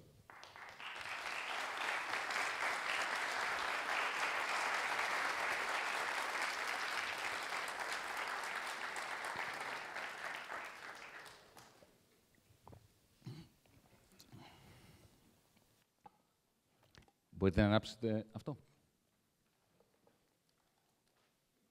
Το, το κίνησα. Κάτσε, περίμενε. Ένα, δύο. Μπράβο. You want to have a go? I'll have a go. This man is mad. He must be locked up immediately. All right. So, first, a small technical question about this, which is important. Is it pro-cyclical? Because it seems to be set up on a standard bond solvency model. So if you have higher GDP growth, you get to issue more credits. Mm-hmm. Does that mean if you have negative GDP growth, you need to withdraw the credits from the system? Is it, is it pro-cyclical in that way? And if so, is that a problem? You don't, you have a good point. So it's not a substitute to monetary sovereignty. It simply boosts, at any level of the business cycle, it boosts your fiscal space. And it allows you to do things that the Troika doesn't let you do. Uh, but you can ameliorate for the procyclicality by playing around with the tax discount. So again, if you are reducing the tax discount, it's procyclical, but then you can maintain the quantity of the, the credits within the system. So it's not panacea. It's not a substitute for you know, having your own currency. Degrees of freedom, doing more things for those who need it, maybe also distributional issues. Like, for instance, you could have a higher rollover bonus and a higher um, effective interest rate for particular businesses, those who are doing you know, good green stuff, smaller businesses as opposed to larger businesses. So you can, there can be this distributional thing. But as far as I'm concerned, the greatest merit of this is that it gives you a way out of the euro, which means that they will know that you know that they know, and that reduces the relative power over you. So let's be good game theorists. I know that you know, you know that I know. So the minute you get to try and do this, I will immediately try and stop you. So I will Exactly. use my four big banks Yeah. to basically ask the ECB to ration liquidity to bring about the crisis that this will solve before you have a chance to solve the crisis. Indeed. How do you do it? How do you get a front of that? Well, look, with difficulty, no doubt about that. But for this to become less than a what we what we used to say in the Greek left anti-historical um, discussion, for us to be in government, there has to be such a degree of social solidarity that, and, and especially if we prepare people, you see, this is something we're doing today, which when I was in Syriza in 2015, we never did, to communicate, so people know what they're getting into. The power of communication and transparency vis-à-vis our objectives. So it, you know, it, it really magnifies the mandate. Uh, I do believe that this system can be up and running within a week. Within a week, if you're prepared, if you can see that you're going to win, right, or to be able to form a coalition government or anything like that, it is possible. And if you have the degree of solidarity that elects you, okay, and they do exactly, you know, the ECB and the bankers do exactly what you predicted they would do, I think that that will be, you know, a splendid, a magnificent moment of chaos. Just one last comment I'll pass over. The other possibility is to wait for the bubble. Because if they have another financial crisis, that is the moment when the banks are at their weakest. And at that point, that's when you That's get why people on side for 2015 was that. such a good moment. Yeah. Right? But the problem is you cannot choose the moment when you get elected to co- synchronize with, um, with, with, with the bursting of the bubble. Nico? Ε, Πιο κοντά. να, μι- να μιλήσω ελληνικά. Έτσι. Ναι, ναι, ναι. Ε, είναι προφανές ότι ε, δεν μπορεί κανένας σε ένα τέτοιο σχέδιο να, το, να απαντήσει κατευθείαν, διότι χρειάζεται να το περάσει από διάφορες, ε, διάφορους ελέγχους και να εξετάσει όλα τα counterfactual σενάρια που υπάρχουν κλπ. Αλλά η Τράπεζα της Ελλάδος δεν κάνει μόνο ε, αυτό το πράγμα. Έτσι. Η Τράπεζα της Ελλάδος έχει και, το, ε, και τον έλεγχο, των, ε, το prudential regulation των, ε, των τραπεζών. Ε, εάν ήταν από μόνη της θα καθόριζε το ύψος του επιτοκίου. Έτσι. Και κάνει διάφορα άλλα πράγματα και επίσης και οι τράπεζες και αυτές χρειάζονται έναν συγκεκριμένο έλεγχο. Άμα τις εθνικοποιήσεις, τι θα γίνει με τους μετόχους κλπ. Άρα λοιπόν υπάρχουν μια σειρά από τέτοια πράγματα τα οποία κανένας πρέπει να δει. Το ερώτημα είναι ότι αυτό πατάει σε δύο βάρκες. Το ένα είναι ένα εθνικό νόμισμα και το άλλο είναι μία βαλβίδα ανακούφισης, ας το πούμε έτσι, του Σωστά. συγκεκριμένου συστήματος. Σωστά. Στο βαθμό λοιπόν που κάποιος το έχει προβλέψει από πριν, έτσι, οι αντίπαλοι θα σου πούνε ότι κοιτάξτε τι σκέφτεται να κάνει αυτός, άρα τα χρήματα μπορούν να πάνε κατευθείαν σε μια μέρα στις γερμανικές τράπεζες, οι οποίες θα έχουν φροντίσει να ανοίγουν πάρα πολύ εύκολα λογαριασμούς σε οποιοδήποτε Έλληνα πολίτη, οπότε ουσιαστικά και θα έχουν και το δικό τους συνάλλαγμα, εσύ δεν μπορείς να κάνεις τίποτα γι' αυτό, άρα λοιπόν μπορεί να έχεις ένα είδος ε, κρίσης που θα την έχεις δημιουργήσει εσύ ο ίδιος. Δηλαδή, αντί να σου κλείσουν ε, τις τράπεζες, θα φύγει το ίδιο το, το χρήμα από μόνο του. Ε, επίσης, δεν καταλαβαίνω πώς θα μπορέσει να λειτουργήσει ένα παράλληλο σύστημα το οποίο θα έχει και ένα θέμα επιτοκίου από μόνο του. Έτσι, δηλαδή, αυτό το 5% κάπως θα καθορίζεται. Θα είναι βολονταριστικά, θα καθορίζεται... Ε, Α, εντάξει, αυτό είναι δουλεμένο. Εντάξει. Έχει να- ε, ε, ε, ε, το, το, η μα- το μακροδυναμικό μοντέλο είναι, δεν είναι δύσκολο σε αυτό. Και θα έχεις ε, open market ε, operations πάνω σε αυτό; Όχι, παιδί μου, είναι, Καθόλου. είναι κλεισμένο μέσα στο αφημί, στα Ωραία. αφημί. Τι μου λες; Το ερώτημα είναι, αυτό κάποια στιγμή έχει τη λογική να μεταξελιχθεί σε ένα εθνικό νόμισμα, έτσι δεν είναι; Κάτσε, κάτσε. Γιατί αυτά τα είπα νομίζω ξεκάθαρα. Ναι. Δεν πατάει σε δύο βάρκες. Μμ. Είναι ένα σύστημα Ναι. δημιουργίας fiscal space. Μμμ.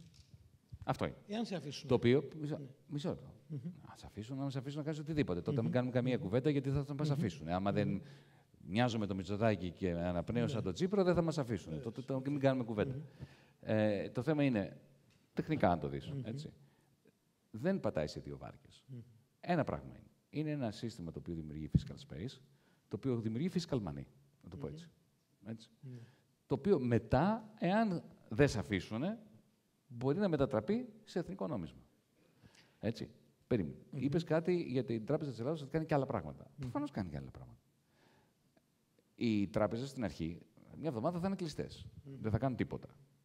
Ωραία. Ε, και θα περάσουν από την Τράπεζα της Ελλάδος στην ΕΝΑ, στην Ελληνική Νομισματική Αρχή. Λοιπόν, με το που θα γίνει αυτό και η Τράπεζα της Ελλάδας θα πτωχεύσει, όλοι θα απολυθούν από την Τράπεζα της Ελλάδας. Στους ναι, ναι. μέχρι το κλειτήρα. Όσοι άνθρωποι ξέρουν τη δουλειά του Prudential Management, αν θέλουν θα βρουν δουλειά στην ένα. Απλά θα αλλάξει τα μπέλα. Εκεί που λεγόταν η ΕΝΕΔ θα λέγεται R2. Δεν είναι... Ε, με το ίδιο προσωπικό σε μεγάλο βαθμό. Και όχι με την ίδια ηγεσία. το ξέρει τι θα γίνει. λοιπόν, ε, να το πω διαφορετικά. Εάν θες να πεις. Α, για το θέμα της φυγής κεφαλαίων. Βεβαίως θα υπάρξει φυγή κεφαλαίων. Α φύγουν. Α φύγουν. Έτσι κι αλλιώς φεύγουν. Ναι. Έτσι κι αλλιώς αυτά που είναι εδώ δεν δανείζονται. Δεν δανείζονται στους μικρομεσαίους. Ναι, θα υπάρξει ένα σημαντικό βαρχιπρόθεσμο κόστος από αυτό. Με τις κλειστές τράπεζες, με την αναταραχή κτλ. Το ερώτημα είναι, είναι καλή επένδυση. Γιατί πώς ορίζουμε την επένδυση; Η επένδυση είναι δέχεσαι ένα κόστος τώρα για να έχεις ένα όφελο μετά. Αυτό είναι. Τώρα, όσο αφορά, να το πω άλλη μια φορά, για το θέμα του επιταγείου κτλ. Υπάρχουν με δεδομένη την ε, μακροοικονομική κατάσταση, έτσι, το ρυθμό μεγέθυνσης του ΑΕΠ, του tax base κτλ. Είναι πολύ εύκολο να υπολογίσεις πόσες πρέπει να είναι οι μονάδες του Δήμητρα. Έτσι, σε σχέση με το επιτόκιο που δίνεις, με το rollover bonus, έτσι, αυτό δένεται και, και θα, εγώ θα πρότεινα, αν το κάναμε, να είμαστε και συντηρητικοί. Δηλαδή, αν σου λέει ότι μπορείς να έχεις το 20% του ΑΕΠ σε αυτό το σύστημα, να το βάλουμε στο 12. Για να έχουμε και κάποιους, και ξέρεις, ε, κάποια περιθώρια ασφάλματος στον υπολογισμό. Και γιατί δεν το λες digital tax credits και να έχεις μετά uh, Greek bonds, αυτό είναι. Greek digital tax credit denominated bonds, αυτό το... Ε, γιατί αυτό είναι πολύ μακρύ που είπες. Mm, Μπερδεύεται είναι έτσι, είναι... Το είπα, δημοσιονομικές μονάδες, ναι. έτσι, ε, φοροαπαλλαγών στην αρχή. Το είπα. Mm -hmm. okay. Future tax discount, ναι. uh, fiscal units.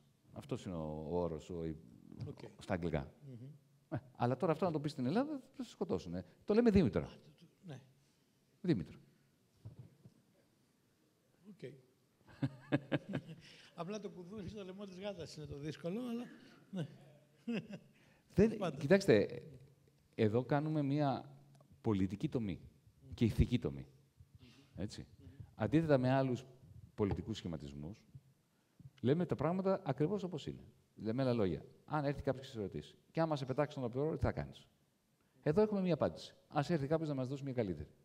Εγώ νομίζω ότι αυτή είναι εξαιρετική, γιατί δεν είναι το πρόταγμα του να βγούμε από το ευρώ. Το πρόταγμα είναι να βοηθήσουμε ευάλωτους ανθρώπους, να δημιουργήσουμε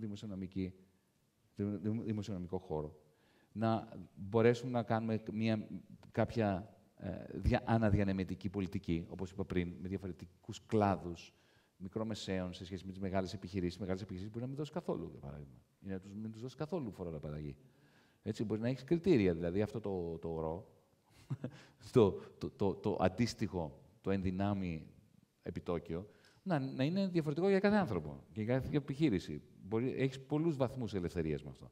Αυτός είναι ο στόχος. Εάν τώρα θέλουν να σου κλείσουν τις τράπεζες και να σε πετάξουν έξω, αυτό θα το κάνουν αν δεν τους δώσεις το αεροδρόμιο. Εάν δεν τους δώσεις την κόρη σου, το γιο σου, το σκύλο σου. Έτσι γίνεται. Έχουμε μια πλήρη και απόλυτη λαιλασία. Είναι στη δυνατότητα της σήμερα, τώρα αυτή τη στιγμή που μιλάμε. Μονάδες ηλεκτρικής ενέργειας, κιλοβατόρες, που παράγονται με μηδέν οριακό κόστος, να χρεώνονται σαν να είχαν παραχθεί με το πιο ακριβό φυσικό αέριο. Και να σου λένε ότι αν τολμήσεις να ρίξεις την τιμή της κιλοβατόρας, θα σε πετάξει από το ευρώ. Επέταμε. Στο ΜΕΡΑ25 είμαστε εμείς που δεν φοβόμαστε. Που ξέρουμε τον κίνδυνο. Δεν έχουμε άγνοια κινδύνου. Αλλά απαντάμε πολύ συγκεκριμένα. Γιατί αν πούμε πω, πω αυτό είναι πάρα πολύ δύσκολο, είναι σαν το κουδούνι και ποιος θα το φορέσει στη γάτα και δεν γίνεται, ε, τότε το διαλύουμε το μέρα. Και μπαίνουμε όλοι. Πού να μπούμε. Να πάμε στο κοινάλ που έχει και νέο αρχηγό. Τι λέτε. Λοιπόν, Σωτήρη, άρον το μικρόφωνο σου και περιπάτη. Ε, θα αξιοποιήσω το απεχθές προνόμιό μου ως του φέροντος το μικρόφωνο για δύο ερωτήσεις. Η πρώτη είναι η εξής, ότι είπες πως ε, θα είναι ξένο αποθεματικό τα ευρώ που θα μείνουν στη χώρα. Διερωτώ με τι συμβαίνει στην εποχή που διενύχθη μετά το πάγωμα των ξένων αποθεματικών της Ρωσικής Κεντρικής Τράπεζας, όπου μπορεί να έλθει ο άλλος και να πει αυτά αποφασίζω ότι δεν υπάρχουν. Πόσο δε μάλλον αυτή τη στιγμή είναι σαφές το ποια ευρώ είναι αυτά, δεδομένου των αριθμών τους, των σειρών τους κλπ. στην Ελλάδα. Η δεύτερη υποερώτηση για μας που δεν είμαστε οικονομολόγοι, αλλά ασχολούμαστε με πιο σκληρές επιστήμες, όπως η θεολογία, είναι... Ε, λες θα υπάρχει μια παγωμένη ισοτιμία. Στοχεύουμε σε μια παγωμένη ισοτιμία. Όχι, με το... σταθερή. Σταθερή με το ευρώ. Κάπως σταθερή. Να μην έχουμε μεγάλες συνεχείς διολυστές. Απαντήθηκε με το κάπως. Ναι. Ε, παρά το πρώτο, κοίταξε να δεις. Εάν χρησιμοποιήσουν το πυρηνικό όπλο που χρησιμοποίησε εναντίον του Πούτιν σε μια χώρα σαν την Ελλάδα, επειδή ήθελε να δώσει μερικές φοροπαραλλαγέ σε κάποιους μίζερους μικρομεσαίους, ε, τότε σημαίνει ότι θα έχει τυναχτεί ήδη ο κόσμος στον αέρα και δεν αξίζει να συζητάμε για τίποτα. Πάμε σαν να, να, να μάθαμε ότι έρχεται ο κομίτης και σε δύο μέρες θα μας χτυπήσει. Ή το committee. ε, και η τρίτη υποερώτηση τελευταία είναι μήπως είναι σοβαρό το ενδεχόμενο να μας αφήσει χρόνο στο ευρώ πριν την ενεργοποίηση οποιοδήποτε συστήματος Δήμητρα υπό τις παρούσες συνθήκες; Όχι, okay. είναι τεράστια τα συμφέροντα για τη διατήρηση του ευρώ. Θα συνεχίσουν να το κρατάνε ζωντανό και ας βυθίζεται η Ευρώπη. Κάποια στιγμή μπορεί να σπάσει. Αλλά όπως ξέρουμε και από την περίοδο της Σοβιετικής Ένωσης, ένα σύστημα μη βιώσιμο μπορεί να επιβιώσει για πάρα πολύ χρονικό διάστημα όταν υπάρχει αρκετή πολιτική βούληση και αρκετός αυταρχισμός. Καλύφθηκα.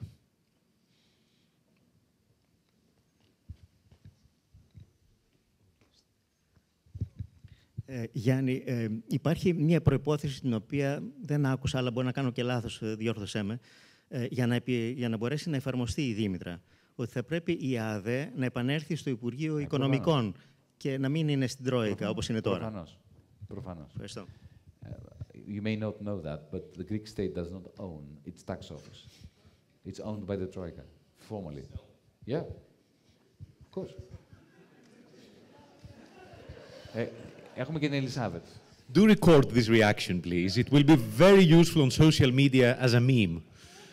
The, the Troika needs to approve the appointment of the board of directors and its chair of the Greek tax office, of the IRS. In, and not just the IRS, but also the Greek statistical service. I think Scotland has more freedom. Yeah, no. India, under the Raj, had more freedom.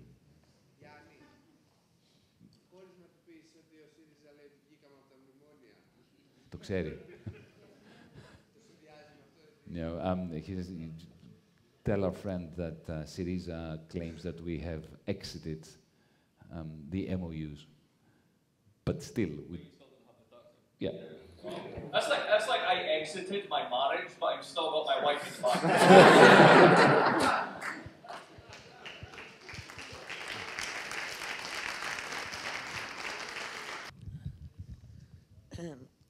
Αισθάνομαι λίγο άβολα γιατί δεν είμαι σίγουρη ότι αυτά είναι εύκολα πράγματα για να τα εξηγήσω έτσι γρήγορα που τα άκουσα.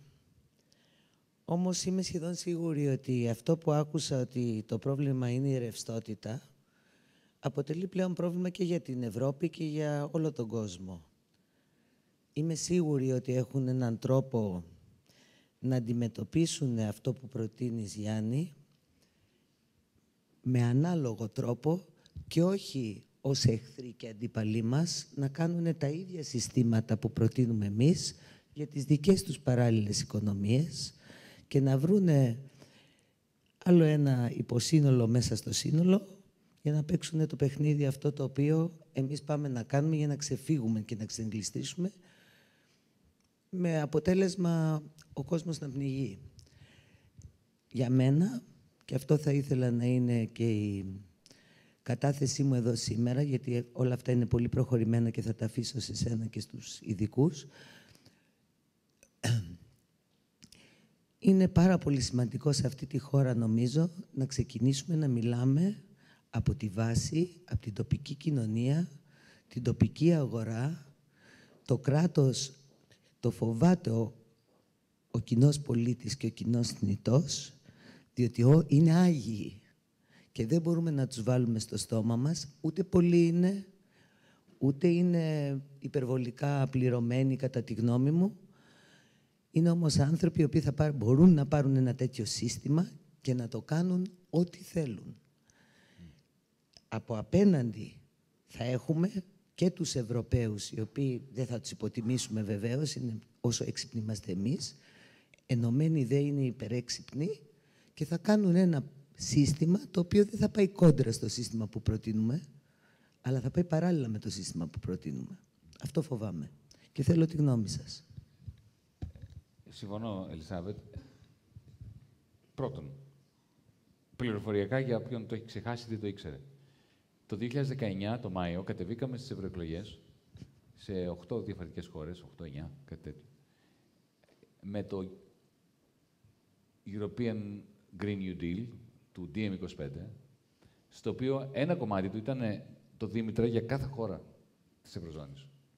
Άρα, εμείς δεν το προτείνουμε αυτό μόνο για μας, επειδή είμαστε ο τελευταίος τροχός της αμάξης ή είμαστε πτωχευμένη χώρα. Αυτό το σύστημα θα ήταν καλό, το έχει και η Γαλλία. Δεν βλέπω γιατί να μην το έχει η Γαλλία αυτό, να μην το... ακόμα και η Γερμανία.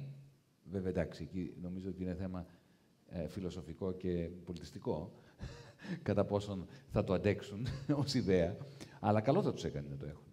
Δεν, είναι, δεν πηγαίνει κόντρα στα συμφέροντα ούτε της Ευρωπαϊκής Ένωσης, ούτε της Ευρωζώνης. Υπέρ. Γιατί, γιατί, δεν το, γιατί δεν το υιοθετούν, ρωτάει η Ελισάβετ. Ελισάβετ, να σου πω γιατί. Το είπα πριν. Το μισούν οι τραπεζίτες. Οι ιδιοκτήτες της Ευρώπης. Οι ιδιοκτήτες των πολιτικών είναι οι τραπεζίτες. Α, ναι, αλλά το μεγαλύτερο τους πρόβλημα θα ήταν να στραφούν οι τραπεζίτες εναντίον τους.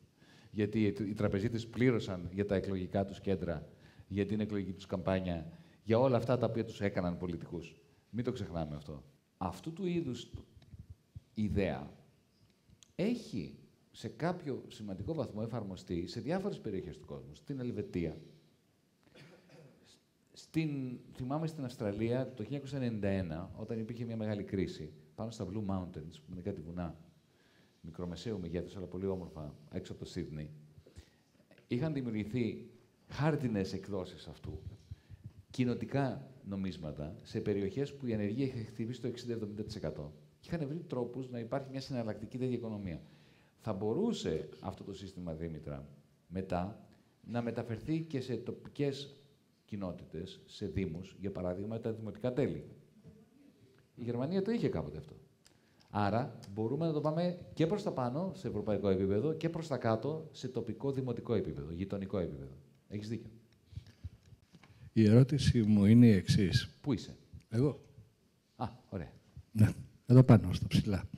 Λέω λοιπόν το εξής. Εντάξει, περνάμε, α, περνάει το Δήμητρα σε εθνικό επίπεδο, σε εθνικό νόμισμα. Το κάνουμε εθνικό νόμισμα επειδή μας έχουν πετάξει έξω από το ευρώ κτλ. Κάνουμε την πρώτη υποτίμηση, αλλά εξ όσων θυμάμαι, η παρητέ, η ισοτιμία των νομισμάτων παίζονται στα dealing rooms των τραπεζών. Άρα, ναι. παίζεται η ισοτιμία. Δεν διαμορφώνεται στα dealing rooms. Υποθέτω. Και είναι πολύ σημαντικό αυτό για τις εισαγωγές-εξαγωγές μας, για το εμπόριο. Λέω λοιπόν, ε, προφανώς θα παίξουν ένα πολύ σκληρό παιχνίδι απέναντί μας. Αυτό πώς, το, πώς μπορούμε να το καλύψουμε; αυτό δεν καταλαβαίνω. Έχεις δίκιο. Το βασικό είναι το εξής. Και είναι ένα πρόβλημα το οποίο έχουμε σήμερα που δεν είχαμε το 2015. Το 2015 είχαμε πάρα πολλά προβλήματα. Το ένα πρόβλημα που δεν είχαμε ήταν το θέμα του ισοζυγίου πληρωμών. Λόγω της βαριάς κρίσης από το 2010 μέχρι το 2015, είχαμε έρθει ίσα βάρκα, ίσα νερά, εισαγωγές-εξαγωγές. Η ισοτιμία εξαρτάται από αυτό. Κανένα μια αγορά δεν μπορεί για μακρύ χρονικό διάστημα να σπεκουλάρει, να κερδοσκοπεί ε, δημιουργώντας πιέσεις στο νόμισμα, εάν έχεις ισοσκε- ισοσκελισμένο το εμπορικό σου ισοδι- ισοζύγιο, το ισοζύγιο πληρωμών. Το 15 ήταν.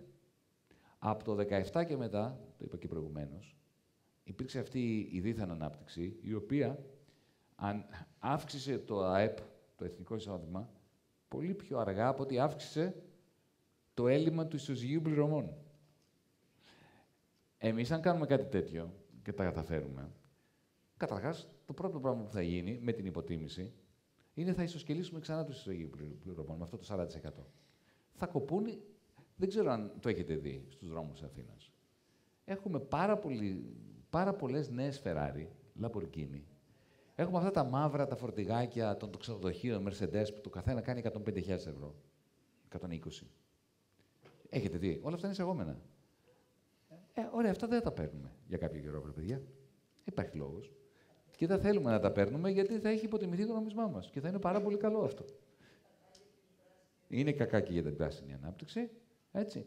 Συν το ότι θα γίνει φθηνή είναι ο τουρισμό μα, του, τουρισμός μας, ό,τι έχουμε να εξάγουμε. Οπότε έχει μεγάλη σημασία, αυτό ισχύει για τη Δανία, για τη Βουλγαρία, για όποια χώρα έχει το δικό της νόμισμα, να διαχειρίζεσαι το ισοζύγιο πληρωμών, το επιτόκιο, έτσι ώστε να δημιουργήσεις συνθήκες σταθερότητας, διατηρώντας τη δημοσιονομική σου κυριαρχία, τη δημοκρατική σου κυριαρχία για ανακατανομή του πλούτου, του εισοδήματος και ταυτόχρονα για να μπορείς να χρησιμοποιείς τους μοχλούς της δημοσιονομικής πολιτικής σε περίοδο ύφεσης, να δώσεις ένα boost, σε περίοδο υπερθέρμανσης, να κάνεις λίγο κράτη. Ναι.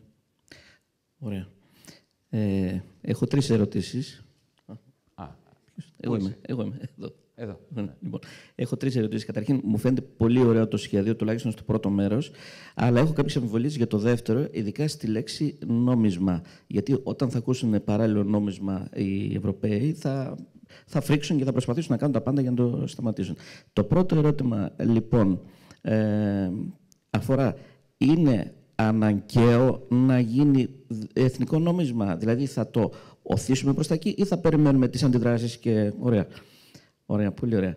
Λοιπόν, ε, το δεύτερο Απαντήσω- είναι... Να σου απαντήσω; Ναι, ναι. Ωραία. Ε, ο, το, το ξεκαθάρισα από την αρχή. Εμείς Ναι. δεν κατεβαίνουμε σε εκλογές ζητώντας εθνικό νόμισμα. Δεν ζητάμε αυτό. Συν ότι δεν χρησιμοποιούμε ποτέ τη λέξη νόμισμα. Δεν μιλάμε για παράλληλο νόμισμα. Το απορρίπτουμε το παράλληλο νόμισμα. Το απέρριπτα και το 2015, το απορρίπτω και τώρα. Το παράλληλο νο- νόμισμα ήταν η ιδέα του Σόιμπλε. Και σε καμία περίπτωση δεν θα το δεχόμασταν. Τι σημαίνει παράλληλο νόμισμα; Το χρέος σου είναι σε ευρώ και τα εισοδήματά σου είναι στο δικό σου. Ε, όχι. Αυτό δεν γίνει ποτέ. Γι' αυτό θέλω να προσέξεις και στα slides μιλάμε για το Δήμητρα ως σύστημα δημοσιονομικών συναλλαγών. Δεν μιλάμε ούτε για νομισματικές συναλλαγές, ούτε για νόμισμα, ούτε για τίποτα. Ωραία. Μιλάμε Ωραία. για μονάδες Δήμητρα. Μονάδες. Ωραία, Δήμητρα. ωραία, ναι. Υπάρχουν και μονάδες... ξέρεις, Και στα καζίνο έχει tokens. Ωραία. Ναι, ναι, ναι. Πολύ ωραία. Λοιπόν, το δεύτερο αφορά τη, την κίνηση των χρεωστικών μονάδων. Ε, είδαμε στο παράδειγμα ότι ο δεύτερος που θα πάρει τις χρεωστικές μονάδες θα πάρει το, το επιτόκιο. Αυτό για τον πρώτο που της είχε την Ελένη συμφέρει να, την, να τις κρατήσει κατά ένα έτος, που σημαίνει ότι σταματάει τη ρευστότητα, για να πάρει τα 50 ευρώ. Θα πρέπει να, ίσως να γίνει λίγο πιο πολύ επεξεργασία στη- σε αυτό, στα μπόνους, ας πούμε, πώς θα δίνονται και στους κανόνες, ώστε να είναι αναλογικά για όλους, πιστεύω. Ε, αυτά τα πράγματα είναι τεχνικά ζητήματα που μπορούν να λυθούν πάρα πολύ. Ωραία. Και το τρίτο, σχετικά με την υποτίμηση. Ε, υπάρχει ένα ζήτημα ως προς την ισονομία. Δηλαδή, αν ας πούμε γίνεται καταγραφή όλων των χρεών σήμερα και κάνουμε την υποτίμηση ή γίνεται πρώτα υποτίμηση και κάνουμε καταγραφή όλων των χρεών, υπάρχει μια ισονομία. Τι θα γίνει όμως Τι με είναι αυτό. ισονομία, δεν καταλαβαίνω. Δηλαδή, ε, δεν θα έρθουν μερικοί να τους καταγράψουμε τα χρέη με τη νέα τιμή και κάποιοι με- τα έχουμε καταγράψει με την προηγούμενη. Κοίταξε, όταν, ε, εάν χρειαστεί να κάνεις την έξοδο από το νόμισμα ε, και όλες οι τιμές μεταφραστούν από ευρώ σε δίμητρα, δραχμή, πες το πώς θες, Ναι, ναι. έτσι, χελώνα, Ναι, ναι, δεν ναι. θα βρούμε κάτι. Όλοι οι μισθοί, όλες οι τιμές, όλα τα χρέη μετατρέπονται στο ίδιο νόμισμα. Άρα δεν υπάρχει ισορροπία. Άμα χρωστάγες Ναι. 10, χρωστάς 10. Απλά Ναι. τώρα χρωστάς 10 άλλα πράγματα. Αλλά και πάλι αυτά που παίρνεις είναι Ναι. σε αριθμό ίδια με αυτά που παίρνεις Ναι, πριν, ε. σε άλλες μονάδες μέτρου. Να το διευκρινίσω λίγο. Α πούμε ότι χρωστάνε δύο άτομα 100.000 το... Α, Είναι 100.000 ευρώ πριν την υποτίμηση, έχουν άλλη αντιστοιχεία με το Δήμητρα και 100.000 ευ- ε, ευρώ μετά την υποτίμηση έχουν άλλη αντιστοιχεία. Προφανώς θα γίνει για όλους μια φορά αυτή η, η καταγραφή. Διαφορά, να σου πω που Ναι. υπάρχει θέμα. Δια- Στους διαχωρισμών. νέους χρωστού- στους Ωραία. χρωστούντες. Να σου πω που υπάρχει θέμα διαχωρισμών. Έχει διαφορά να χρωστάς σε ξένο, στο εξωτερικό, από το να χρωστά, χρωστάς εγχωρίως. Γιατί αν χρωστάς σε ξένο, χρωστάς σε δολάρια, την πάτησες. Ή σε ευρώ, άμα χρωστάς σε, σε Γάλλο σε ευρώ, θα συνεχίσει να τα χρωστάς σε ευρώ ως ιδιώτης και μετά θα πρέπει εσύ να μπεις σε μια δια- διαπραγμάτευση με τον δανειστή σου. Έτσι. Έχουμε μία κυρία εδώ, με το κόκκινο. Σωτήρη. Μάλιστα. Το μικρόφωνο φτάνει σύντομα σε εκείνη. Που έχει και σημειώσεις. Κύριε Γιώργο- Κύριε Βαρφάκη. Λοιπόν, χαίρετε. Θα ήθελα να ρωτήσω κάτι αναφορικά με αυτά που είπε ο προλαλής σας, ο κύριος, ε, σχετικά με τη χάρτινη μορφή με τα script. Ε, η χάρτινη μορφή θα έχει μονάδες και υπομονάδες, δηλαδή ξεκινάει έχει, θα έχει. μονάδες και υπομονάδες, Βεβαίως, δηλαδή προφανώς. έχουμε script ε, το Δήμητρα 100, Ναι, ναι. 50, 30, Όπως δηλαδή, ακριβώς και τα ευρώ. Θα όπως είναι και το ευρώ. Το 1 ευρώ, το 2 ευρώ, το 5 ευρώ, το 10, το 20, Θα έχει το script. 50. Θα εκτυπώνονται από κομπιούτερ. Αυτό ήταν να πω. Από το νομισματοκοπείο του κράτους, από κομπιούτερ. Θα, θα γίνεται εκτύπωση. Πώς θα γίνει αυτό το script; Εντάξει, δεν έχει σημασία Ναι, που θα τυπώνονται. Είναι Από βασικό κάπου θα βέβαια. τυπώνω. Εγώ σας έδωσα ένα Ναι. παράδειγμα. Ναι. Χρησιμοποιεί τα εκτι- εκτυπωτήρια του Από το Λαϊκού Υπουργείο Λαχείου. Οικονομικών ή από το Εθνικό Νομισματοκοπείο. Όχι, πίσω από το. Δεν υπάρχουν. Ναι. Το Υπουργείο Οικονομικών και το Νομισματικοπείο δεν υπάρχουν. Δεν έχουν, δεν έχουν εκτυπωτές. Γι' αυτό σας είπα. Επειδή είναι script, δεν θα, θα είναι ένα νόμισμα που θα έχει τη Ακούστε με, γραμμή ακούστε. Μην εγκυρότητας. Που θα έχει γραμμή. Πώς θα ελέγχουμε αν είναι έγκυρο το script; Αν θα είναι έγκυρο, θα έχει τη γραμμή εγκυρότητας. Το έχω απαντήσει. Το script θα εκδίδεται από ένα μηχάνημα τύπου που εκδίδει το Εθνικό Λαϊκό Λαχείο, το οποίο έχει πλήρη ασφάλεια γιατί έχει barcode απάνω. Και Ωραία. μέσα σε ένα εύλογο χρονικό διάστημα, σε 6 μήνες, 8 μήνες, θα τυπωθεί και το χαρτονόμισμα κανονικά από κάποιο εκτυπωτήριο του εξωτερικού, είτε στη Βρετανία, είτε δεν ξέρω εγώ πού θα βρούμε να μας εκτυπώσουν τα χρήματα, γιατί εμείς δεν έχουμε εκτυπωτήριο. Όπως δεν έχουμε και για τα ευρώ. Αυτά. Ναι, εγώ θα ήθελα να, να συνεχίσω λίγο την ερώτηση που έθεσε ο Βασίλης ο Καβαδίας. και Λίγο ο πιο άλλο- κοντά στο, και ο άλλος, στο, ε, στο στόμα. ε, Εάν κινήσεις το, το χέρι σου συν- και πάει πιο εκεί, δεν σε ακούμε. Ναι, το έχω πάρει από τον Παπάτη. Ναι, άστο. Ε, το ερώτημά μου είναι το εξής. Κάνουμε την εφάπαξη υποτίμηση, 30-40% μικρή σημασία έχει. Ε, ο, εάν έχω καταλάβει καλά, ο κίνδυνος οποιασδήποτε διολίστησης ή υπεραιτέρω υποτίμησης εναπόκειται μόνο σε εμάς. Δεν... Δεν εναπόκειται μόνο σε αυτό, αυτό, μπράβο, ακριβώς, άρα έχω λάθος ε, εντύπωση. Πώς μπορεί να γίνει επίθεση σε ένα νόμισμα το οποίο δεν κυκλοφορεί στην αγορά; Ποιος θα βγει να πουλήσει τη, δραχμή, την, ε, τη νέα δραχμή; Μα θα κυκλοφορεί. Αν γίνει νόμισμα, θα κυκλοφορεί στην αγορά. Έξω. Εάν γίνει. Νο... Όχι, κάτσε. Μην- Μην μπερδεύουμε τις δύο διαφορετικές φάσεις. Όσο είναι εντός. Όσο χρησιμοποιείται η Δήμητρα εντός της Ευρωζώνης, δεν μπορεί να υπάρχει κερδοσκοπία απέναντι σε αυτές τις μονάδες του Δήμητρα. Εάν μετατραπεί σε εθνικό νόμισμα, τότε ναι, θα μπορεί να υπάρξει σπέκουλα. Έτσι, όπως με όλα τα νομίσματα. Όπως και με τη δα- το δανέζικο νόμισμα, το σουηδικό νόμισμα. Αλλά καμία σπέκουλα, καμία κερδοσκοπία δεν μπορεί μακροπρόθεσμα να σου δημιουργήσει πρόβλημα αν έχεις ισοσκελισμένο το ισοζυγείο πληρωμών. Άρα αυτό εξαρτάται από εμάς. Λοιπόν, για χαρά. Ε, να πω ότι απαγοητεύτηκα, γιατί πίστευα ότι θα έχουμε κόντρα, αλλά βλέπω ότι σφωνώ πάρα πολύ. Δεν στο είπα ότι δεν θα έχουμε. Ναι, δεν το περίμενα. Λοιπόν, π- μπορούμε να βοηθήσει, η, η τεχνολογία βοηθάει αυτό. Πριν φτάσουμε στα χαρτιά, μπορεί να γίνει με stablecoin. Είναι ε, με κρυπτονομίσματα σε κλειδωμένη ισοτιμία με κάποιο εθνικό νόμισμα. Δηλαδή μπορεί να γίνει πολύ πιο εύκολα αυτό στην πράξη. Η απορία μου όμως είναι η εξής ότι δεν θα υπάρχουν πάντοτε ισο, ισοσκελισμένο ισοζύγιο πληρωμών. Οπότε εκεί πέρα τι θα γίνει; Θα, εκεί, Ε, τότε α- θα έχεις αν μια- δεν υπάρχουν θα συναισθηματικά έχεις μια αποθέματα υποτίμηση πολλά. Ανάλογη του ελλείμματος. Αλλά για να σου απαντήσω όσο αφορά στο stablecoin, κοίταξε. Το stablecoin, μην ξεχνάς ότι είναι. Η ιδέα δεν είναι καινούρια. Είναι το currency board.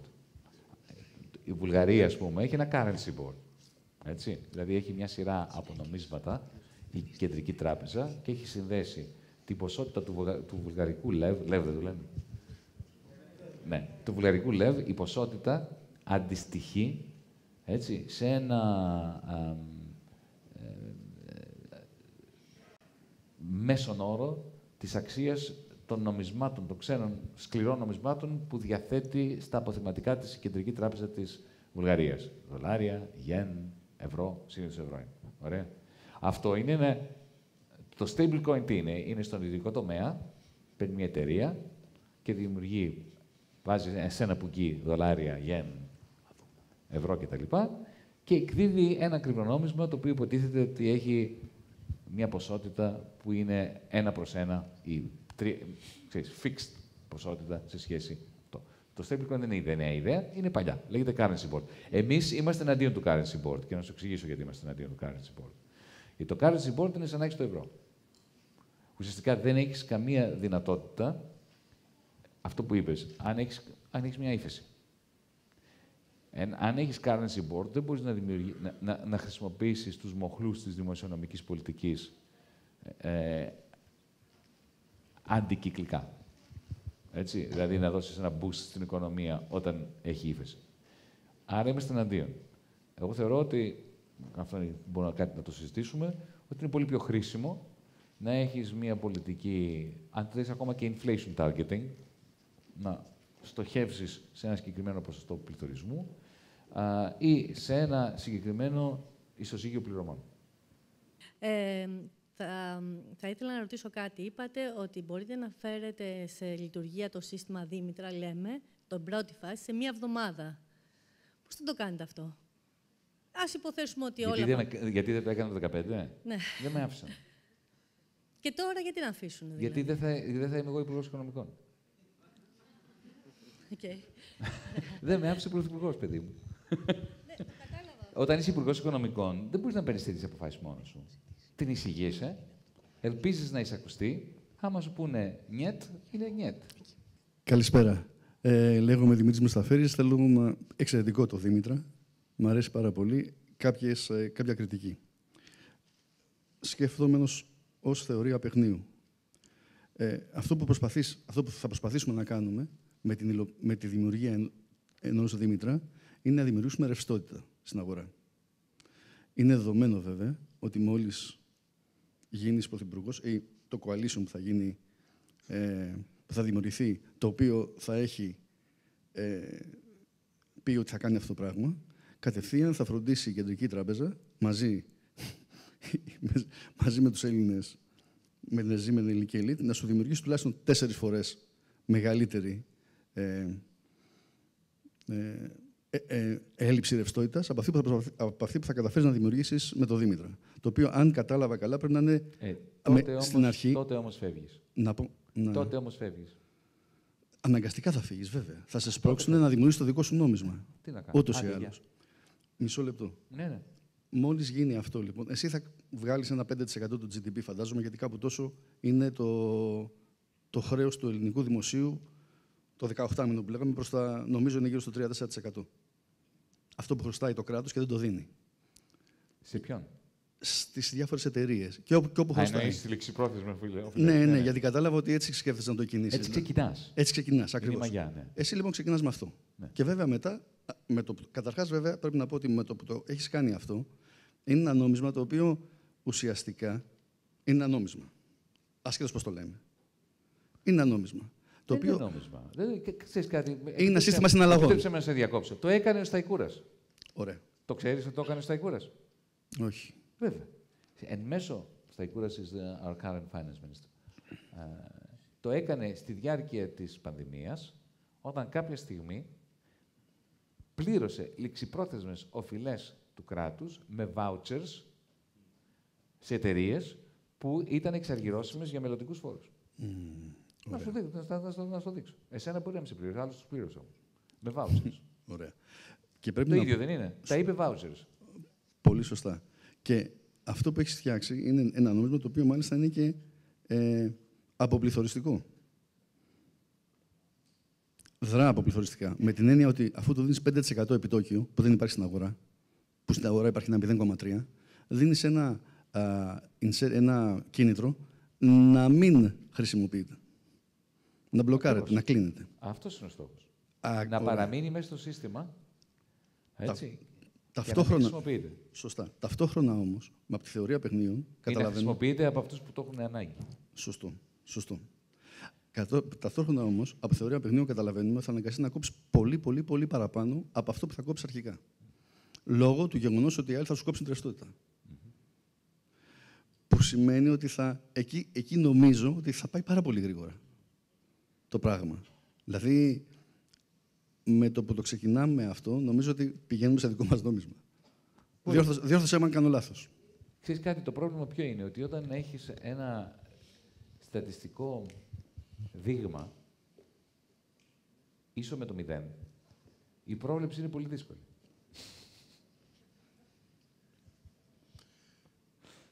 Any famous last words? Να το Last μαζέψουμε. words? Yeah.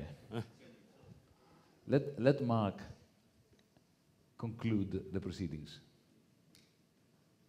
Στη μέση, εντάξει. Yeah, it's yours. I, I can imagine a world in Europe where this isn't nearly as objectionable as we think. I mentioned already that most green investment is going to be financed in what we call off balance sheet vehicles. This is also known as deficits by other means. Yeah.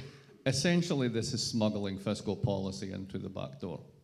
And once you admit that you need a fiscal policy, and you also admit that the rules that we have with debts and deficits are deeply dysfunctional, you can imagine a world in which a combination of vouchers, if you want to call it that, plus off balance sheet financing, plus the central bank doing targeted loans with zero interest rates for green investments.